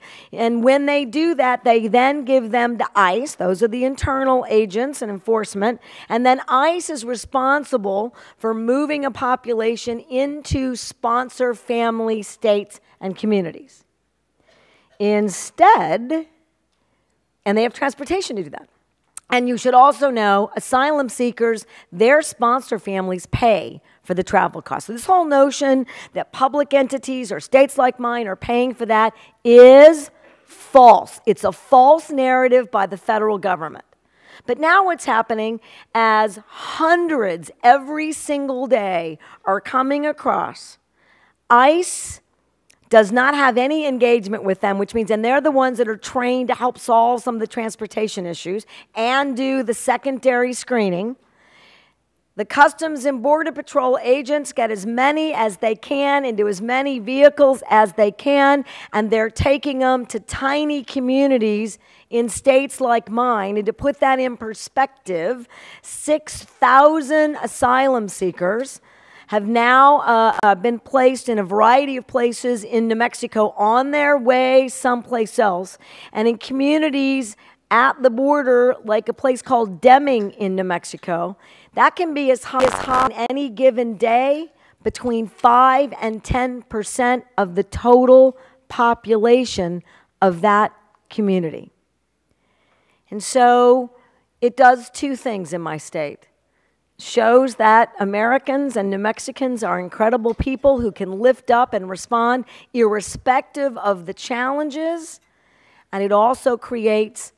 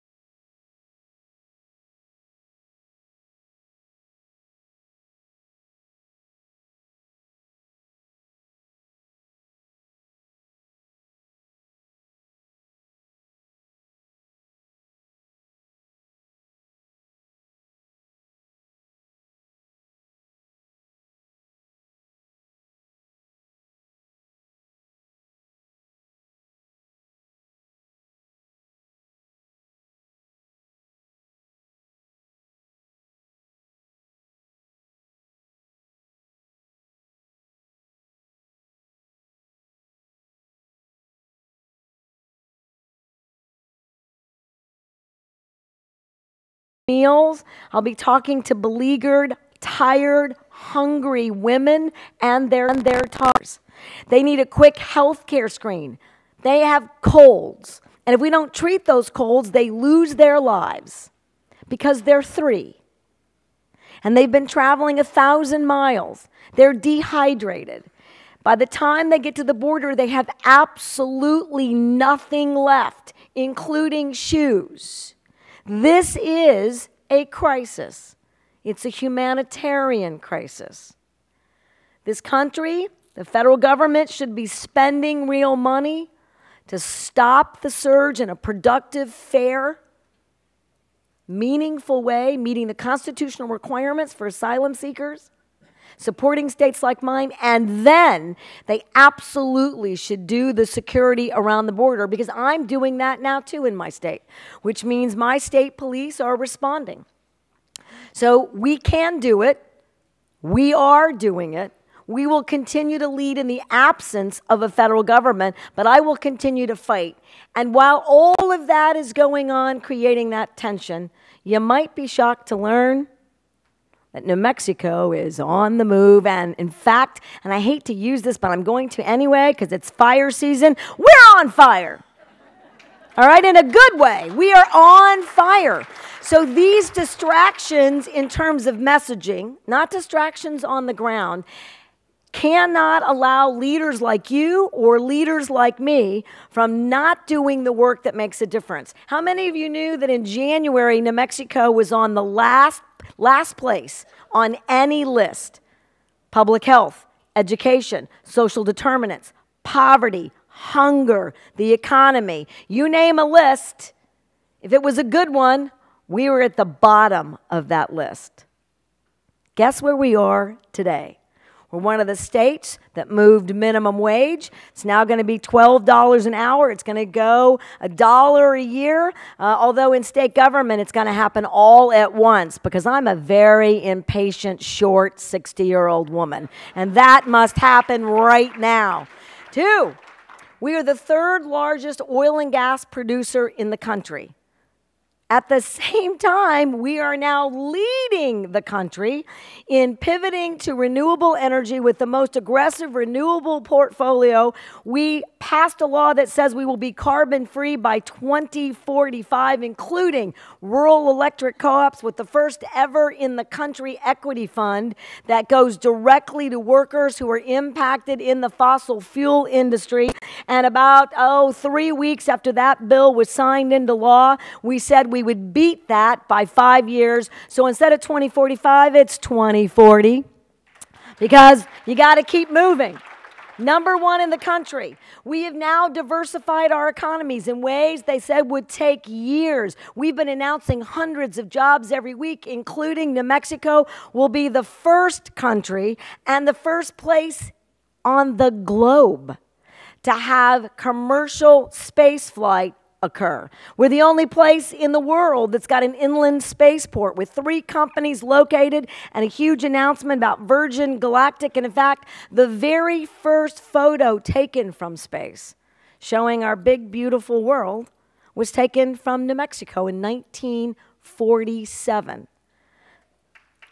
This is where stuff is happening on the ground. It's amazing. And hemp, we're the first state to do hemp growing research and manufacturing. From soup to nuts, it's all occurring, announcing companies that are already on the ground, hiring hundreds of New Mexicans. We've decided that instead of 50th in public education, we're going to go for a moonshot. We've decided that every other state should get out of our way. We'll be number one in the country's single largest set of investments. New Mexico, last legislative session, from teacher raises to extended days during the summer to make sure we don't lose kids between those classes with serious mentoring and day to day support, including community schools, as a statewide reform so that we're lifting up every single family and that our at risk students and uh, our uh, bilingual language learners will get the attention they deserve. My golly, New Mexico, Spanish is our official language.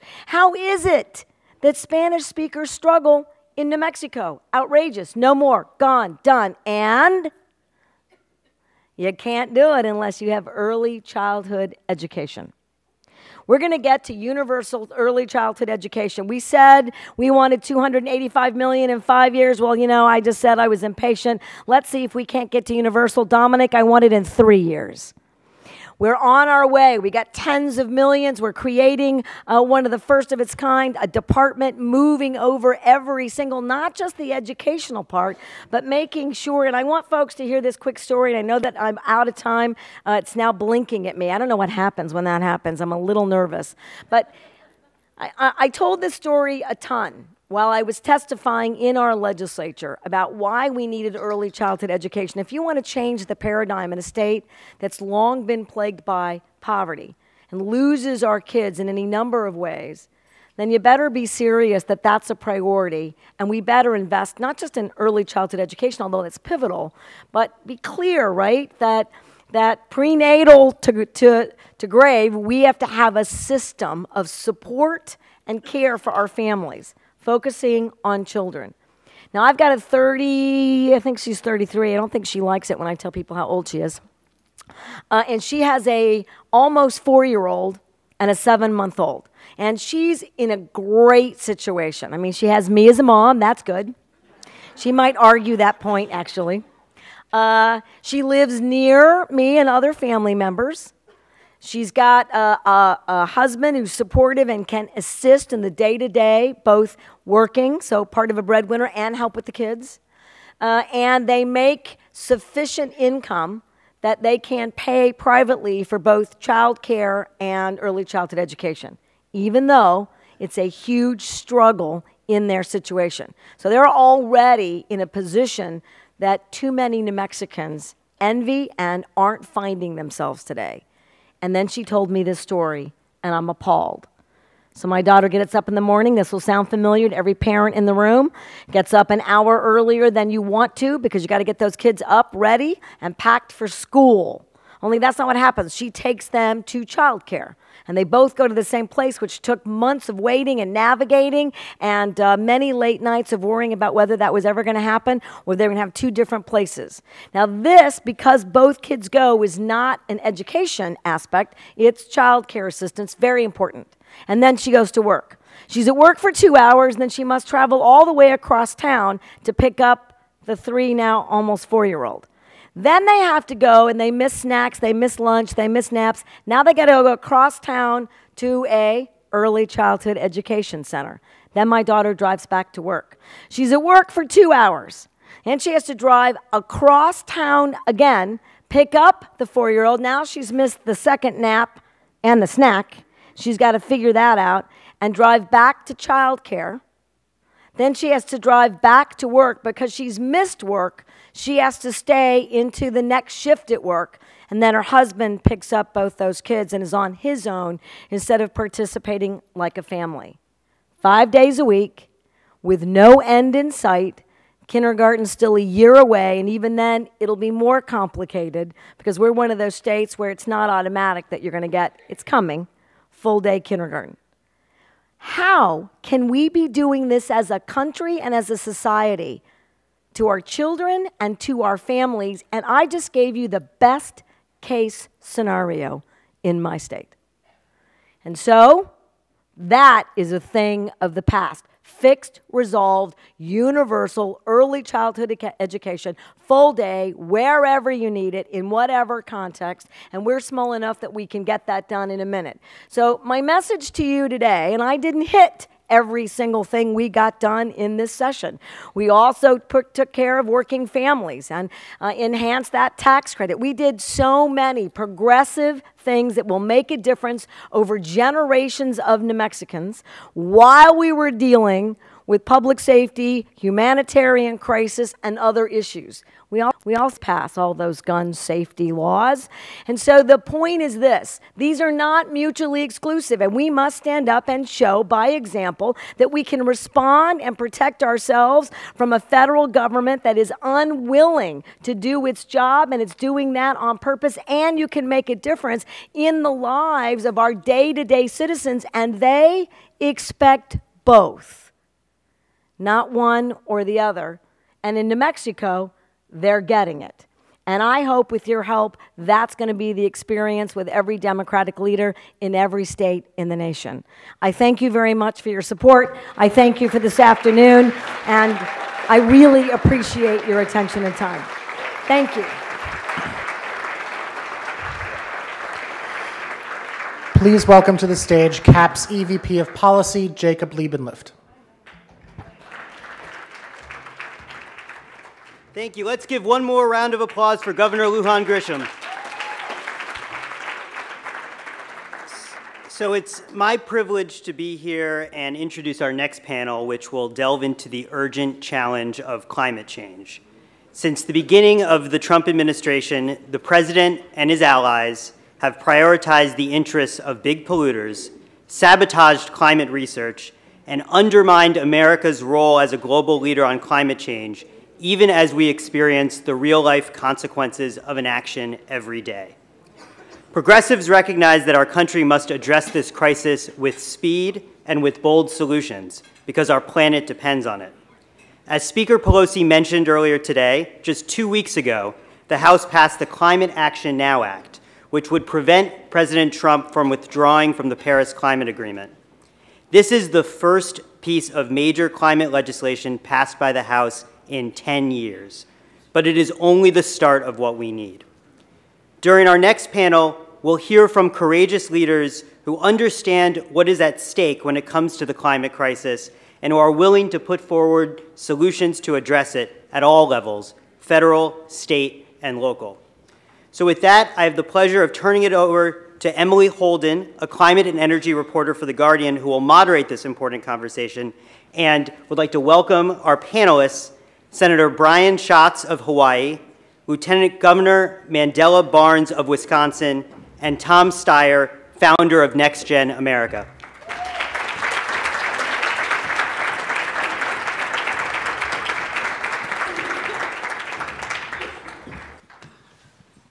Hi, everyone. Uh, thank you all for being here.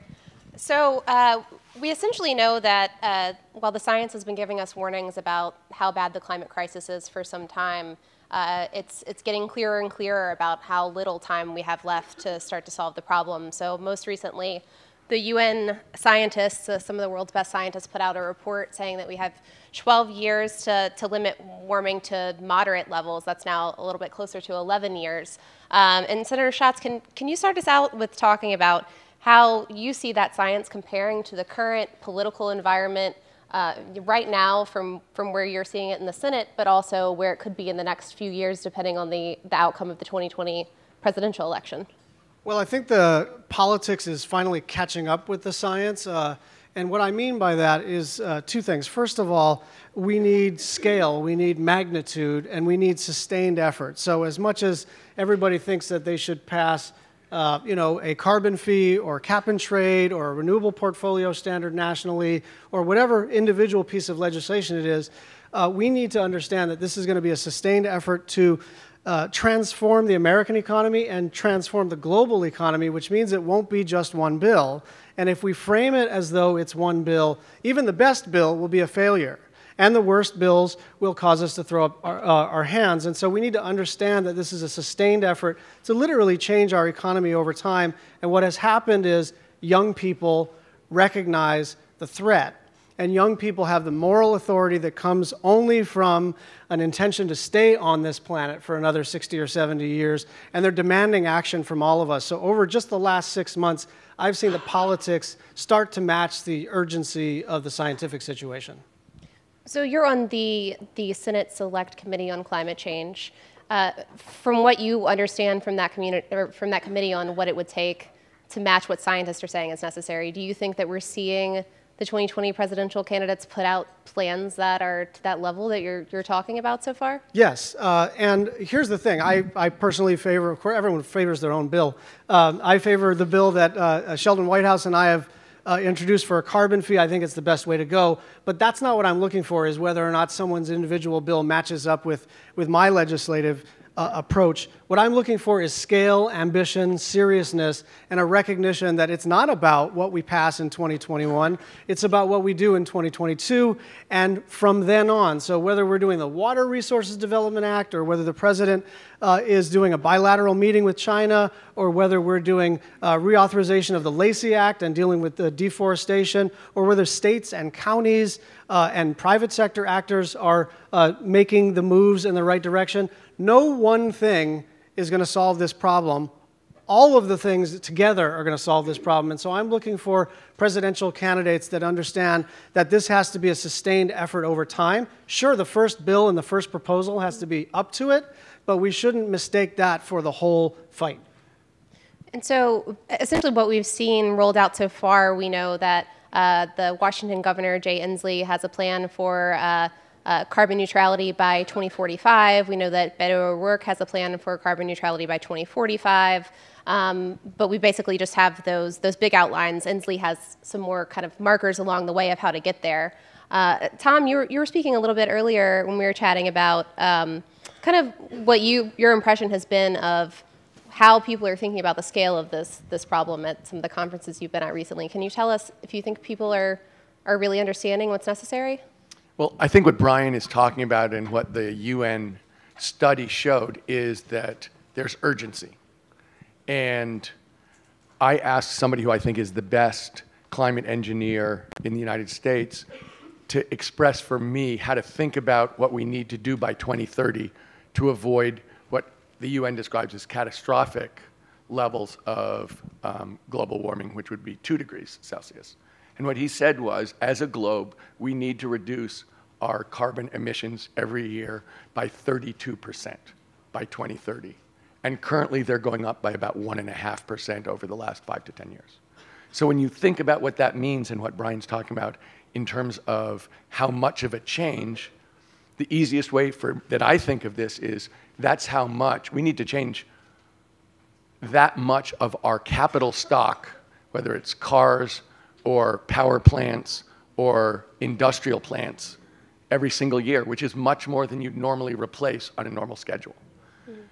So the question you asked Brian was, does the political response reach the level of the of urgency that this problem poses for our society and our globe?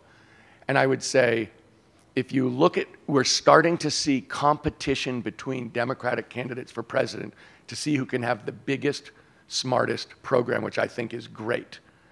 But I think what, we're, what we have to face is there's an urgency in terms of time. If we get this right in 2045, that just doesn't work. So I think when we think about is it uh, sufficient, the plans are large. The plans are going to get larger.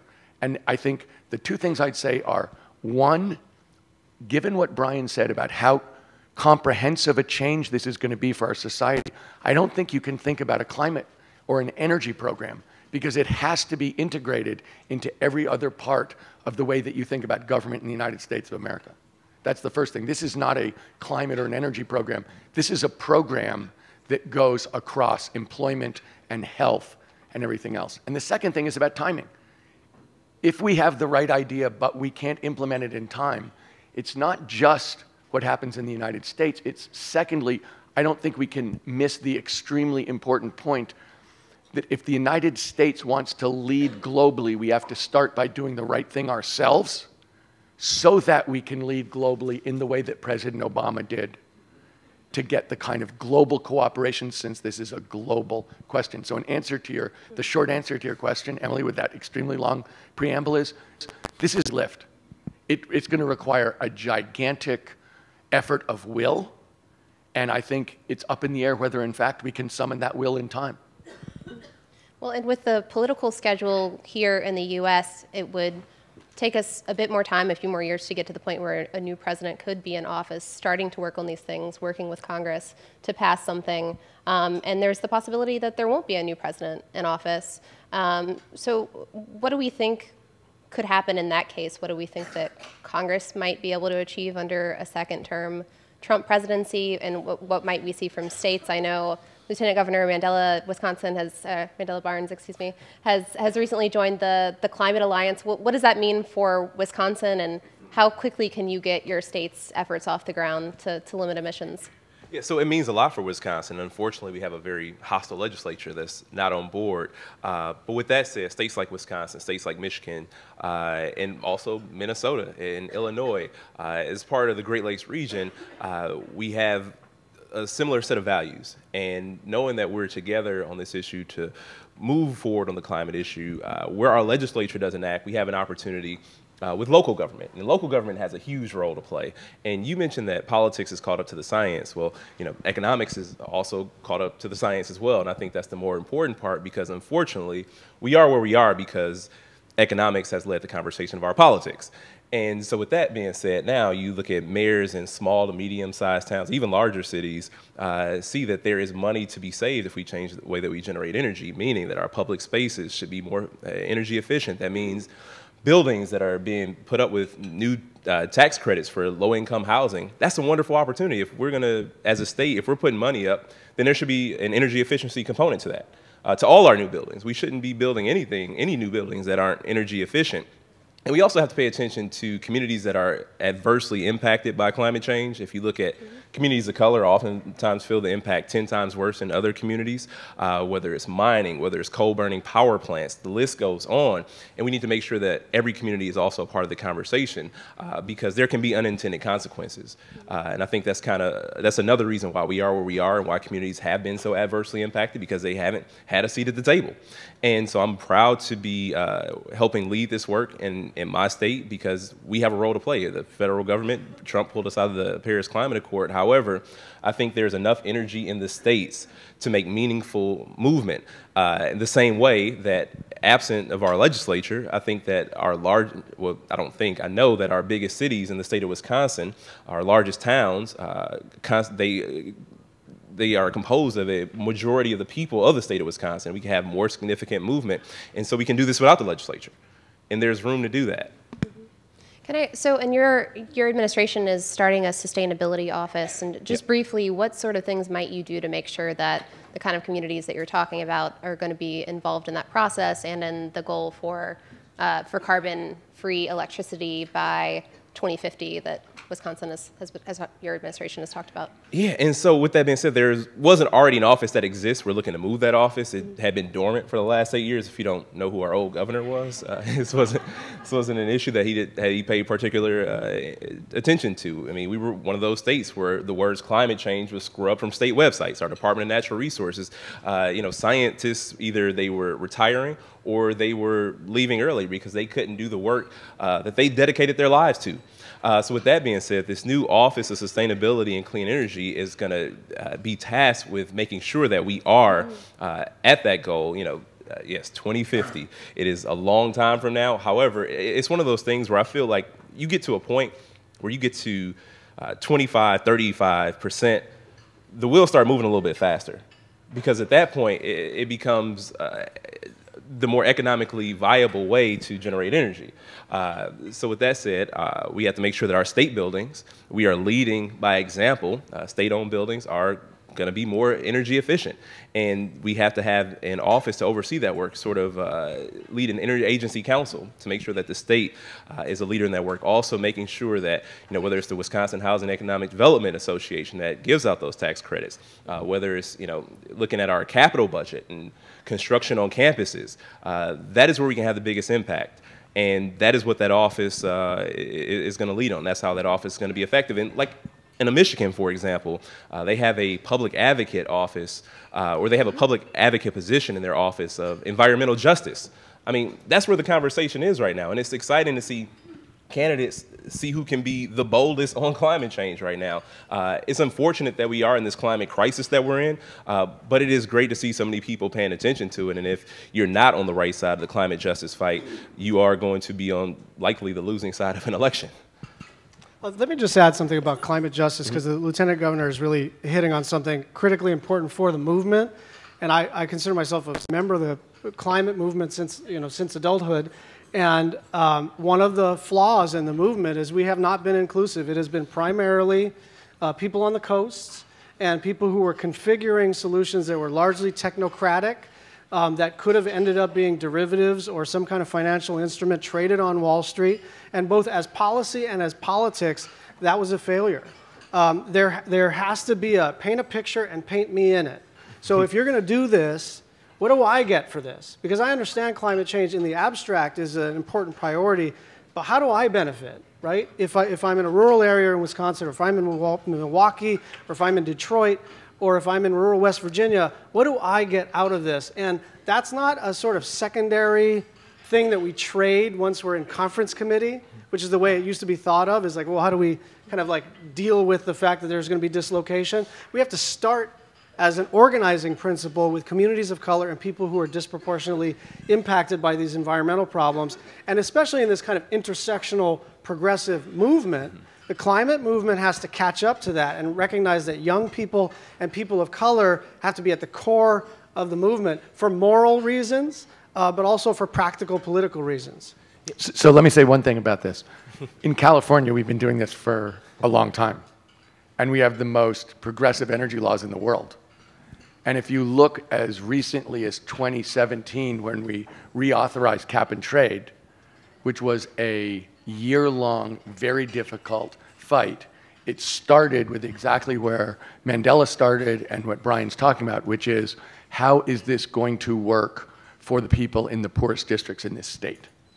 And in fact, the reauthorization of cap and trade in California was led by legislators from the very poorest uh, legislative districts. And the answer was that A, as Mandela said, they were disproportionately hurt by pollution. So the money we raised from cap and trade went disproportionately to their residents and their communities to mitigate for that and to pay back for that. Second of all, there's always been a huge jobs component. It, it's a question of who gets those jobs, but that in fact we have over 500,000 jobs in California on clean energy. But Brian's point is the critical point, which is you can't get there at the end. You have to before you have to be there at the very beginning and have leadership so that the coalition is completely different. And I'll finish by saying one thing, which I think I said here in 2010, which is the number one group in America that cares about energy, climate, pollution, the environment is Latinos. The number two group is African Americans, and the number three group is Asian Americans. So when we think about what this coalition looks like, who should be leading it, where, you know, kind of how we should be thinking about it. Let's remember that there's a very inaccurate vision in America about who cares about the environment. It's in some ways very disrespectful, but it's certainly unsuccessful and incomplete. Yeah, and, and, and just say one quick thing too, because you know in Wisconsin, most of our energy is generated from coal. We don't have any coal in Wisconsin. We don't have any oil in Wisconsin. We are literally just sending money, twelve billion dollars annually out of state, which is probably a small number for California, uh, but that's still twelve billion dollars annually we send out of the state of Wisconsin.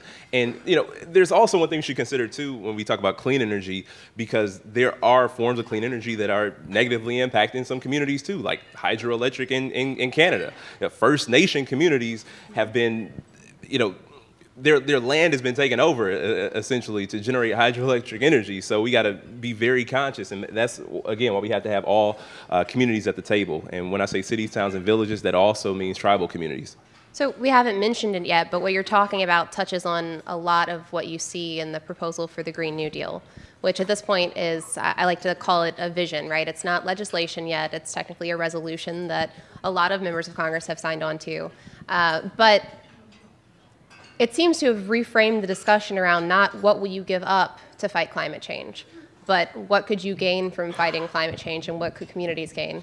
But I, I want to ask, I want to come back to this question of the, the politics catching up to the science, right? Because getting to something like a Green New Deal would mean that the politics would have to catch up to the science. There would have to be agreement on this underlying problem existing and it being a, a crisis at the, the scale that scientists say that we're approaching. Um, so this morning I was watching a House Natural Resources Subcommittee hearing uh, where Republicans um, called witnesses who are very well-known climate change deniers. That's what all of their work is, to talk about the benefits that, that they see in higher carbon dioxide levels. And we know that's not true of all Republicans. Many Republicans are acknowledging climate change as a threat and talking about what can be done, although the ideas look very different than Democrats. But there are still a lot of Republicans who are who are in that space. So how how do you how do you work with people who are in that space? How quickly do you think it could change? Um, and, and, especially um, with the sorts of things that we're talking about, even with a, a, Democrat for president, legislation would be required. So how do you how do you get legislation passed with that with that political hurdle? We have to win. Uh, we have to win next year, and and I, I that is there are a lot of sort of procedural forks in the road, and there are a lot of tactical decisions to be made in 2021. If Senator Schumer is the is the leader of the United States Senate, Um, there are parliamentary questions, there are questions related to reconciliation and the filibuster and all of that, and including policy questions about whether we're going to do, you know, uh, a national RPS or, or a carbon fee or a Green New Deal or whatever. But all of that is moot if we don't win. And so uh, I am not interested in spending too much time negotiating with climate deniers. There are a few uh, Republicans in the Congress that have come around on this, but now is not the time to try to cut a deal with them while Mitch McConnell leads the Senate. We have to focus all of our energies, all of our energies, uh, towards setting the table so that we can be successful in the next election. And then we know that we're still at the beginning of the process because the difficulty here, and I'll just mention one fight we had, which was Keystone, which was a nice galvanizing moment. The problem with Keystone was when Keystone was finally rejected, lots of activists felt like they had solved something. And what we need is a sustained effort to fix this problem over decades, which means first we have to win, and then we need to legislate, and then we've taken one step up a very, very high mountain, but we got to start. So, not every Democratic candidate, though, is going to propose an ambitious, sweeping plan for dealing with climate change. And a lot of the questions currently are about what we could see from former Vice President Joe Biden after um, a story circulated about uh, his uh, potential to take a sort of middle of the road approach that could include fossil fuels still. So, uh, what happens then if you, you know, if, if you either have a Trump presidency or you have a Democrat in the White House who's might not, I'm not saying this is the case for this particular person, but might not have climate change as their first priority? Um, I'll say it this way, somewhat diplomatically, because all of my friends are running for uh, president, and that's probably the reason I'm on this couch. Um, uh, uh, and, that, and that is, I do not think we will have a uh, presidential nominee who has insufficient ambition on climate. I do not think that that will happen. And um, I do not, I, you know, I'm not going to sit there and, and sort of rank order. Someone will, but I'm not going to rank all of the climate plans. Someone Uh, did that in my inbox earlier Someone today. already actually, did that, yes. I'm sure. I'm sure. Uh, I'm sure the candidates themselves are ranking uh, the, the, the plans. But I will just say that I, I can't imagine that we will have a nominee that is um, uh, not up to this task because I think we understand this is the challenge of a generation and because voters are demanding it. I think that we have time for a very brief audience question. Question, not statement, please. If you raise your hand, there are microphones going around.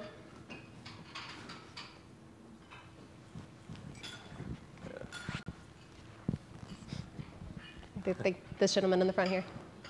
Thank you. Hi, uh, John Vane. Most climate models, depending on which ones you believe, suggest that if we cut off greenhouse emissions today, that the planet's going to still heat for between 50 and 300 years. What that tells me is not that we shouldn't try to decrease emissions, but unless we develop technologies that will extract carbon from the atmosphere and the oceans and sequester it, we're in deep trouble. So, what actions are you guys looking to advance those technologies? I'll, just be quick on that. I think, um, I think carbon capture has to be part of the equation. I think even the people who advocate for carbon capture are imagining that it'll deal with about 1% of the carbon.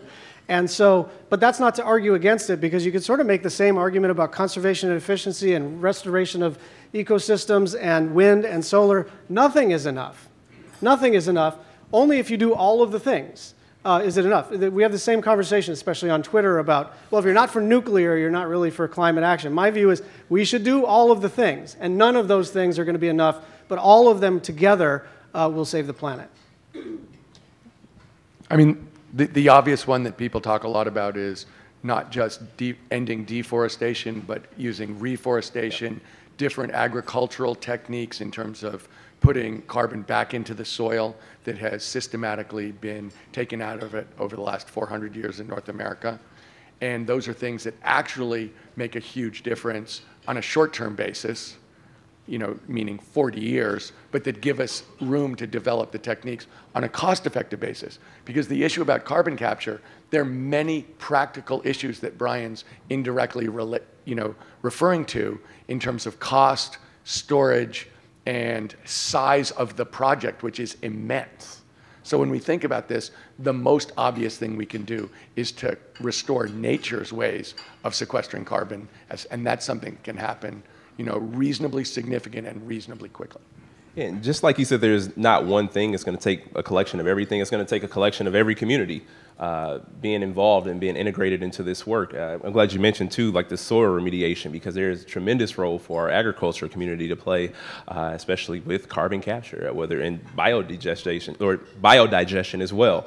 Uh, it, it, in you know communities where uh, you know where there's new building construction going on. A lot of our downtown areas they are starting to boom all across the country. You can use circular economy tactics where we again connect communities that are far away from each other in idea and in distance, uh, but however share uh, common ideas and also uh, a space for them to work together in ways they could have never imagined before. I think we're about at time, but can we very quickly do a, a little lightning round here? If you can each tell me in like one sentence what is something that you see being developed right now, policy or otherwise, that really gives you hope that the world will be able to meet this challenge? You want me to start? Sure. You're looking at me. One sentence. Uh, the key to this will be a broad coalition of Americans understanding what we're trying to accomplish together, both in terms of energy, but more broadly, how it fits into a positive vision for the future.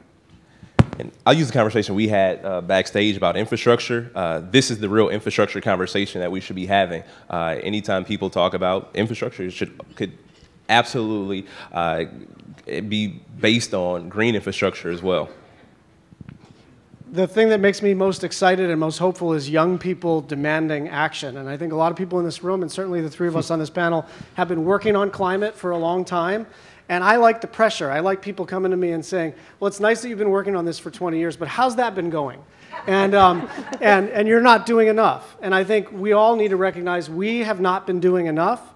And there's a generation of people that are demanding that as much as we've been working on this, that it hasn't been getting it done, and we've got to get it done very shortly. Well, you heard him. Senator Schatz wants all the young people in his office. Thank you, everyone.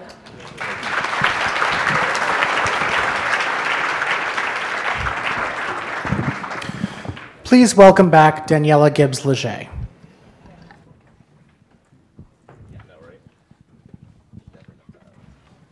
Hello, everyone. We can do better than that. Hello, everyone. There we go. I now have the pleasure of welcoming our next speaker, the former mayor of New Orleans, Mitch Landrieu.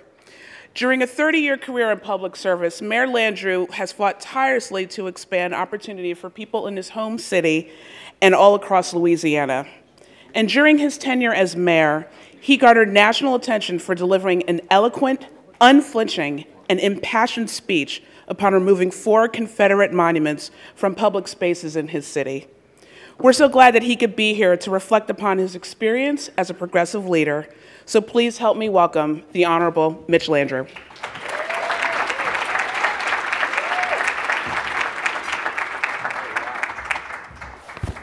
Wow, how's everybody doing?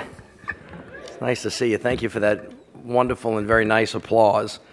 I, uh, I was asked to talk today about the issue of race. Um, so, first, I want to thank them for giving me the easy topic of the day.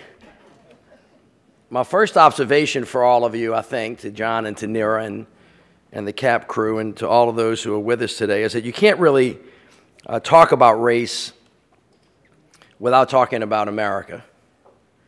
And you certainly can't talk about America without talking about freedom or liberty or race because they all seem to be inextricably linked. And the first recognition is that this country was born uh, in contradiction uh, from our inception, and it has uh, plagued us for a long period of time. Uh, as you know, I just finished 30 years of a tour of duty in public service in our country 16 years as a state legislator, six as a lieutenant governor, uh, and eight serving my beloved city and our hometown, the city of New Orleans, one of the great cities in the world. It is a city that, as you know, has suffered tremendous tragedy and triumph from the BP oil spill to Katrina to Rita to Ike to Gustav, the national recession. We wondered when the locusts were coming, but we've been figuratively to hell and back. Uh, but we are a city whose great contradictions are manifest our incredible beauty, our diversity. We actually, in a very special way, personify uh, one of our nation's mottos, e pluribus unum, out of many, we are one. New Orleans is a 300 year old city where everything that we hold dear uh, our jazz, our architecture, our gumbo, the rest of our music, our way of life is actually created by throwing everything into the pot, different cultures, different taste. And when it comes out, the sum is always better than its individual parts. It's in a uniquely American city where we are constantly reaching for more, for that perfect union that we all aspire to be. And sometimes, although it's felt far from our reach, we keep pushing, we keep reaching, we keep striving for more because of that insatiable desire for more or for better, or like they say from my neighborhood, for more better. But we've always been a mirror of the country as well. It's a city that sold more humans into slavery than anywhere else in the United States of America, a city that enshrined separate but equal, a city with the highest incarceration and the highest murder rates, a city where we left people stranded with nowhere to go, no way to get out when a Category 5 storm barreled down on the U.S. All of us gasped at the sight of losing a great American city, and we saw fellow Americans on the steps of the Superdome and Convention Center and we all almost at once, in unison, said, Who left those people there? How could we do that? And the honest answer, the truth, is that we all did. Our nation's policies did. Policies that too often were guided by race and institutional racism. At our peril, we cannot be afraid of our nation's truth. We have to confront it because that is what real patriots do. That is what America does, always striving to be better. So I ask you to think about when we're sworn under oath in court. They ask us to speak the truth, the whole truth, and nothing but the truth. So help you God, right? And the reason they do that, it's because if you don't tell the whole truth, it can often lead to either a half truth or a lie by omission. And when you do that, something gets left behind. And in the history of America, it's our fellow Americans. Millions of people take this oath every day, and yet we as a country have never, ever fully reckoned with the whole of our past, specifically as it relates to race, in a way that honors the whole truth and nothing but the truth. And as a result, the vestiges of Jim Crow and the resulting segregation that resulted is alive and well today. From the disparity in our health outcomes to increasing housing segregation and the disenfranchisement of voters, as well as voter suppression. The vestiges of Jim Crow are, in fact, alive and well in the transportation systems in this country in all shapes and sizes, in the criminal justice system, in the public education system, in the financial world of banking and credit and mortgage, all of it. You can't ignore this. You have to confront it. But it's out there like landmines buried, waiting to explode and stop people's progress forward. And the truth is that the words of our founders and forefathers that we hold these truths to be self-evident. All men are created equal, liberty and justice for all, and even to e pluribus unum, even today ring hollow for many of our fellow Americans. So, in my opinion, we can't fully fulfill America's promise moving forward to that more perfect union that we desire, that we all wish to be, if we're not honest about how we got to this place and how imperfect we happen to be at the moment. That's why we took the monuments down, and essentially that's what the monument speech was about. How do we confront? Thank you. It, it called the question for the country, really on how do we confront and how do we correct our past, not to lay blame, but so that we can move forward and create a better country for all of us. It is, you already know, a long and winding road. It is not a straight line, and race can be a scary topic for all of us. We really don't know how to talk about it, which is probably why we don't do it. But here's one of the things I've learned you can't go under it you can't go around it. You can't go over it. You have to go through it, or you will stay stuck in it. You have got to find a way to get to the other side, wherever your other side may be. So, telling the truth about our past and the present is actually just the first step, it's just the beginning. But I also believe and have learned that the six most important words in the English language are I am sorry, followed by I forgive you. They have to coincide with each other. They, in fact, are bookends. Symmetry can be a beautiful thing sometimes. It, in fact, takes a conversation on both sides. And that doesn't mean that anyone in this room, any one person, is at fault. Too often, you see the discussions about race become confrontational because they start with the idea of blame and fault. Now, that conversation can go on for another 300 years, and I'm sure that it will. But as that conversation goes on, I've also learned that I don't have to solve that problem or find that answer. Because even though I may not be able to pinpoint exactly whose fault it is, I'm pretty sure whose responsibility it is to fix it and to heal the nation. And that would be everybody. Because without everybody, it's not going to get done. Let me be clear that a person's individual words and actions today should be absolutely called out and addressed. The rise of white nationalism and white supremacy should concern everybody and should be confronted aggressively and made clear that it has no quarter at the table of democracy. But we should also challenge the institutions and the policies that exist that have kept us apart for generations. And the failure to do that will keep us looking backward rather than forward. You all know this. The first American slaves were brought to Jamestown in 1619, over 400 years ago. And of course, that act, that singular act, is still shaping institutions in America today. Last year, I had the incredible honor of participating in the 50th anniversary of the Kerner Commission. If you don't know what it is, I would encourage you to find out. If you do know what it is, go back and read the report. I'm going to tell you now, spoiler alert, it's not going to make you feel good about our country. That commission, you see, challenged the nation to admit that racism had been institutionalized in America and had become a driving force and the cornerstone for inequality. So, of course, we did what we do all the time when confronted with a hard truth. We ignored it. Sounds familiar. It should. We're doing the same thing with climate change. One of the main conclusions was that the United States was moving towards two societies one white, one black, separate and unequal. And of course, this growing segregation and inequality fueled unrest, it fueled dislocation. And it reminded us of a phrase we had always heard before that where there is no justice, there is no peace.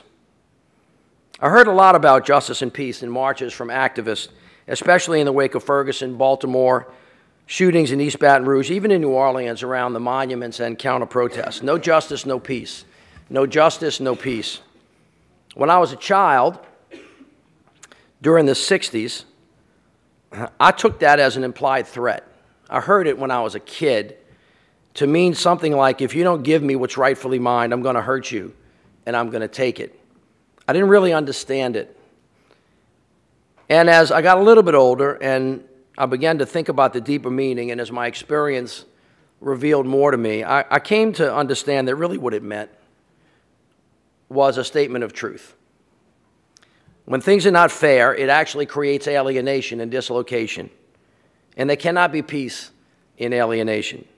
When people are alienated from each other, they can't share with each other what it is they have, what it is they need, and we're all the worse for it. You see, peace is not just the absence of physical violence where there is no communion, all you're left with on a good day is peaceful segregation. And we are all much worse when we are not working together. The other thing to remember that has been told to us so many times, but maybe we don't really fully understand, is that poverty can be a form of violence. So is not having access to health care or having a real job so that you too can, for your family, have a job or build generational wealth over time. There is institutional violence, as Robert Kennedy told us many, many years ago, that comes without there being any justice. So where there is no justice, there can be no peace. And we are going to continue to stay in stasis and not get any better until we understand what that means. And we cannot move forward unless and until we have an honest conversation about the past and then actually chart a pathway forward. Here's a truth. We all come to the table of democracy in the United States as equals. That's the aspiration. That is what makes America great. That is what everybody has a right to. That is what everybody is entitled to. But in order to get there, you've got to bring somebody else along with you. This isn't what we merely aspire to. It is a truth, in my opinion, they cannot be denied. We are all better together. We benefit from each other. We learn from each other. And we go through sorrow and pain and tragedy and triumph together. Now, again, just like no justice, no peace, that's not a threat. You see, this is not a playground game where if you don't give me what I want, you're not going to get what you want because I'm not going to give it to you. It's not a sacrifice or a zero sum game. If you win, I lose. It's an invitation, an open hand for us to do better, to understand that we all benefit when we're at the table as equals. I only understand that today because of what we faced in New Orleans with the monuments. I should have taken, it should not take that kind of ordeal or a tragedy like Katrina to wake us up and bring us together because we already know what we are supposed to do. A child will tell you this. A child told me this in Kentucky the other day. She said, Mister, you know, I didn't like that, by the way. She said, Mister, you know that talent is equally distributed, but opportunity isn't. Why does it take a 16 year old to tell the adults of America what we obviously know is true. We don't have a deficit of ideas in this country. We have a deficit of willpower. We have a deficit of courage. Now, as a Southerner, and I love the South, we're a place of faith, we're a place of family, we're a place of country, we're a place of lazy, lazy rivers, good food, good music, good fellowship. Y'all haven't been there, you ought to come. But I feel a special obligation as a Southerner, and particularly a white Southerner, to tackle the history of white supremacy in our history. Last year, I launched, in partnership with the Emerson Collective E Pluribus Unum Fund, to help fulfill America's promise of justice and opportunity by breaking down the barriers that divide us by race and by class. We actually have spent the last nine months traveling extensively across the South. We've been to 28 counties. We have been to 13 states to try to find bold and effective solutions to breaking down the legacy of Jim Crow so that we can actually create a new pathway forward, not only for the South, but for the country, because as you may not know yet, where goes the South, so goes the country. We've been there before.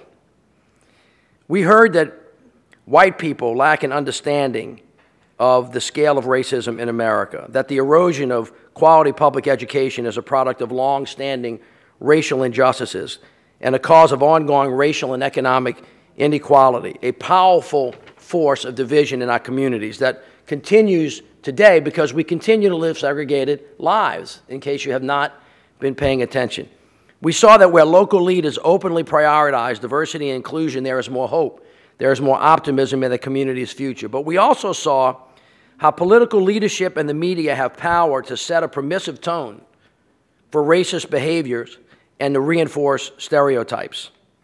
Across race and class, everybody wants the same thing. People really want to work hard. They'll work two, they'll work three jobs.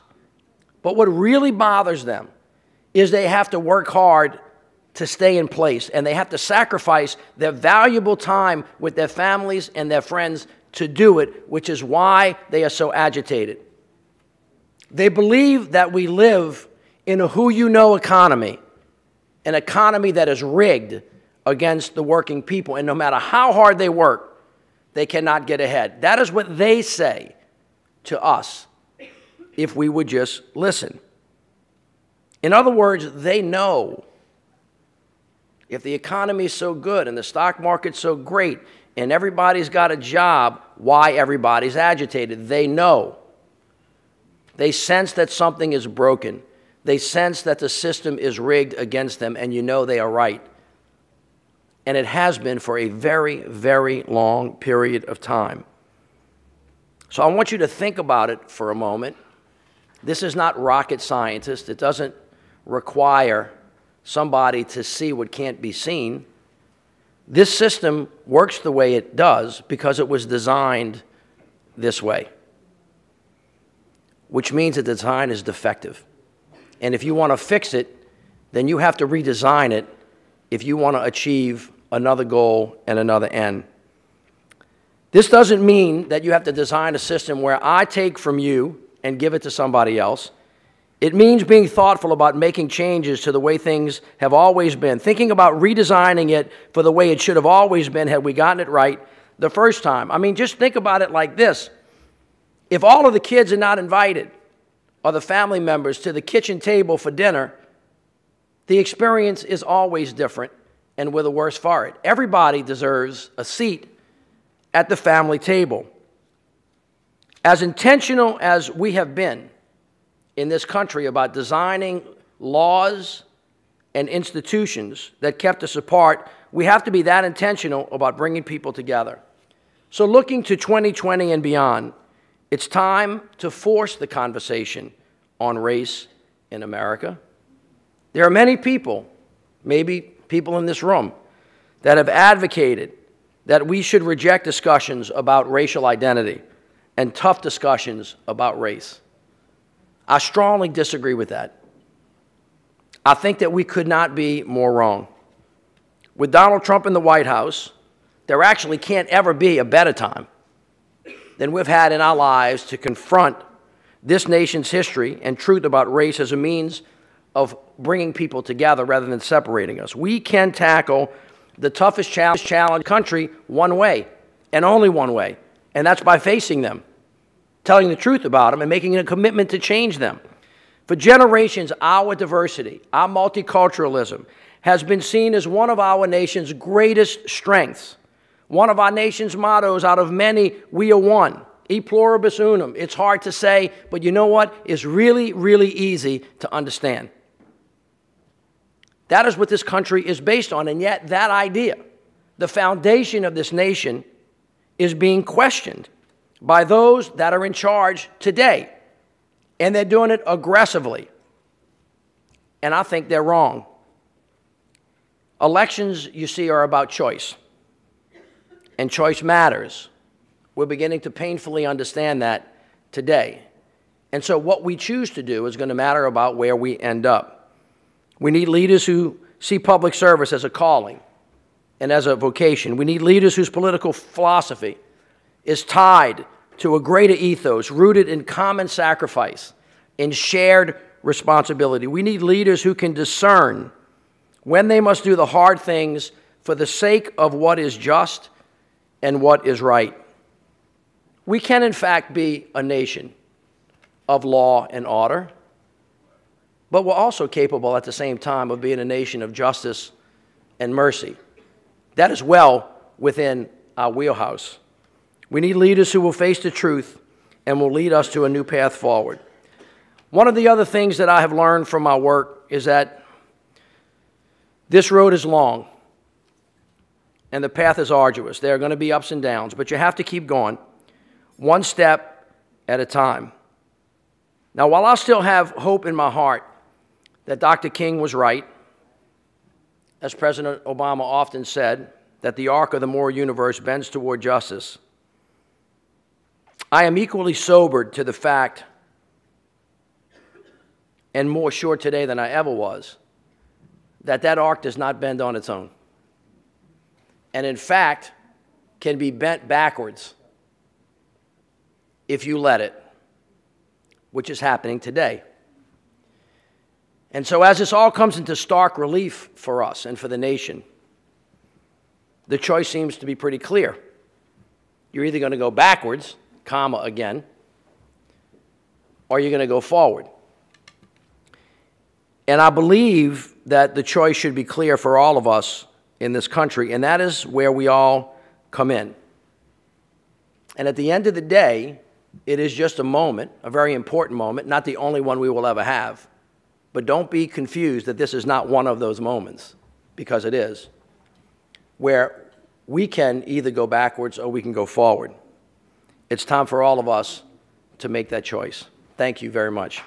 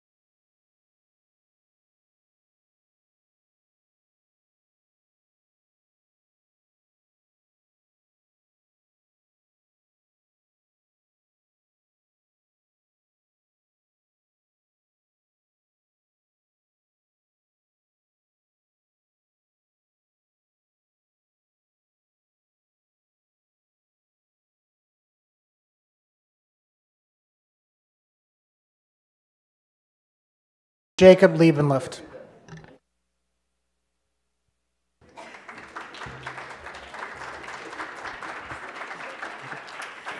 Hi, everyone. I hope uh, you enjoyed your break and your snack, and that you're ready for our next discussion uh, on how we create shared prosperity for all Americans. Uh, President Trump often uh, brags that the economy has taken strides for the American people under his administration, but in reality, his economic policies have concentrated their benefits on the elite few.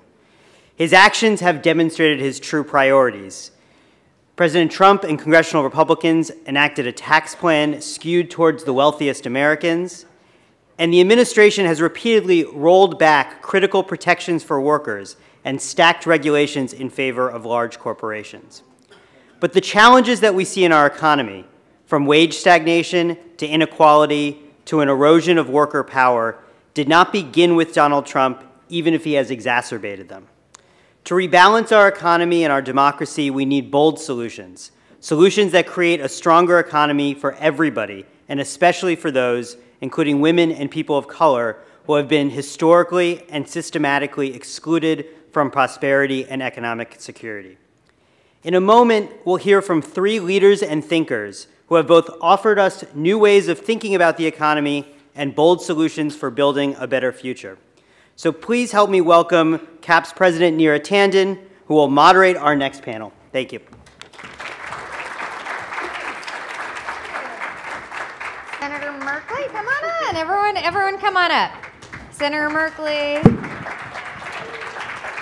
uh, Professor Stevenson, Professor Hamilton, uh, have a seat. We're just going to get started.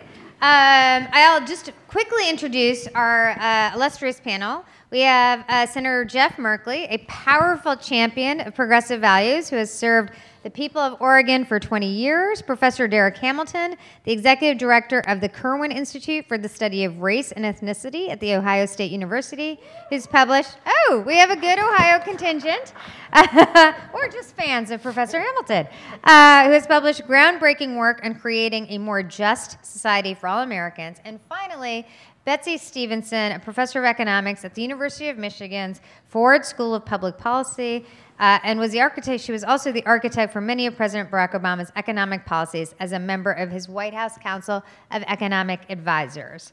Um, oh, good, we're doing excellent. So, Senator Merkley, I would like to start with you. Uh, we're focused on this panel on uh, economic inclusion.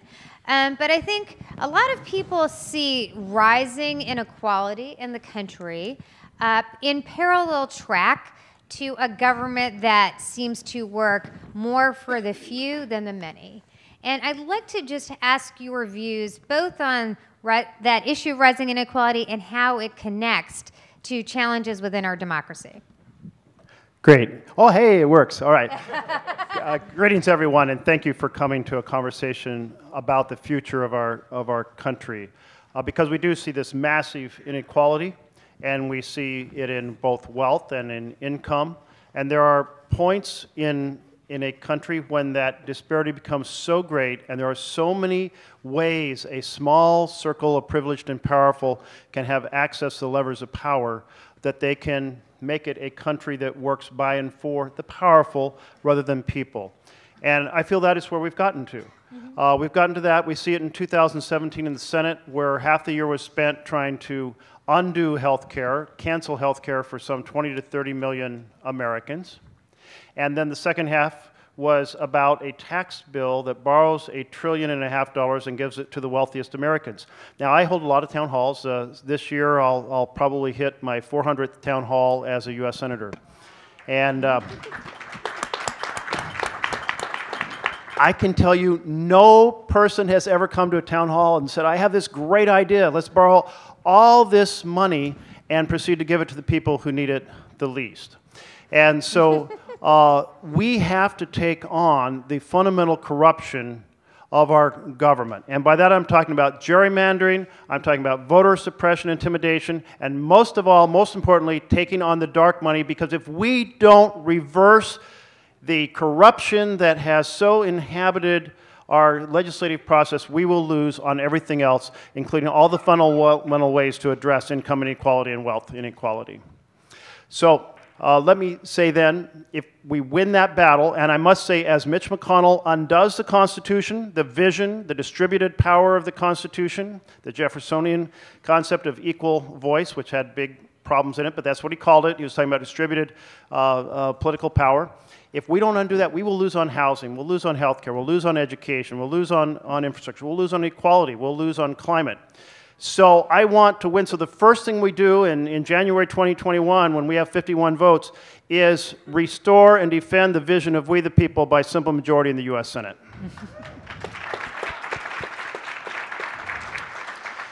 so I didn't get to concrete ideas, but uh, I, I, have a whole, whole yeah, bunch. You could just, if you want to just say another, another a minute or two, it's more than well, welcome. with that power, with the people power, we need to uh, take and have things that are embedded in employment now become just automatic in America, including Medicare for all. Mm-hmm. And that that becomes a fundamental attribute to everyone everywhere, so it isn't something you have to win through part-time jobs where it's very hard to get it in our economy.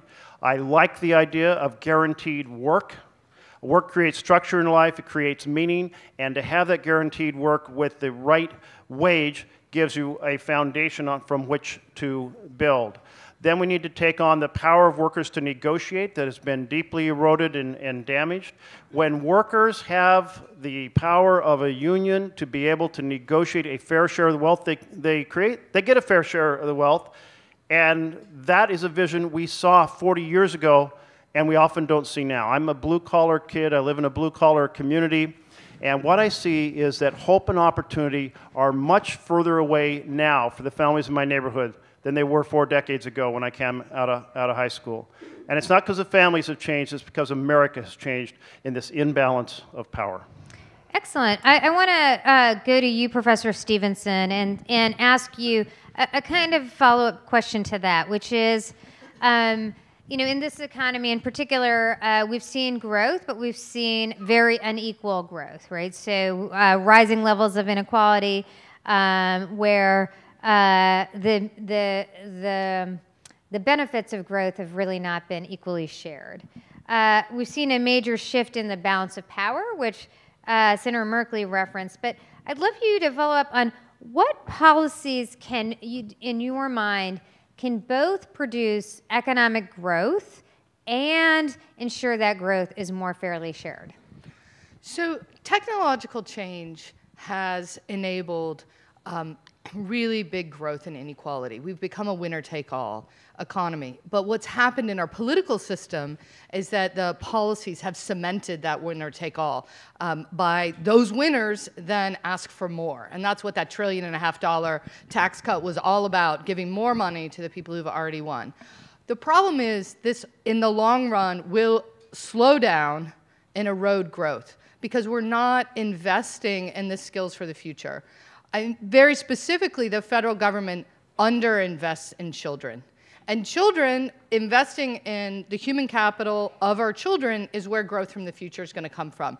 When we give money to the people who've already made money, it's not true that they turn around and use it to grow the economy faster. Right? That's mm-hmm. not what a market economy is about.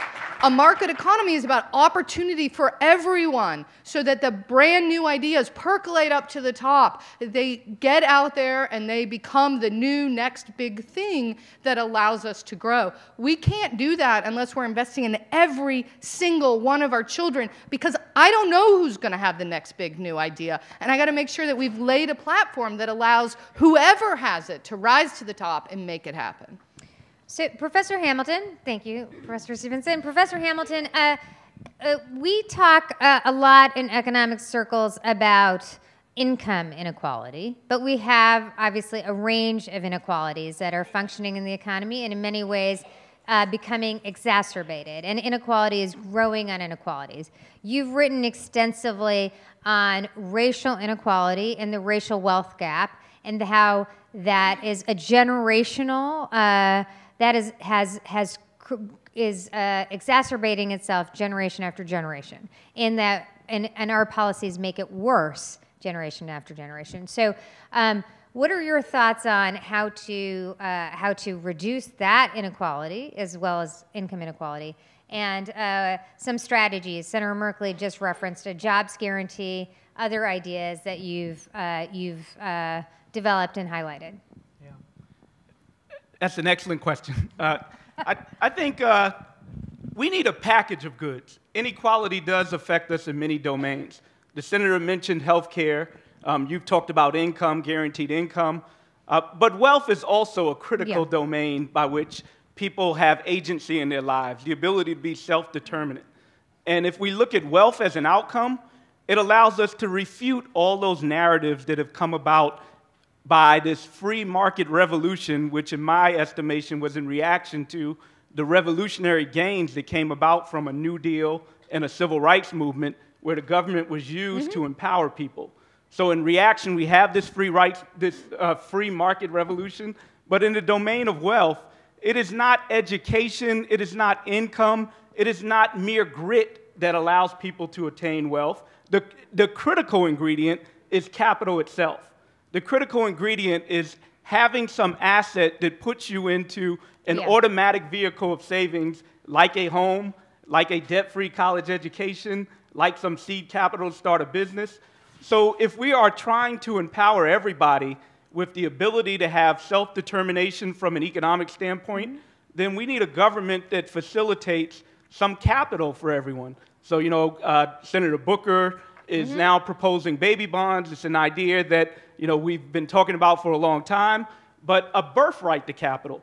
The, the ability to grow wealth should not be reserved only for the wealthy, but rather we should have every American with some seed capital to put them into a vehicle of savings, uh, not individual savings, but literally passive savings, like the automatic appreciation from a home. Uh, mm-hmm. that, that should be extended to everyone. And uh, um, your race should not be a criteria, or the family to which you're born into should not be a criteria by which you have access, access to that asset freedom or asset security. Senator Merkley, I wanted to ask you in response um, uh, ideas like baby bonds, ideas like jobs guarantee. Um, these are new. These are some of these are old ideas that have a fresh have a fresh look. I, I think one of the issues around all of these issues is how do you, should we make them universal? Should we make them targeted? Another question is when you look at how policies uh, how we're dealing with the Trump administration that is trying to pit people against each other, right? Rural communities against urban communities. Uh, uh, white people against black people and immigrants, the documented against undocumented. How can you, eh, you represent a state that has a rural community as well as an urban community? How do you see economics as a way to think through an agenda that actually brings people together versus uh, cementing these divides between working class whites and people of color, et cetera. So, are there ideas? Maybe some of the ones we've discussed are them, but what are what, are there ideas that can actually try to glue people back together in a world where Trump, the president, is trying to divide us consistently? Well, let me start. Uh, before I talk about specific economic ideas, we have to talk about the, the philosophy of, of, our, of our hearts.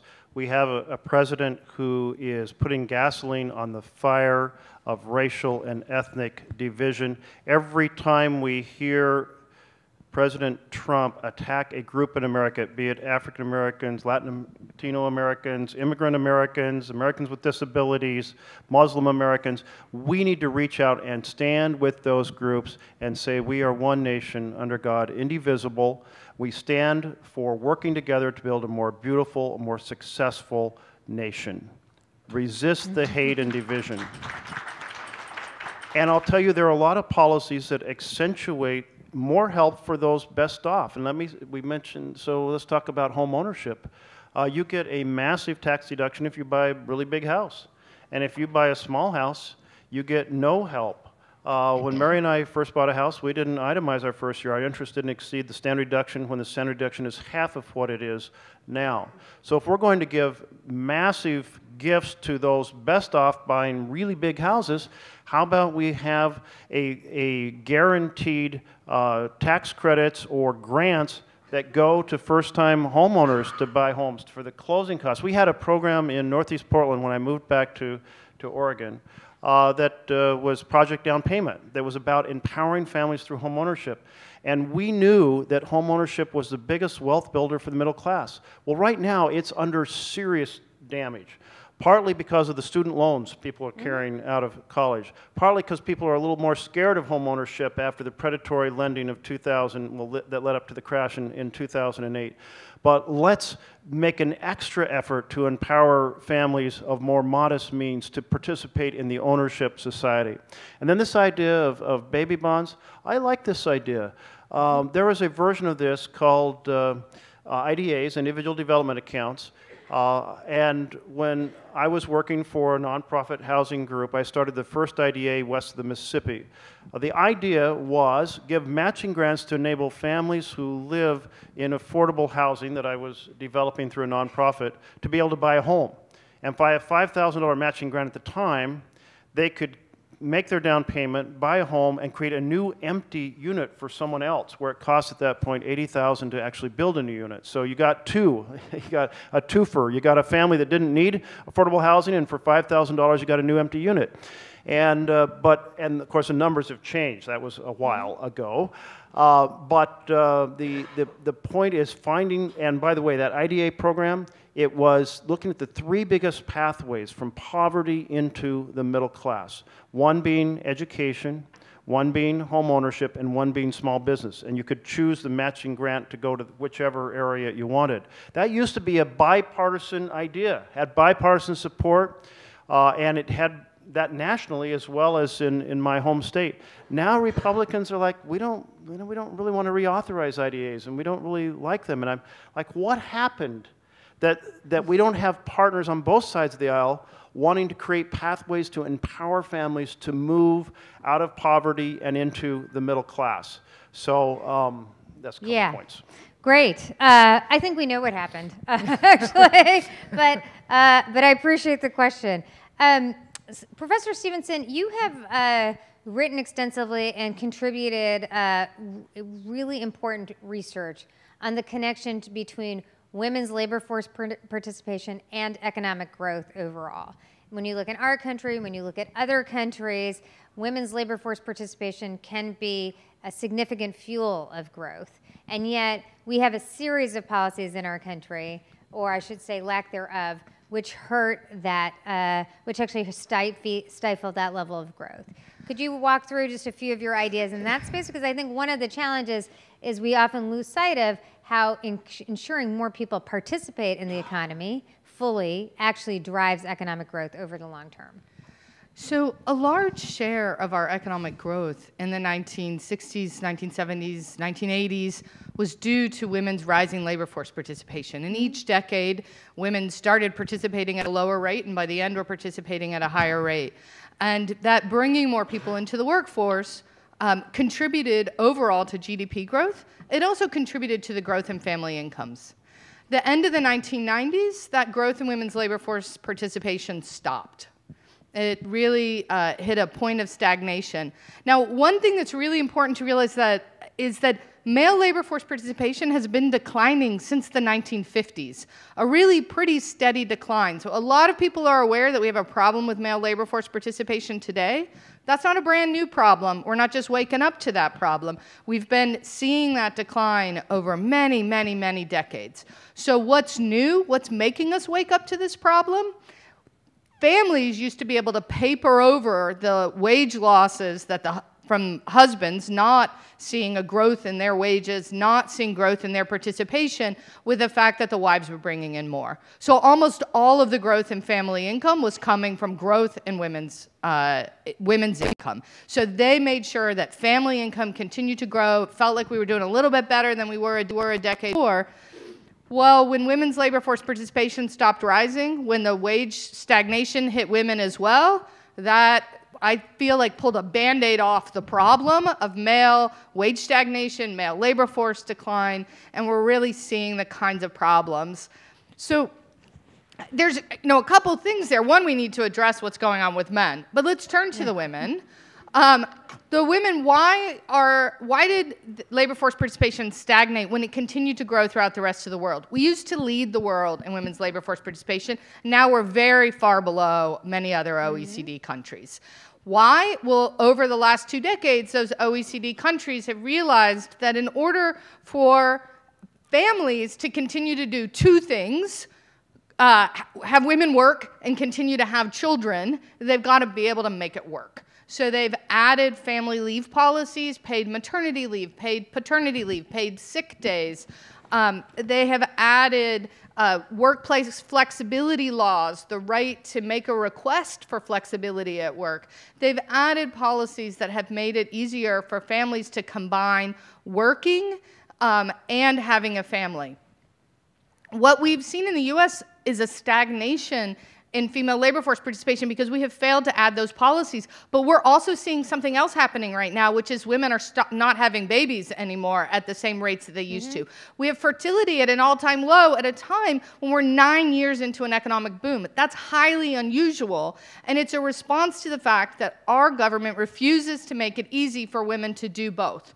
When you don't make it easy for them to do both, they choose. And when they choose, you get fewer children and you get lower female labor force participation. So that's the situation we're in right now. And that's why we see countries like Japan is desperate to get women into the labor force. Their labor, female labor force participation rate is higher than ours, and they've been doing this because they want to see higher fertility rates as well as to see their growth um, accelerate. So we know that these policies do both things. And it, the, the last thing I'll say on this is, you know, there has been something that's been happening with women um, since we hit that peak of their labor force participation. We have continued to narrow the gender wage gap, which means that a growing number of families rely equally or exclusively or primarily on women's wages in order to support the family. So uh, there are lots of female headed households. Obviously, they're relying on women's wages. But there are women, married women who work, are bringing home 45% of household income now. They're not some secondary earner. They're not bringing home the extra money so we can do some extra things. They're paying the mortgage. And so they really care that they're being treated fairly, that they can take the time off that they need, um, and that the policies are supporting them. From our economy's perspective, one thing we need to be really well aware of is that women are responding at much higher rates than men to the incentives to invest in their uh, employable skills. They're going to college at higher mm-hmm. rates. They're not just going, they're graduating at higher rates. They're not just graduating at higher rates, they're at the top of the class at higher rates. They're graduating with honors. They're going on to graduate school. They're getting PhDs. They're getting tons of skills. They're staying in the workforce. So is anybody surprised that they're hitting their 30s right now and saying, you want me to have a baby and see all, throw all that out the window? Because do you know what happens to women's wages when they have a baby? Yeah. They stop growing for pretty much ever. And that's a real problem we have to address. Thank you. So, Professor Hamilton, Professor Stevenson makes uh, a compelling argument about how uh, the lack of policy uh, related to paid leave and a child care, a whole range of policies, is actually uh, hurting our economic growth over the long term. And I think uh, you uh, just referenced the differentials on assets. I wanted to acknowledge CAP released two reports that focused on the wealth gap between white families and families of color. Uh, it stated uh, it, the data stated that white families possess about 10 times the wealth of black families and about seven times the wealth of Latinx families, while also finding a persistent wage, uh, wealth gap between white families and those in the AAPI communities. I think uh, uh, you referenced education, home, home ownership, access to capital. Um, what I would love uh, for you to talk about is the policies we've touched on, jobs guarantee, baby bonds, but also talk about similarly how does a lack of how does a how does that uh, racial wealth gap uh, actually ensure that we have less economic growth than we otherwise would have if we had policies that ensured African American families, Latino families were able to uh, have wealth at the same rate as, as, as white families? So I'm going to answer the question with a slightly different angle than perhaps it was um, asked. And, and I'm going to uh, make the claim that we should do it because it's the right thing to do. I think that growth I is would important. agree. I, I know you don't disagree, right? So I think that is reason enough. I think that it, right? We, we So that's totally right. Yeah. It's the morally right thing to do, so we should do it. I totally agree. right? Yeah. So, you know, obviously growth is important. If population grows and the economy's not growing, we, we will end up in a dismal uh, cyclical decline in terms of people not having enough. Uh, so obviously we should, we should have growth in our calculus, um, but perhaps even more important, we should have human capabilities as our main measure of how well functioning our society is. We need to change narratives altogether. So, um, part of the reason that we're in this place that we are in, where we have this concentration at the, at the top of both economic power and political power, is because we've used divisiveness like race as a mechanism to maintain the status quo. So, so I'll elaborate a little more and say, for instance, um, how do we get, how was Donald Trump able to win with a message of make America great again? That, that's the one people commonly heard. But then he also said one other thing that he highlighted I'm your last chance. And what he was arguing was Yeah. the pending demographic change when whites are no longer expected to be a numerical minor- majority. By the way, the definition of white changes throughout history, so demography is not going to save us. Um, but nonetheless, he was trying to hone in on that message of however you are in terms of your vertical status, as we grow in inequality, I will restore the, the, the primary the primariness of whiteness primacy. and primacy of whiteness so that you will be your status will be unchallenged by immigrants, by blacks, and whoever. So I think we need to get beyond this, this notion of, of elevating horizontal equity as a criteria by which people care about. And therefore, we need to start, and young people are doing this, defining our economy in terms of humanity, sustainability. Martin Luther King, when he started to get leverage, he started talking about our common humanity. I like William Barber's phrasing that economic justice is a moral imperative.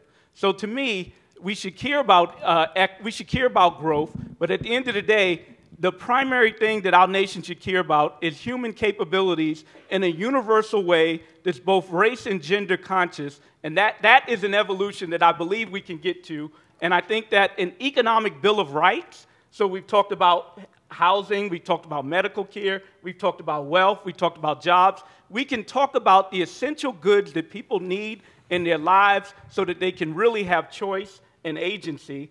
And we need a public purpose to ensure that those goods are not just distributed by a for profit sector whose primary goal is to make profit, not necessarily the primary goal of offering human dignity to everyone or social welfare to everyone. That's where we need to go, at least from a theoretical perspective. So I, I, I agree with much of what you said, but let me let me give you a, a contrary idea um, that animated my question, which is I think one of the challenges we're dealing with with Trump and Trumpism in the economic sphere is that he is making a very clear argument that there is a zero sum game, that the advance of one group comes at the expense of another group.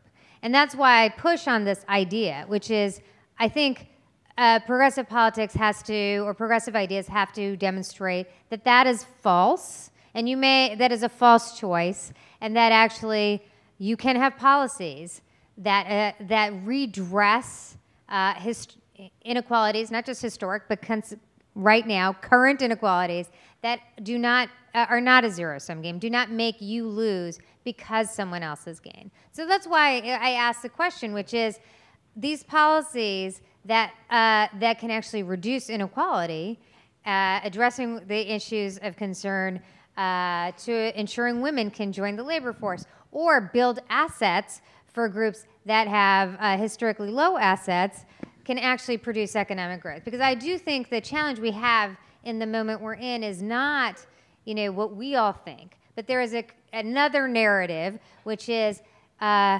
everything we say means some group gets hurt. You and I don't disagree. um, but but I would I think we need to break that framing altogether. Mm-hmm. Look, we all seen Game of Game of Thrones break the wheel, so we need to break that whole framing. I'm that's for been- breaking the wheel, but it didn't work out so well at the end didn't. there for her. But uh, I'm definitely But- for breaking it.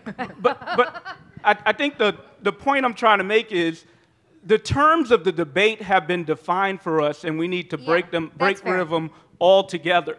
So whether it's zero sum or whatever, what we will not accept as a society is one where we don't offer economic agency to everybody. I think that's, the frame and the narrative we need to operate in. Yeah. And right, that, and, and I'll say this last point: the, the neoliberal norms that have been um, put upon us is one of self-interested economic gains that knows no bounds, um, and that it is all associated with accumulation, accumulation, me against someone else. I think that the framing that young people are starting to put together and that is leading to this momentum that we're having is one of humanity, is one of sustainability, and one of collectiveness. And that's the frame we need to operate in. Great. Do you want to say something, Senator Merkley, to answer I just, that? I just we'll want to to questions. jump into the into the, kind of a, the great contradictions in Trump on this, because he campaigned as I'm going to be a, a champion for you struggling families Yeah. who have lost jobs. Well, so in my community, in my blue collar community, you sit down with the family and you ask, what are you worried about? They'll, they'll talk about one of four things within 30 seconds. And it will be, as we've discussed here, healthcare, housing, education, a good paying job. But what do we see with Trump? What do we see on housing? He guts all the housing programs in his budget, doesn't advocate for them, doesn't have a secretary of housing who advocates for ordinary families, whether it be affordable, decent rentals or it be uh, home empowerment through home ownership. What do we see on health care? He tries to strip down health care for millions of American families and sabotage the exchange for middle class uh, families. What do we see on education? Undermining public schools. Uh, we don't see any effort uh, to, to take on class size. Uh, or, or stop the brain drain from, from schools in low income areas to high income areas, which we see all the, all the time. Uh, we, we don't see affordability for college being something he cares about, or not even investment in career technical education. I mean, none of that. And then on the job side, we could have had a massive infrastructure bill in 2017, but what did he choose to do? Not to address the fundamental issues, these four fundamental issues that matter to families that are trying to get onto a solid foundation. No, he gives a trillion and a half or two trillion with interest to the wealthiest people in America. We need to call out this the fundamental uh, lie he campaigned on and is, is governing on. He's governing by and for a small circle of rich and powerful, including the Koch brothers. He's destroying our planet on, on carbon. Uh, he's increasing hate and division. And as we were talking about the pieces there, I just want to say we have to treat children and adults at the border fleeing persecution with decency and respect when they ask for asylum. Thank you. All right. I we have time for just a few questions. Any questions from the audience? If there aren't, I will ask another one. Okay. And I'll speak loudly without it. Uh, it's what's coming. It's coming. Just her. She'll be over there quickly. Thank you so much. So one issue that cuts across what this panel has said and uh, the previous panel on environmental justice and infrastructure is that the federal minimum wage has not been increased in 32 years. And uh, one of the bills, we keep applauding what the Congress has done and we keep blasting the people on the other side, but one of the things we haven't done is pass the Raise the Wage Act. And it may well be that although the press focuses on progressives who are too progressive, maybe there's a number of progressives are not progressive enough. And the heart of a lot of what this panel has talked about is raising the minimum wage and making sure that businesses don't either use the subminimum wage or expand the use of the subminimum wage to the gig economy and elsewhere. Great. Uh, a- anyone on the panel want to talk about the Raise the Wage Act? I, I, I since CAP works on this problem uh, very closely, I will say that uh, we are optimistic that the uh, Raise the Wage Act will pass the House, but uh, love others to. So I was just going to say that, you know, if you take a look at the income distribution, what we see is that, you know, all the gains for many, many decades have been going to the top. So there's been this fight between Republicans and Democrats about whether we've won or not won the war on poverty.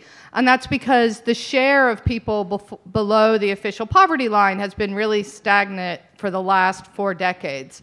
Well, the trick is that the official poverty line pretty much captures market wages and doesn't capture things like the EITC or some of the programs. But that does tell us something important, which is that despite the fact that average incomes have doubled over those four decades, we haven't done anything to really help out the bottom. And so we have to think about the market's not going to do it on its own. And we need to do it through passing a higher minimum wage and making sure that if we're going to be talking about people working and the importance of bringing, you know, uh, the importance of people doing these things on their own, then we have to make sure that the wages are there for them. I mean, we do things like require drug testing to receive benefits as a mechanism to discipline poor people. I think we need mechanisms to discipline the market. So a federal job guarantee de facto instills a minimum wage. Yeah. A federal job guarantee de facto puts working conditions on the private sector by which if they want to hire workers, they have to offer at least what the federal government is, mm-hmm. is willing to offer. And the last thing is it eliminates unemployment altogether because I guess the conservative talking point is that the true minimum wage is zero. Well, with a federal job guarantee, those people that aren't even working would not only get the minimum wage, they'd also get a job. Mm-hmm. And you think about $7.25 federal minimum wage. In Oregon, it, minimum wage is now almost double that. So the disparity is becoming yeah. greater. And if you include for a single parent doing child care, paying for, for child care, mm-hmm. it's basically you get paid nothing. I mean, mm-hmm. you mean you it Child care yeah. eats up all of your, your wages. So we make it, back to the point, make it incredibly hard uh, for women to re-enter the workforce in a, in a product, or men, single parent uh, fathers. Uh, but um, this, I can't even imagine the fact that not only is it 725 federally, if you're in a tipped position, uh, it's $2.35. $2.13. I mean, it, and no, no guarantee you're going to get tips to make up uh, that difference at all. In Oregon, we index the minimum wage. We're raising it towards the $15 mark. Uh, we do not provide a tipped wage. That is, if you are waiting tables, you get your full minimum wage plus your tips, and that's what the customers want you to get when they think they're tipping you. They aren't trying to make up for the pay you're not being paid by your, your establishment. But we also did, we tried a little twist that, that is, uh, I, I don't know if it's unique, I think it might be, which is we did a variation on the minimum wage in rural areas where the cost of living is much lower than the, than the cities. And that tended to bring the state together uh, more powerfully than we had been before behind the minimum wage. Uh, we, we have time for one question, last question, and we'll, we'll try to take it quickly. Thanks very much. And thanks very much to the panel on the minimum wage. Uh, it was notable in the earlier panel today and in Stacey Abrams' speech how low the minimum wage can be in some states. I think she mentioned $5 an hour in, in Georgia. Uh, I wanted to raise a macro issue. We talk a lot, people get worried on the Democratic side about the debt and so on, but the economic consensus, the macroeconomic consensus, has moved to, dramatically in mm-hmm. the past year or two away from concerns about United States uh, debt to GDP ratio and in favor of thinking that it's worth investing and it's worth mm-hmm. taking on debt in order to invest. So I want to encourage us not to be scared to lay out important spending plans uh, because of the fear of, of debt. Thank you. This is a former member of the Obama NEC, so that's, a, that's great.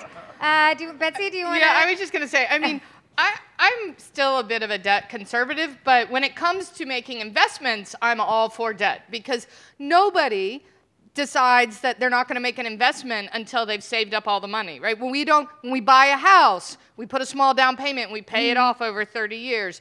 There's lots of ways in which we, you know, businesses put a small down payment and pay things back over years. That's how we invest. That's not how we should do tax cuts, right? We shouldn't borrow from our children and our grandchildren in order to give a bunch of rich people today a lot of money. So the question about the debt has to be what are we spending the money on and why are we engaging in the debt, not debt is good or debt is bad. Excellent. Uh, I think that's a great ending to this panel. I want to thank our three panelists. Uh, and uh, I'm going to, we're saving the best for last for our last speaker. I'm going to head over to the podium, uh, but let's give a round of applause to these three great economic thinkers. Thank you. Thank you. Thank you.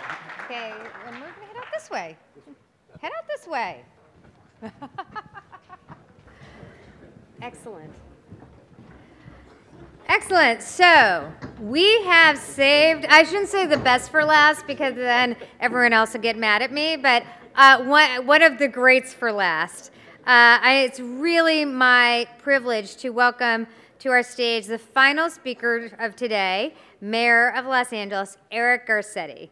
As the head of America's second largest city, Mayor Garcetti is standing at the forefront of amazing leaders who are driving progress at the local level. He's championed progressive issues such as expanding infrastructure, providing free community college, and combating climate change. And he's here today to share how his city is helping to spearhead the movement to enact real and meaningful change across the board. So please help me give a warm welcome to Mayor Eric Garcetti.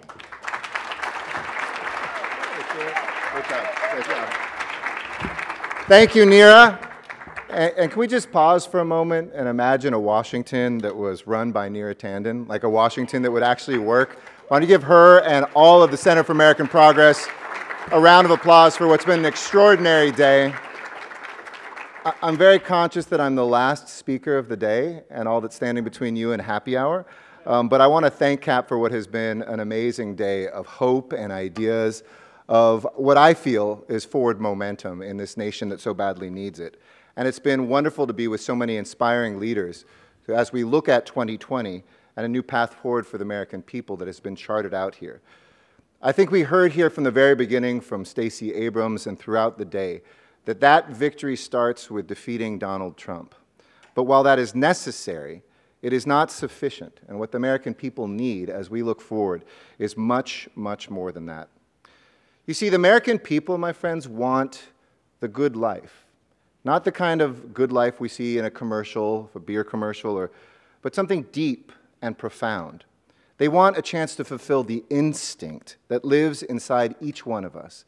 And what I'd put before you today as we close out this time, the pursuit of happiness. You know, if Thomas Hobbes described life as nasty, brutish, and short, if the Greeks said, call no man happy until he is dead, our American philosophy, our American experiment, called for something radically different. Our founding documents, we defined ourselves through three inalienable rights that we know so well life, liberty, and the pursuit of happiness. We often get caught up in those first two. We define ourselves by those first two and our battles over life itself and liberty. But our founders agreed that Americans must be afforded the right to happiness, and life and liberty exist as the precursors to the most important of those three to live a happy and fulfilling life. When Jefferson wrote those immortal words, he was writing specifically that happiness, though, relies on good government. Government that's rooted in our care for each other, in our shared commitment to a future where our children can thrive. And yet, despite that foundation, despite our vast wealth and power, America is ranked 18th in the world in terms of happiness. Why? Well, you've heard about it today a healthcare crisis, a barbell economy, soaring student debt, unattainable housing. And more than anything, I believe that our unhappiness comes from the disconnection that Americans are feeling right now, that we don't have a sense of belonging. Americans are asking, where do we belong anymore in our country? And where does America belong in the world? Unfortunately, our leaders in Washington, especially at the White House, have very few answers. This president who divides us and remains the subject of a counterintelligence investigation, an attorney general in contempt of Congress, state by state, men are deciding that they should legislate what women do with their bodies. And the great American promise that if you work hard, if you play by the rules, that you'll do better by your parents or better than your parents, that is broken. In just three years, our moral and our political authority in the world has been diminished by our withdrawal from the Paris Accords, the Iran nuclear deal, our waffling on Article 5 of NATO, and on the incarceration of children at our border. Simply put, Americans don't feel like they belong, and they don't trust our institutions. You know, Gallup does a poll every year asking Americans a simple question about whether they trust 15 different institutions. Only three of those are above 50% police, the military, and small businesses. Americans have lost faith in the news that they read, in places that they put their savings, and especially in the people that they elect, and that goes for both parties. Trust and faith. Think about those lessons we hear from the pulpits in our temples and our churches. Think of the teachings that are enshrined in just about every holy book.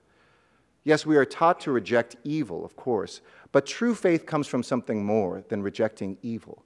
It comes from a positive faith, a belief in knowing where your God wants to take you and trusting in that power. So you see, our vision must be as strong as that, not just a rejection of Donald Trump, not just restoring the status quo of three years ago. Now, I don't know what'll make everybody happy, I read recently that there's 1.5 million Americans who would be happier if the eighth season of Game of Thrones were redone. But there are a few basics that I know we do believe on, agree on, excuse me. One, that work must have meaning. Two, that your children deserve a good public education. And three, that the future should full, sorry, the future should feel full of beginnings and not of endings. We should be full of beginnings and not endings. So, our party and this room and our allies as progressives, we have to carve a path to happiness for the American people. Remind Americans that they do belong. You see, from belonging comes trust, from trust comes commitment, and from commitment comes progress. I'm here today because, as broken as our federal system feels, as a mayor of the second biggest city in America, and traveling the country with my fellow mayors, I see a great America in America's cities and towns. And today I want to share with you what America's cities can maybe teach our nation's capital to contribute to that vision of belonging and progress for our party and our country. It was said in the past that states are the laboratories of democracy. I would offer now it is America's cities. We are centers for progress, and how we as Democrats can restore confidence and happiness as an achievable pursuit by looking at what's happening in our urban areas. Now, let us not also forget that America, from its very founding, has always been about how power has come from our communities to our nation's capital and not vice versa. In Los Angeles, we're not waiting on Washington to deliver on infrastructure. The same day Donald Trump was elected, we joined with other cities around the country to approve $230 billion of infrastructure. In Los Angeles, it was $120 billion to put 15 transit lines in the most trafficked city in America and put 787,000 Americans to work. And now, through a nonprofit called Accelerator for America, which I've helped found, we're working with cities all across this nation to generate their own local infrastructure funding, creating national change from the bottom up. While Washington demonizes immigrants, denies climate change, and wages a trade war, what's happening locally? Well, in Los Angeles, our libraries, every single one of them, has a citizenship center to integrate the next generation of Americans. We're creating jobs while we're reducing our carbon emissions. We're breaking records for our international trade and travel at our ports and airports. And over the last five years, we have passed a wide reaching agenda for progress through key investments in our city. In a state, and I think some of you know this in California, where you have to pass any revenue measure by a two thirds vote, listen to this. Not only did voters approve infrastructure measures, we passed measures to build affordable housing and homelessness, clean our water, create open spaces and parks, and to support our community colleges. At the same time, we raised our minimum wage, cut our city's business tax, made community college free, and we're outpacing the nation on job growth and wealth, cre wealth creation. We created 35,000 green jobs, making up for all the coal jobs left in America in a town with just over 1% of the nation's population. And we also convinced the world in the face of the Muslim ban and family separations that they should believe in America and were awarded the 2028 Olympic Games. That's a damn good American story. And it's a progressive story that lays the groundwork for a stronger tomorrow. It's the story of a nation where everybody belongs. I know a lot of people talk about inclusion and diversity. I like the word belonging better because diversity can mean many things. Hometown Buffet has a diverse buffet. And inclusion implies I'm more powerful than you and including you. But belonging gets to our hearts, it gets to our aspirations, it gets to who we are as Americans. And this story I'm sharing from LA doesn't amplify the device of politics spewing from the White House or Twitter or cable news. It's just the story of people pulling together and getting stuff done. I think CAP understands that mandate better than anyone else. Born in the wilderness of the Bush administration, this center showed us not only how to push back on bad policy, but how to push forward when we would regain power with smart ideas. So when we took Congress back in, 20, in 2006, when Barack Obama won the White House, we had a substantive agenda, substantive agenda, excuse me, on day one. That's the kind of foresight that we need today. Our farmers need much more than an end to the trade war. They need a path forward in a confusing global economy and a changing climate. Yes, we must, of course, end the incarceration of children, like my grandfather who was crossed over the border in his mother's, my great grandmother's arms. But more than ending family separation, we need pathways for citizenship. We need to defend immigrants. We need to craft a foreign policy that's centered on aid and investment and diplomacy to stabilize our hemisphere. And while we must restore our frayed social safety net and help people earn higher wages and access basic services, it's not enough to help people tread water. It isn't enough to help people stay afloat. We need an agenda to lift America back up. We must create opportunities for people to pursue. So, as we dive into the throes of the presidential election, let's remember our cause is not just to defeat Donald Trump. Our cause is to pursue happiness for the American people, to set a vision and a plan, and to seize it for America. So, I'd like to touch on three lessons to show how we get there. First, we need to build in America by taking a generational approach to infrastructure. Second, we need to protect our homes and our communities and our families by winning the war on climate change. And third, we have to help all of our children advance through inclusive investment. It's time for new beginnings, not just keeping people's head above water, but helping them see a future for themselves and their children and this country. So, first, infrastructure. I didn't time today to be this way, but in, uh, in case you didn't know while you were here, our president walked away from the table. He walked away from this country's crumbling communities, and he walked away from the American people. After ambitions of billions and then trillions of dollars to help Americans win the future, Donald Trump showed that he still can't get construction projects done. But remember, the same night that we elected him, as I mentioned, voters from Ohio to Washington approved a quarter of a trillion dollars in infrastructure investments. Almost half of that was in my town, as I mentioned. The $120 billion of Measure M, the largest local infrastructure initiative in American history times two, one that never sunsets, and one that is creating 787,000 middle class jobs that can't be exported, that are recession proof.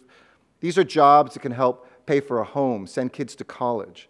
And that success inspired us to found Accelerator for America, which launched exactly one year after the 2016 election. We didn't know it would be a big deal at the time, but with some fellow mayors, one of whom was from South Bend, Indiana, we held our first meeting in the Studebaker factory there in that town, in the same spot where my friend Pete Buttigieg would then launch his campaign for president. Accelerator put together a bipartisan poll, and after healthcare, it was the second biggest issue for Americans that they want both parties to work together on. Nearly 80% of Americans say infrastructure is important. And we can't talk about infrastructure as dollars and miles and programs. It's about people. It's about whether you get to see your child on time because the commute is lessened.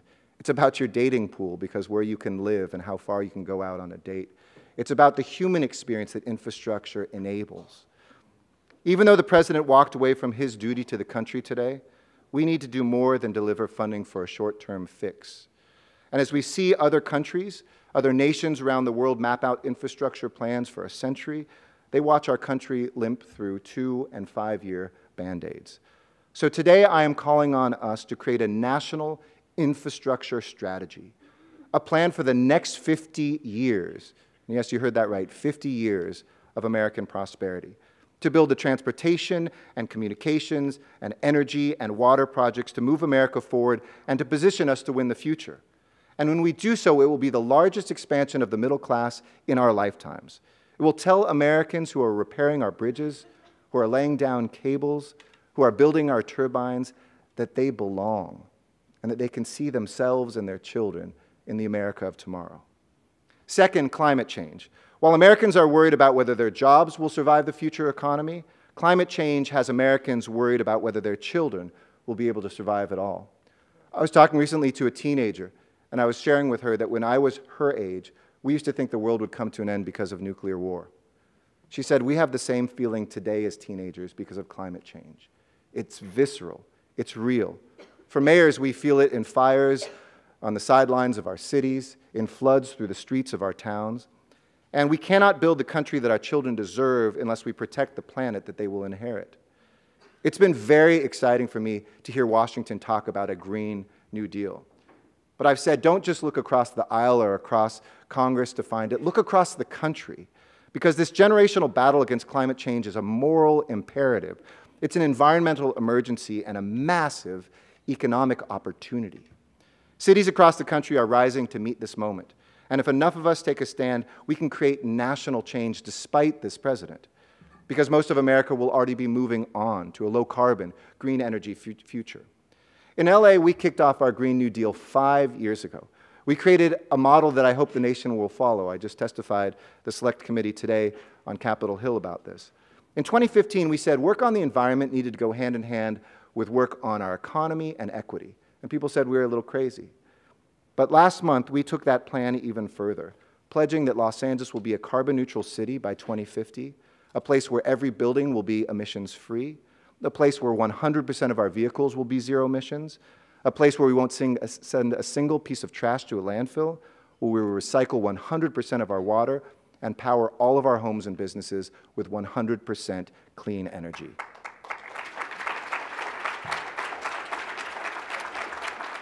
And just because we're leaving pollution behind doesn't mean that we'll leave workers behind. My Green New Deal will put 300,000 people to work in new jobs, building on those 35,000 jobs I mentioned, in water, solar panels, retrofitting buildings with cool roofs.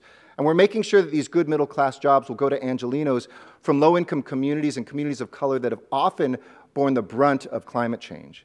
And working with our sisters and brothers in the building trades will create those jobs of the future to ensure they're not just any jobs, but fulfilling careers.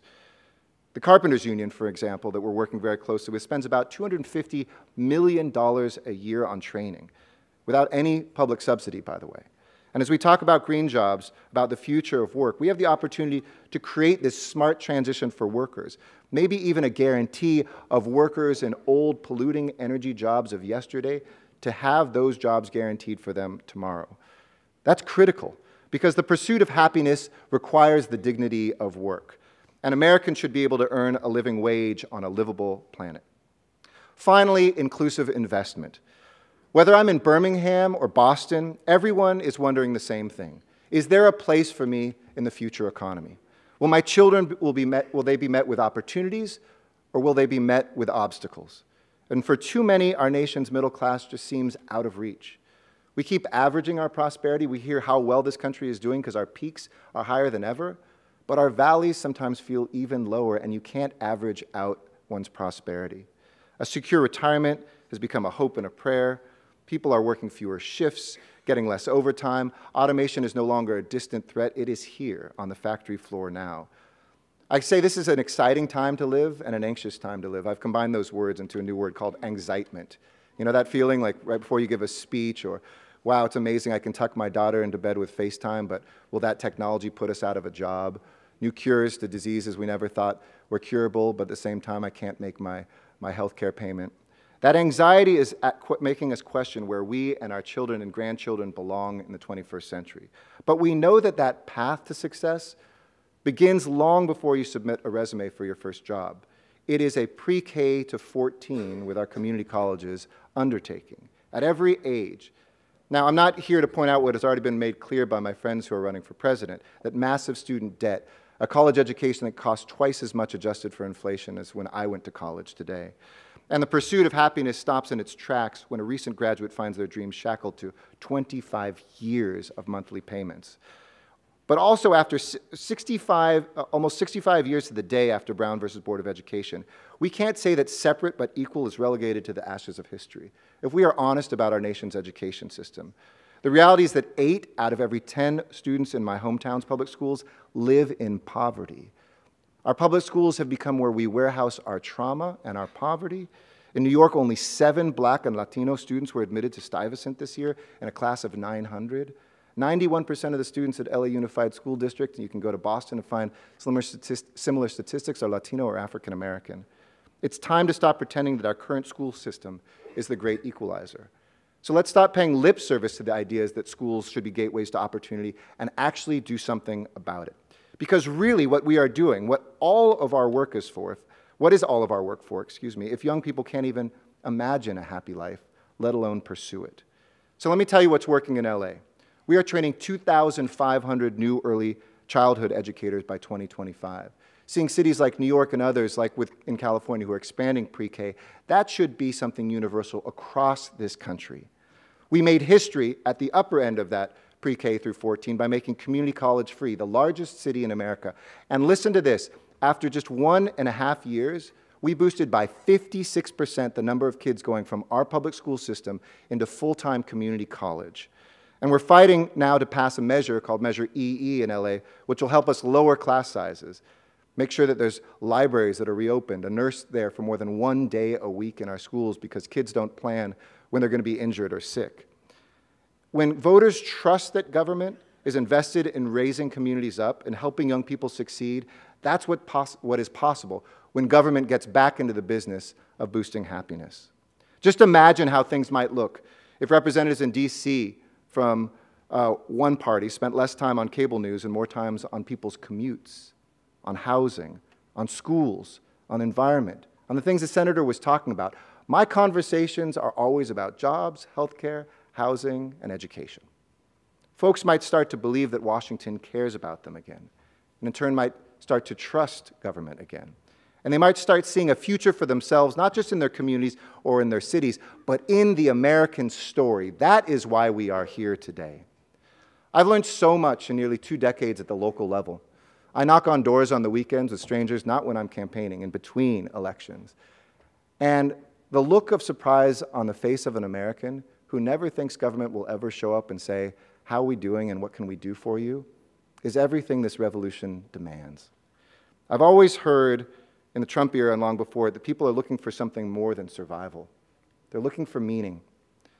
No matter where they live or how they vote, Americans will always do what it takes to better their communities. But when they are listened to, not just tolerated, when they feel that government is investing in them, in their happiness, not just exercising or overreaching their power, when they're given the opportunity to live with dignity and to find a sense of self worth, the promise of America is within reach. Our guiding philosophy in Los Angeles and in cities nationwide should come from Aristotle's words that are etched in my city hall on the top floor, named after our greatest mayor, Tom Bradley. It's from Aristotle's Politics, and it says that the city came into being to preserve life, but it exists for the good life. In other words, we formed government to be safe, but that's not the end goal. It's not life and liberty. It is the pursuit of happiness, to fall in love, to go to a concert that moves us, to have those connections with different cultures, to have ideas and thoughts that we never thought possible, and to make a life full of meaning. Let me close with a quote by Robert Browning in a poem that I recently read about the uh, artist Andrea del Sarto. One of the lines Robert Browning says that a man's reach must always exceed his grasp. Our reach should always exceed our grasp. In other words, think about the book of American history, the slave that reached out for her freedom, even though she died in shackles. The woman who said all people should be able to vote, including women, even though she never was able to fill out a ballot. The GI who fought for freedom but came back in a body bag. The farm worker who thought that her children shouldn't die from pesticides. Or folks who decided to reach out so they could marry their loved one but died before that Supreme Court decision came down. You see, we as Americans always reach beyond our grasp, so that even if we can't hold it, our children or our children's children will. Because that's what the pursuit of happiness is about. And I want to close this conference out by letting you know that ideas are alive and well across America. But more than ideas, so is action. So spend five minutes watching cable TV or responding to Twitter, but then let's get to work. Let's see America being born in every good idea in a small town and a big city across America. Feel that hope in the investments that we are making. And let's do more than throw out the inhabitant of 1600 Pennsylvania Avenue. Let us help America be reborn with the progress that we here feel and the happiness that when we close our eyes we imagine. And if we do that, our work will be done and our reach will have exceeded our grasp. Thank you so much. Have a great afternoon. Thank you. Thank you. Thank you. Thank you. You're the president. Oh, great. Thank you. I cannot think of a better ending to the 2019 CAP Ideas Conference.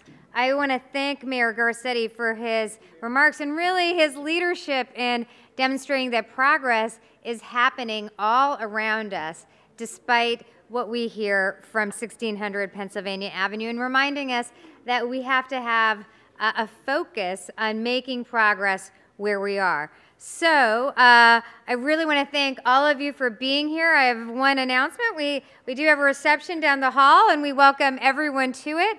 Uh, uh, this event is only possible because our, our friends, our thought partners, everyone here, but most importantly, for the fantastic staff of the Center for American Progress, all my colleagues. Uh, I want to thank particularly the entire CAP event staff, but three people in particular who made this day possible and definitely juggled with a lot of changes on the Hill today. Uh, Aaron Cohen, uh, my chief of staff, Marlene Vasilic, who runs our events program, and finally Billy Flanagan uh, as well. So I want to thank all the CAP staff, but those three have really been struggling. And let's go have some drinks. See you. See you later.